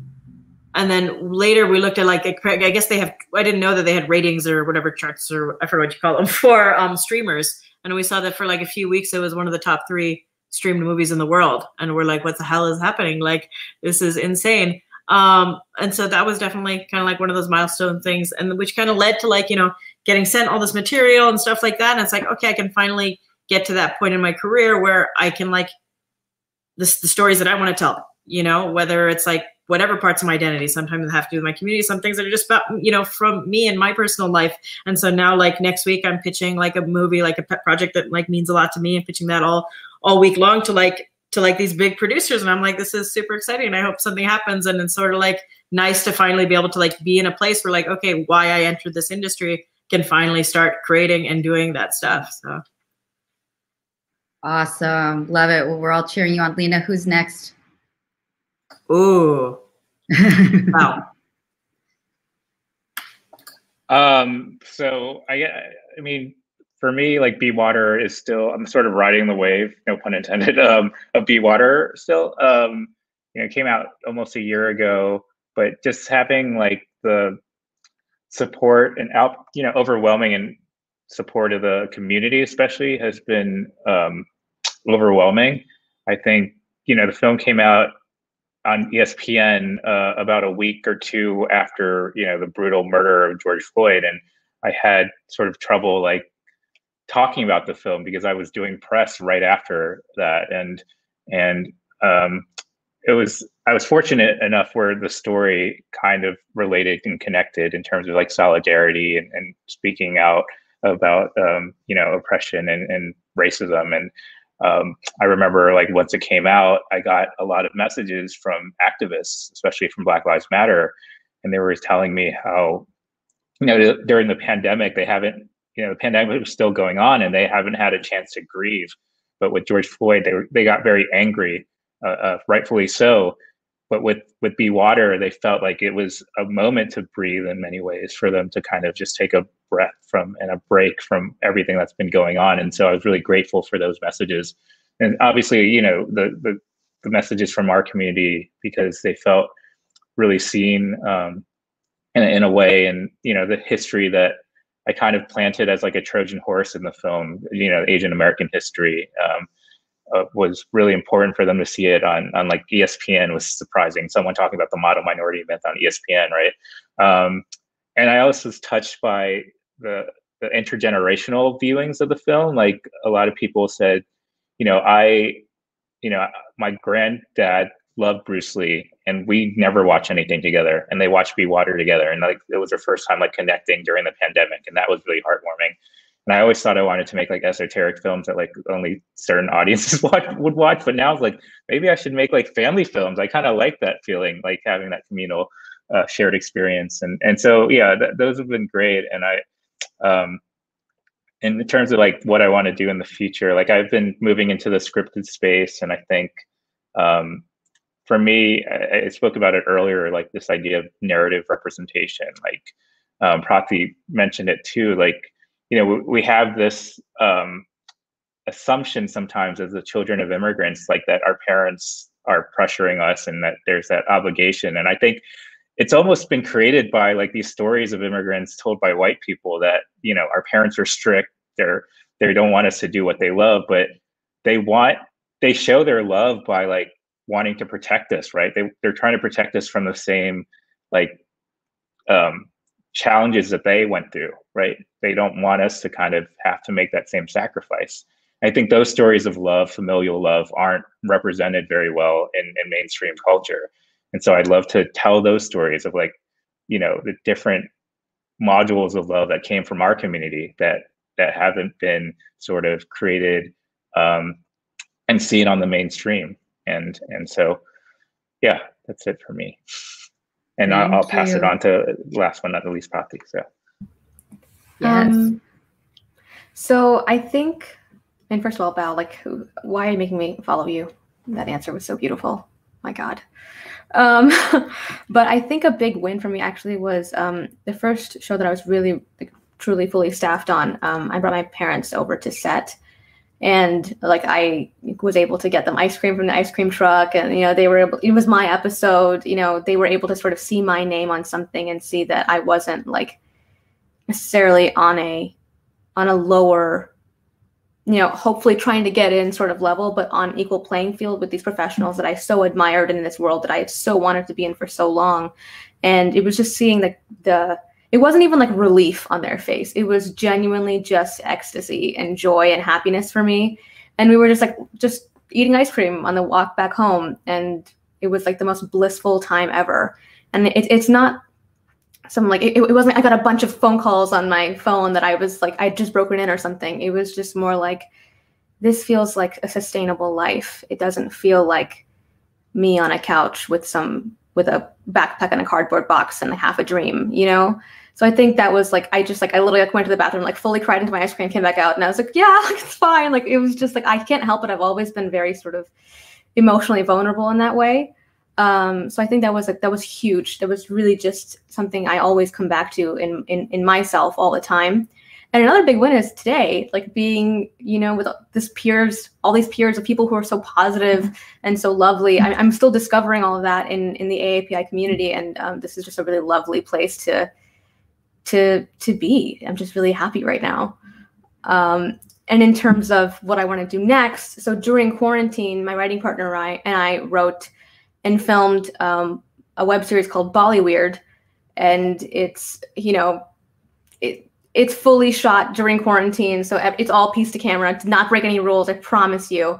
But I I want to make that into a show. We, we got like a small audience. We got some people who who who enjoyed it, and I acted in it and it is as bao was saying uh, that sort of immigrant experience that is not the cookie cutter one the one where you know you have to betray your parents in order to find value in your life no like for me i think it's walking home with your folks with some ice cream after set that sort of feeling but I, that, I yeah. love it.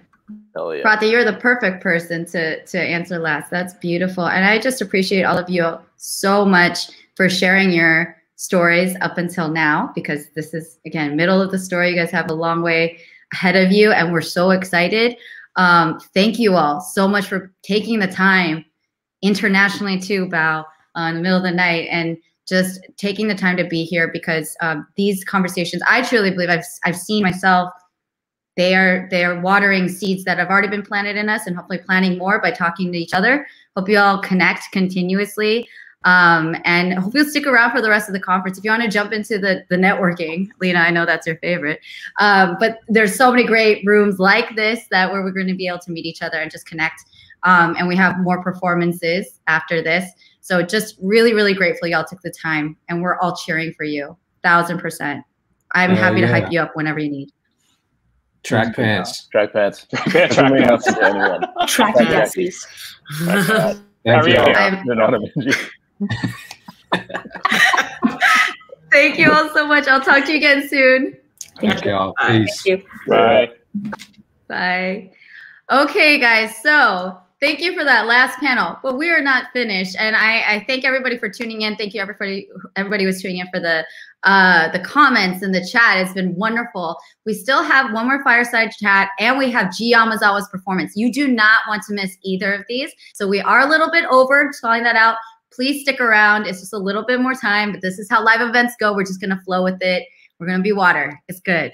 Um, so before we go into the last uh, fireside chat, I want to do a quick shout out to our media outlets for covering our event for our conference. Um, shout out to NextShark, Broadway World, Crossings TV, Asian Journal, and Bleeding Cool. You guys are wonderful. Thank you for helping us spread the word about this event, and hope you guys you guys are tuning in. We'll share this with others because this will live on YouTube and Facebook, and we want others to witness these panels, uh, even though they're not there live, but still learn and uh, experience all the inspiration that we've been sharing. So, without further ado, let's go into our last fireside chat and then uh, have our performance from G before we close out the day and before we go into our networking event. I uh, hope you guys registered on Remo for that. This is with two incredible, wonderful fire women. Uh, we have Ruby Ibarra and Ella J. Basco sitting down because we are talking about the future generations. We have talked about where we've been, where we're at now, and we also want to talk about where we're going. So Ruby Ibarra is an incredible Filipino American rapper, and Ella J. Basco is an actor. Everyone knows her from Birds of Prey. She's also a singer songwriter, and she is, you know, that emerging Gen Z face that we're going to see a lot of. She also happens to be the niece of a very famous person named Dante Basco, who's a former Kollaboration board of directors member, and uh, you know, our beloved Rufio, and he's also uh, Zuko. So we will go into this last fireside chat. I hope you all enjoy this conversation with Ruby Ibarra and Ella J. Basco.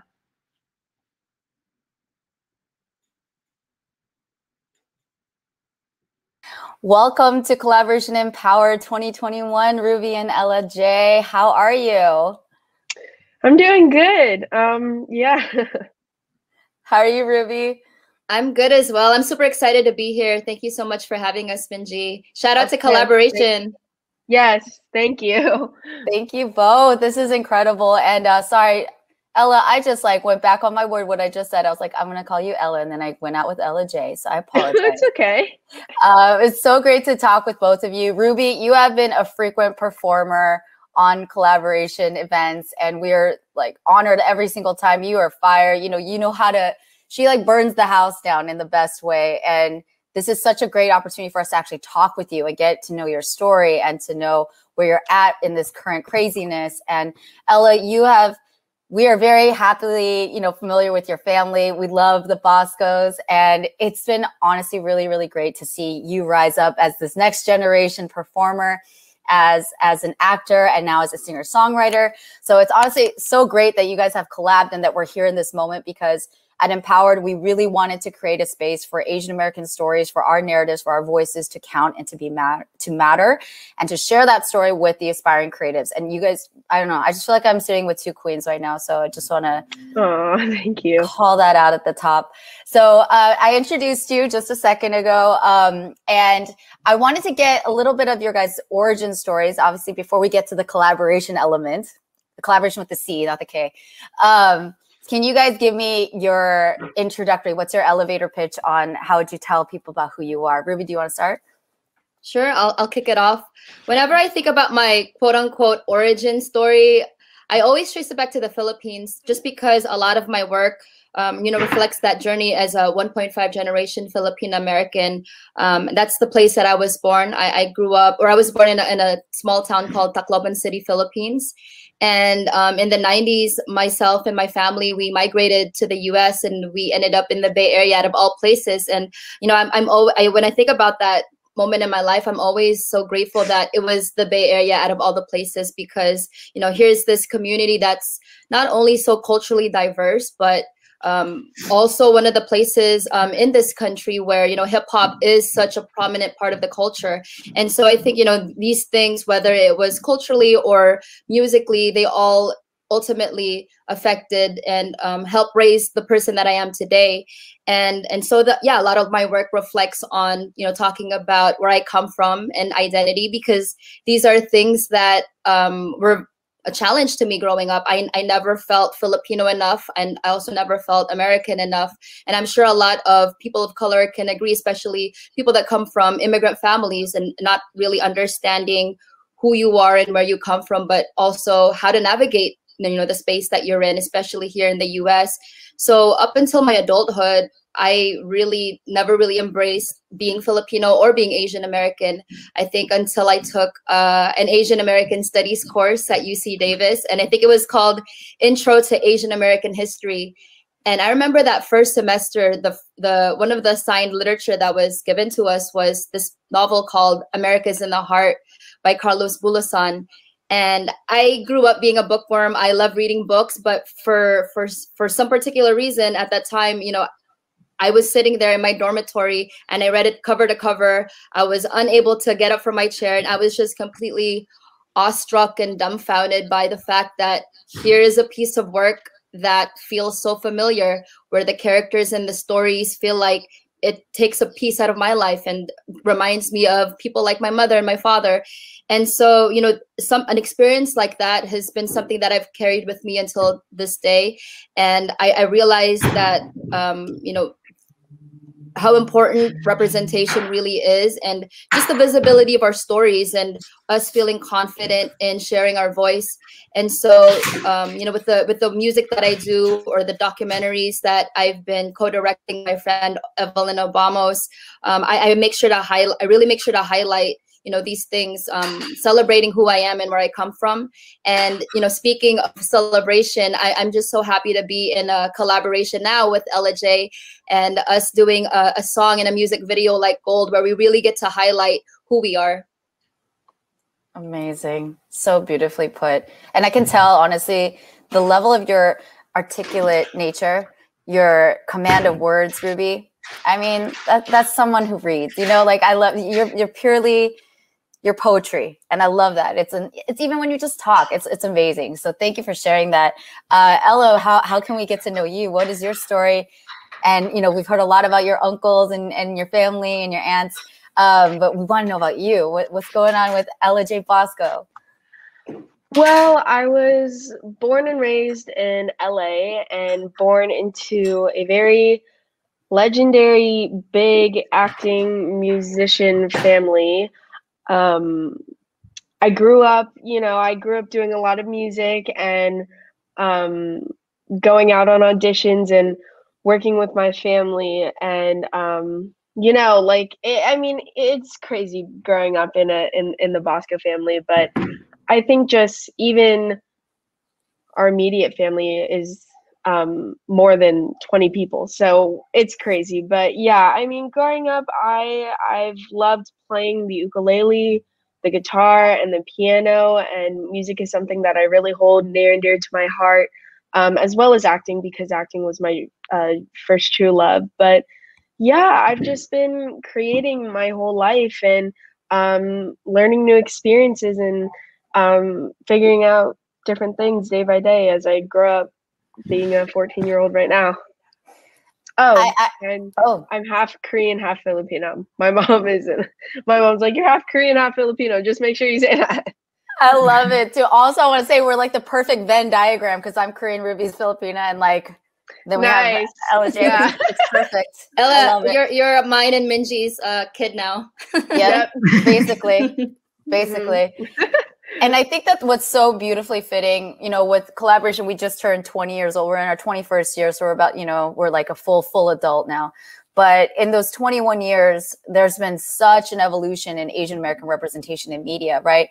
And I think that experience of seeing what it was like when we first started in 2000, you know, pre social media, that it was a lot of the Generation X, right? And Ella, you're, are you Gen Z even? Like, are you, what is, Mhm. okay, you're Gen Z Yeah, I'm Gen Z.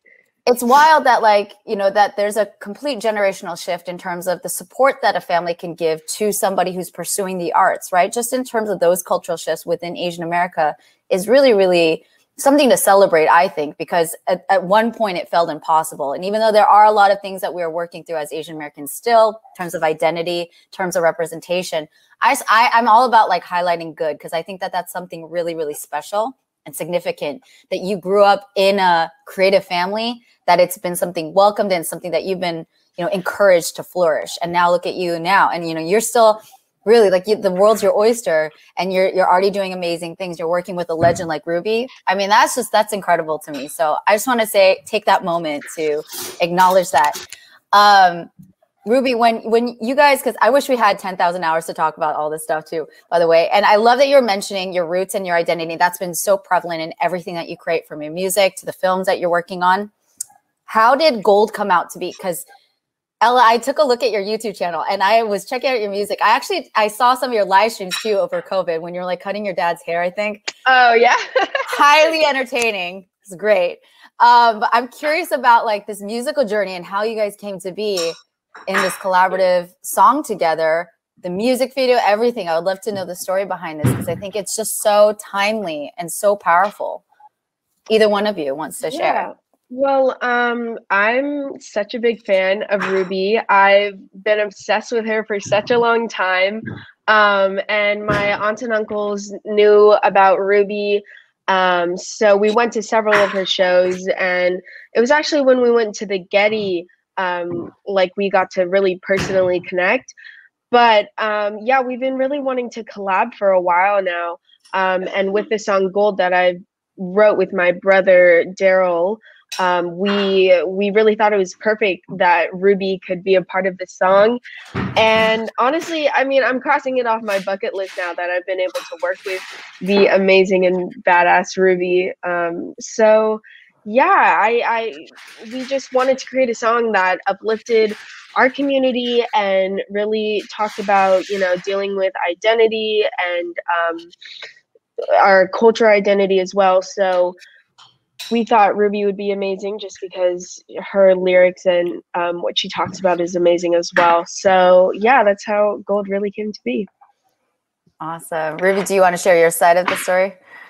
So, so from my perspective, I was the fan. Actually, it was the other way around. oh my god. Um, no, I can I can honestly like give Ella her flowers all day long, just because she's so freaking talented and amazing. But um, it was um at towards the end of last year or mid last year, I remember Ella reached out via email and sent me the draft of the song, which already had her vocals, and her brother co-wrote with her and produced the track. And it was just missing, I think, just the my, my verse component of it.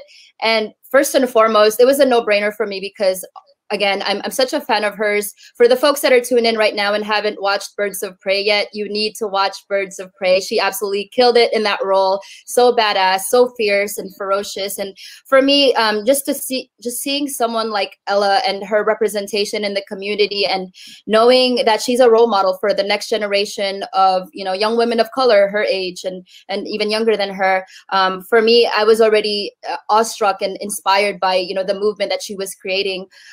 In addition to that, I, I remember listening to the draft of the song and hearing lyrics and also hearing how she delivered um, the the song that she wrote with her brother. I was just completely moved. Um, I I couldn't believe that you know here is a 14 year old laying down truths and complete gems on on the track, and um, I, I again, it was also in line with a lot of the things that I've talked about in the past. Um, definitely um, being confident and celebrating, um, you know, your womanhood and uh, celebrating sisterhood as well. These are all things that I've always advocated for, and I think that you know it, it was just a no-brainer that I wanted to hop on a track with the Ella J Basco, and also at the same time um, be part of a song that was special and had a message. Absolutely. And I think it was just this when I when I saw saw slash heard the song because I, I saw the title and I saw Ella J Basco and Ruby Bar. I was like, say what? Like, excuse me. Before I even heard anything, there was already a level of excitement because there is something very special about two powerhouses coming together and creating something. And that's the beauty of what art can do, right? And there's something very symbolic about it on top of the fact that what you're saying in it, but that collab that that partnership that like merging of forces. I don't know. I, i'm not into the superhero universe that much but that that that's what it means to me. I look at artists as superheroes because you're doing something that impacts people's hearts right? And when you get to somebody's heart i think that's actually a really great access to their mind to like think differently and to look at the world differently and i think that's what you did. Um, can we talk a little bit about the music video? Because i i love the song but when i saw the music video and that whole opening thing I wish you were like playing it right now. Um, but who conceptualized it? Like it was just so great. Um, do you want to talk? If you, I don't, I don't want to do spoilers, but we can talk about it. The, the soap about brown skin and um, Ruby. I know that's been a theme in your music, right? There's this, there's this conversation about colorism, about who we are, because we can't change how we look, right? And how we're targeted now. You know, I hate to bring that up, but that's a truth of issues that are really being dealt with and felt on a very intense level at this moment in time, or we have been how did that you know what what was the the story and the and the ideation behind that? Because i thought it was just so well done um and just again so timely. It was really powerful. Well i actually and thank you for that. That was amazing. But um i had the idea of wanting to do some sort of period piece with a music video. I thought that would be really cool trying to go back in time and um honor a specific a specific time period and I actually brought the idea of the music video to the director Leslie Alejandro, who's an amazing Pinay director. She re- she directed one of my other music videos, String, a couple years um, ago. But we came up with the idea of um, doing a skin whitening commercial, and she actually wrote Leslie Alejandro. She wrote all of the um, she wrote the whole script for that um, uh, first scene. So we, I mean, we just thought of it and we thought it was really important to kind of highlight the skin whitening industry because for such a long time it's been such a degrading and really bad industry that's telling people to lighten their skin to um, to be more acceptable as accepted to be more valued so we wanted to highlight that in the beginning um, and lead that into gold which is the complete opposite of that Well done. I applaud you. And I think it's also, I think it's really great because you get to flex not only, you know, the musical part of you, but the actor part of you. So I just want to say, well done. It was, it was very, very beautifully executed. I'm a fan. And um, thank you thank you and to get a little bit personal if you're both willing to talk about that you know because as as women there's a certain experience you know asian american women um, that that we have that i think has not been i don't know put on a public platform very often right? There there have been a lot of layers of silence and a lot of ignorance around it or you know a lot of lot of words that we can describe this as but the experience in general has kind of been shrouded in mystery. We haven't really been able to speak out on a lot of these things which is why ruby i think your music has hit like it hits my soul because it's like you're spitting fire from like the core of my being i just want to say. And i've heard that from other folks that hear your music. Hey. it's like they are she is saying everything that has ever hurt that i'm proud of like all these different feelings right? And that's super powerful. What have your experiences been like as you know as a young asian woman and as a as a growing asian woman like learning to deal with these identity issues with color with how you're perceived by the world are you guys able to share a little bit about that because i feel like it's really baked into the song that you guys are celebrating who you are Yeah, that's a very important question, Minji. Um, for me, I remember growing up as an Asian American woman. It was it was challenging. Um, you know, again, I think the, the biggest issue for me growing up was figure out, figure, figuring out who the heck I was. I, I had no idea what my identity was. I think, you know, there's this unique component to it being Filipino American, having this identity that's been co- colonized multiple times, um, you know, from Spain and from the US, and still um, experiencing experiences the effects of imperialism to this day um, in the, back in the Philippines. And so, you know, coupled with the fact that I also migrated at a very young age, and here I was in a completely new setting, um, had to kind of adapt just in order to survive. Um, it, it was it was challenging at times. Um, again, I, I didn't embrace who I was growing up. Um, I didn't really celebrate, you know, my culture, and um, it wasn't until um, again I was 18 years old that I finally found or I I have some some sort of semblance of understanding of who I was and where I came from. And honestly, it shouldn't take that long for someone to discover who they are or or to find like they're or to feel like they're visible in, in the media that they're consuming. Um, and, and just for me, you know, seeing this past year unravel specifically with the rise in anti-Asian racism and hate crimes in this country, it really is very disheartening to see. Um, you know, I can't help but but think of my mother when I see these photos of people who have been attacked on the streets of San Francisco. And, um, you know, on, on that note, I also want to mention that this isn't new. Uh, this has been part of America's history, um, unfortunately. And I think that um, al- although that's the case, I, I am very hopeful at the end of the day because, you know, again, we have people like Ella J, part of the, the Gen Zs, who, who are understanding who they are and also celebrating it and carrying it with them. And and so i'm very hopeful that the next generation is off to a good start and that they'll help continue the fight in in dismantling the systemic racism that exists in this country. Beautifully said. Ella what are your thoughts? I mean, yeah, I've I've grown up and um, I've definitely had really big um, role models and influences. Um, but unfortunately, I didn't see myself fully reflected um, in the industry. And I'm so glad that now and more recently we've been able to show our true colors and show um, that we want to be represented.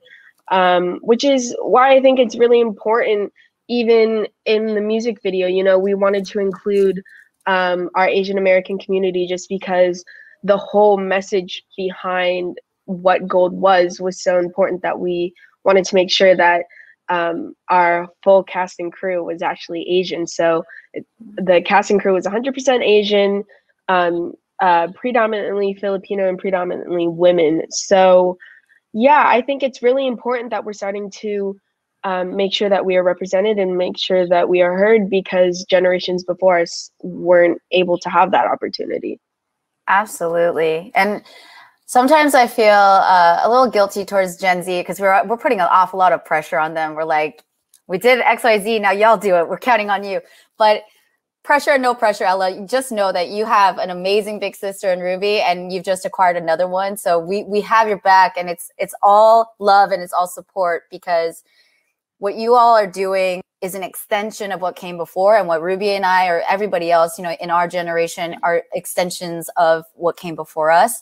And so it's all this progression. And i think what y'all are doing through the the mediums that you've chosen through music and through just art and and film and and visual creation like it's incredibly powerful. So i want to reaffirm that in both of you because it is it is an honor to get to talk to you about this process we didn't even get to cover a lot of ground. Ruby, you were working working in healthcare and like helping deal with COVID in the middle of like making art. And people don't even a lot of people continue to be inspired by that fact. This path is not easy in to, in totality. You know this this um, this calling that you both have is incredible, and we're both just you know not both, all of us, everybody watching we're just very lucky that you guys have, have chosen to take that on and then we're cheering you on and uh, before we wrap which I, again, I hate that we can't we can't have more time together, but we will later time.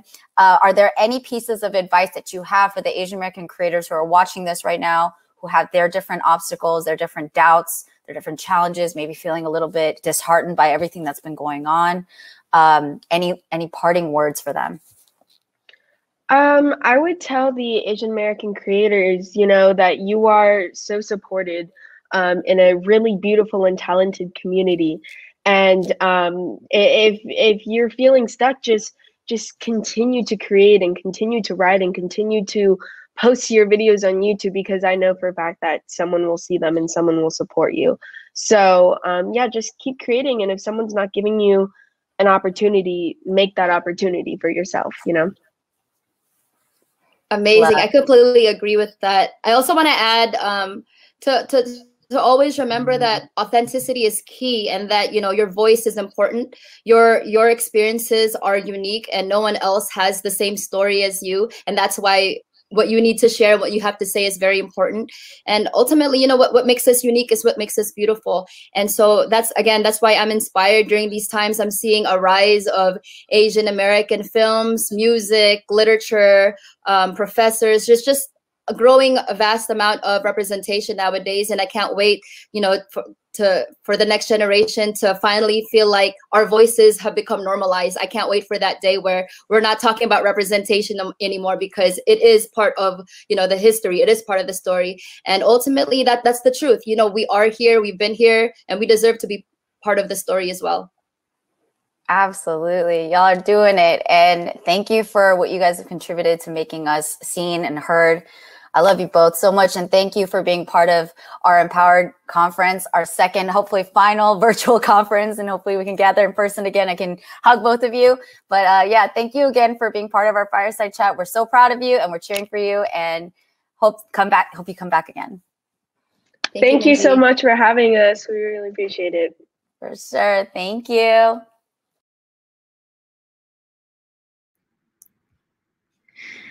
Hey everyone, that was a great, great way to wrap up this day. We are not completely done yet and hope you guys are registered because in a little bit, about 40 minutes, we will start our networking event and want to kick it with you, meet you all face to face, hear what you had to say uh, about everything y'all took away from today.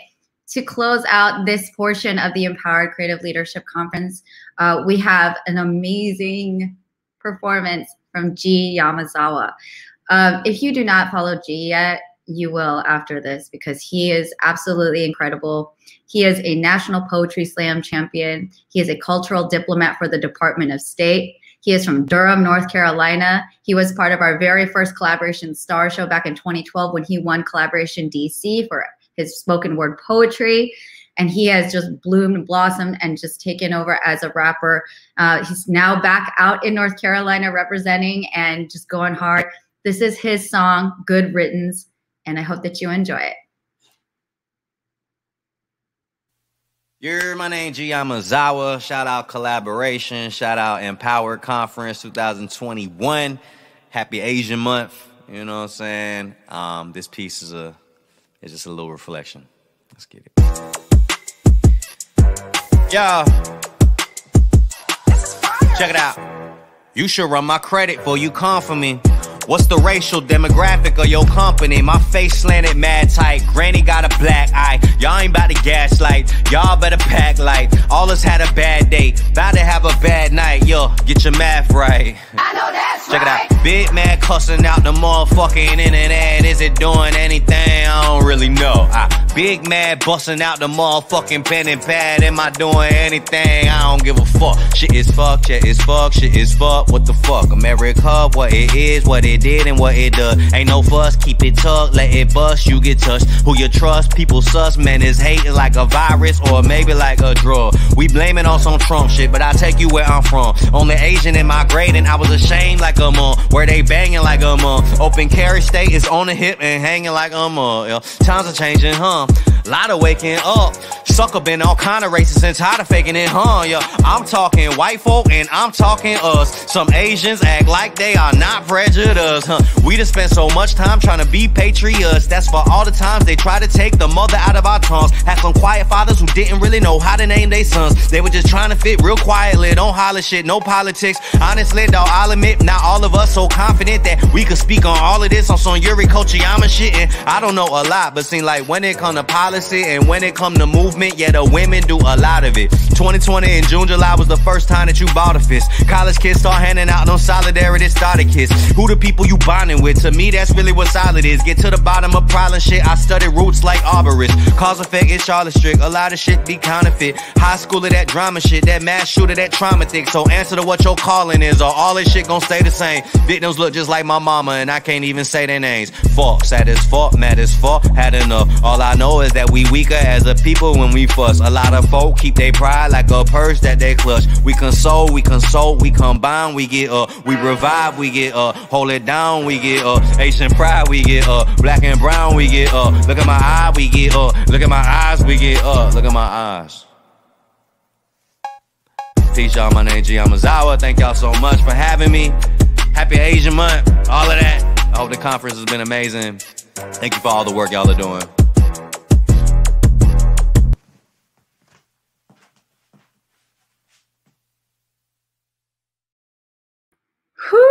And that is the end of our live stream, ladies and gentlemen. Thank you all so much for joining in. Thank you guys for sticking with us for four and a half hours through some amazing conversations. Thank you to every single panelist. Thank you to our keynote speakers. Thank you to our community partners. Thank you to our sponsors. Got to do a quick shout out to Sony Pictures, Comcast, NBC Universal, to Warner Brothers, Hulu, Plan B, Nielsen, David Magdale and Associates, you guys made this event happen, made it free and available for the community. If you tuned in and you took anything good away from today, please share this with a friend because not everybody could join today because they had a busy Saturday. But since we are going to share this uh, on our platforms on YouTube and on Facebook, I'm asking that everybody who tuned in today take the link and you share it with a friend who needs some encouragement, who needs some education, who needs some inspiration. And uh, we're going to be making change. We are already doing it. Y'all showed up today, and that's what we're going to do. And thank you so much to the team that brought Kollaboration EMPOWERD 2021 to you. Thank you to Marvin. Thank you to Christine. Thank you to Sung, to Juliana, to Rachel, to Megan. You guys, this was a small but mighty team, but we made this happen, and we're so, so happy uh, that we could be here with you. A special shout out to Josh Ko, San Francisco, for also um, supporting the effort. And yeah, this was a great conference. Hopefully next year we're in person and we'll see you at the networking event. Again, my name is Minji Chang. It was my pleasure and honor to host uh, Kollaboration EMPOWERD 2021. I love you guys. Make sure to follow along on social media and we'll share more stuff with you in the near future. Bye.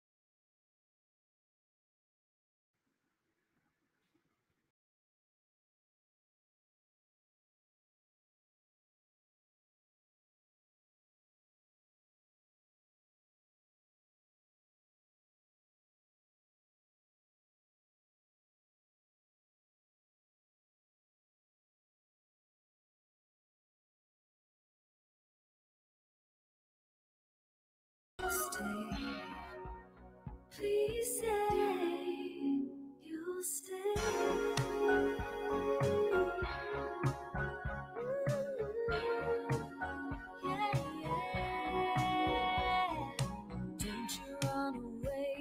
because you're afraid of something that feels out of control.